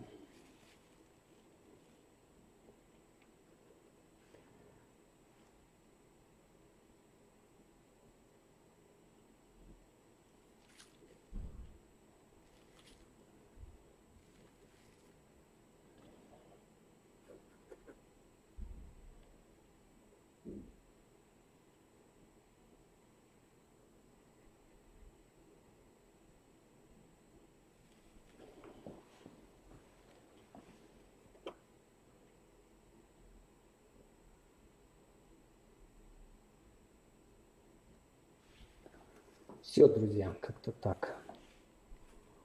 Это не закончено еще, будет дописано чуточку. Ну, а моя задача выполнена, в принципе, мы написали. Сейчас я поверну камеру. Спасибо, Инна. Спасибо, Наталья.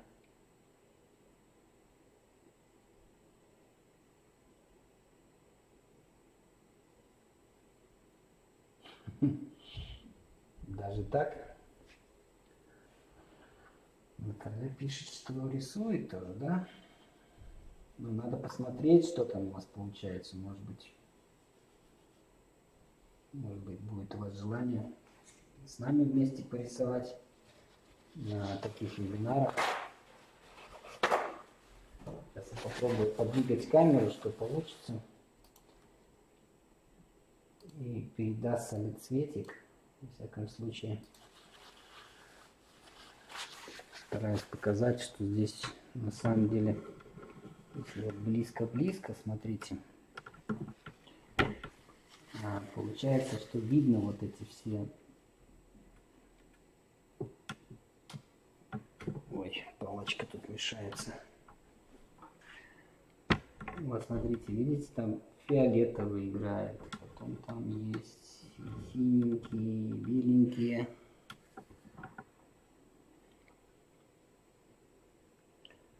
близко, наверное, он все-таки лучше передает цвет.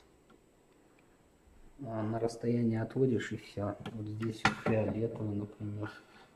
Его не видно на самом деле в этом на расстоянии. А так вот, когда отводишь, отводишь, теряются все, все окраски. Большой, большущее облако, видите, какое оно разноцветное. Не знаю, почему съедает все это. Домик. Все красочки по домику.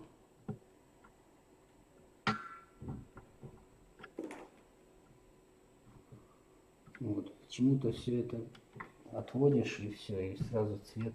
Цвет, видите, он гаснет. Его нет, он холодный становится. Поэтому приходится делать фотографии. Вот облаков не видно. Понятно почему. Чем ближе подводишь камеру, тем она начинает уже вот этот цвет появляться. Откуда он, почему он так. Так, а по, по донатам мы не набрали, друзья. Чуточку не добрали, но ничего страшного. Наберем, значит, в следующий раз. Разыграем в следующий раз. В общем, так. Хотелось бы, конечно, сегодня узнать победителя, но...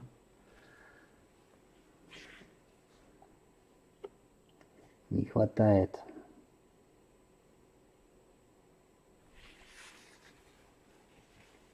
До тысячи мы не добрались. Точнее, тысячу мы еще не добрали.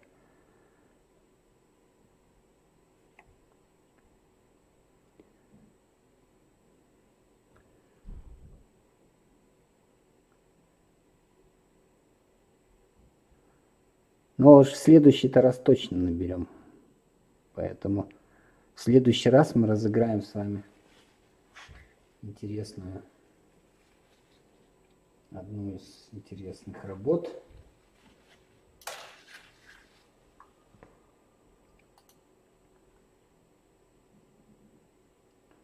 Да-да, другие цвета. Вот фотографию делаешь, сразу другой цвет. И вот я не знаю почему. Может быть, вот по освещению, то, что у меня здесь вот мастерской, точнее, это галерея, вот эти лампы дневного цвета, может быть, они что-то там искажают, не знаю, надо будет попробовать какой-нибудь с другим освещением поработать, может быть, теплый взять цвет. Ну все, оно съедает, на самом деле все съедено, нету, нету этого цвета, я не знаю почему камера она не берет. Многих не берет причем, не видно. Хочется, чтобы видно было. Вот ближе придвигаем, и все, и сразу появляются тона, цвета. При- и то примерные, все равно это не те цвета. Все, все так как-то примерно получается. Они появляются, по, по крайней мере, они хоть чуть-чуть их видно. Уводишь назад, и все, и они сразу съедаются, сразу холодные становятся. Такая вот петрушка. Все, друзья, тогда я жду еще минутку, буквально минутку, и потом смотрим. Вдруг сейчас кто-нибудь сразу 4 лота берет, и все, и мы разыгрываем картину.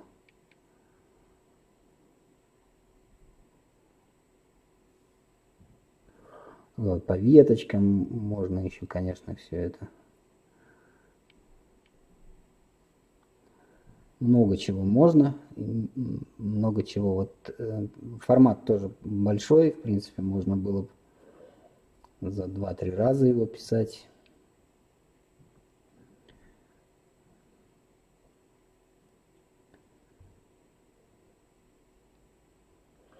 Сделали за раз, что тоже полезно. Я надеюсь, что такие занятия вам многое чего дают. И многому учат.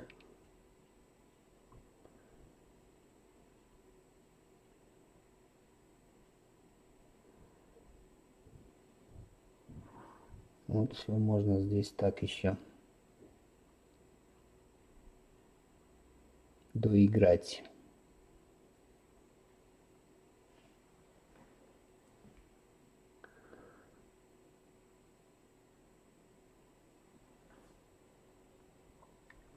Тут можно тенек положить вот от всего дерева. Так вот разбавить.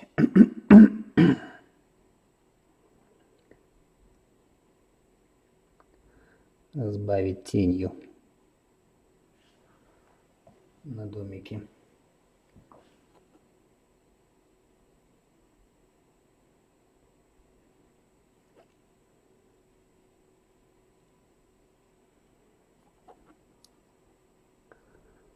Так, церковь пьет. Сколько сейчас? 21.30 у нас.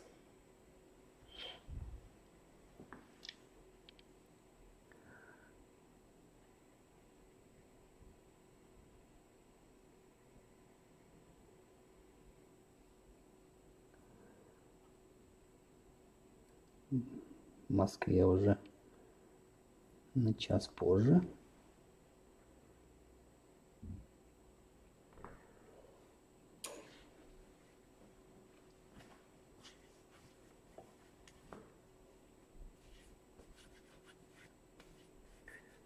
Все, я завершаю, пойду отдыхать. Завтра у нас выходной.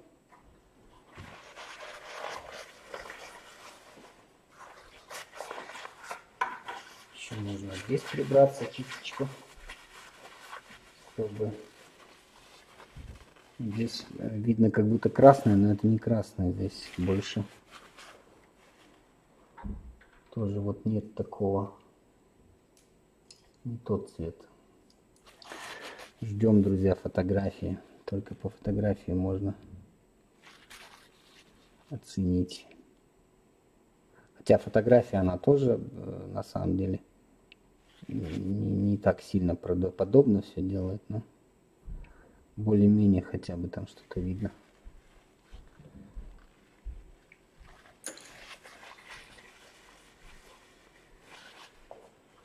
С вами был Григорьев, канал Художники. Подписывайтесь на наш канал, с нами интересно, у нас много а, различных художников выступает, и девчонки, и мальчишки. Также приглашаем всех художников, желающих выступать на нашем канале. С удовольствием свяжусь с вами, если есть желание, пишите мне в личку. Под видео есть все ссылки на наши группы, где вы можете посмотреть, а, вступить в наши группы. Ну и что, всего доброго, хорошего вам воскресенья и с наступающими праздниками, с 9 мая, Днем Победы вас. До свидания, друзья, до новых встреч.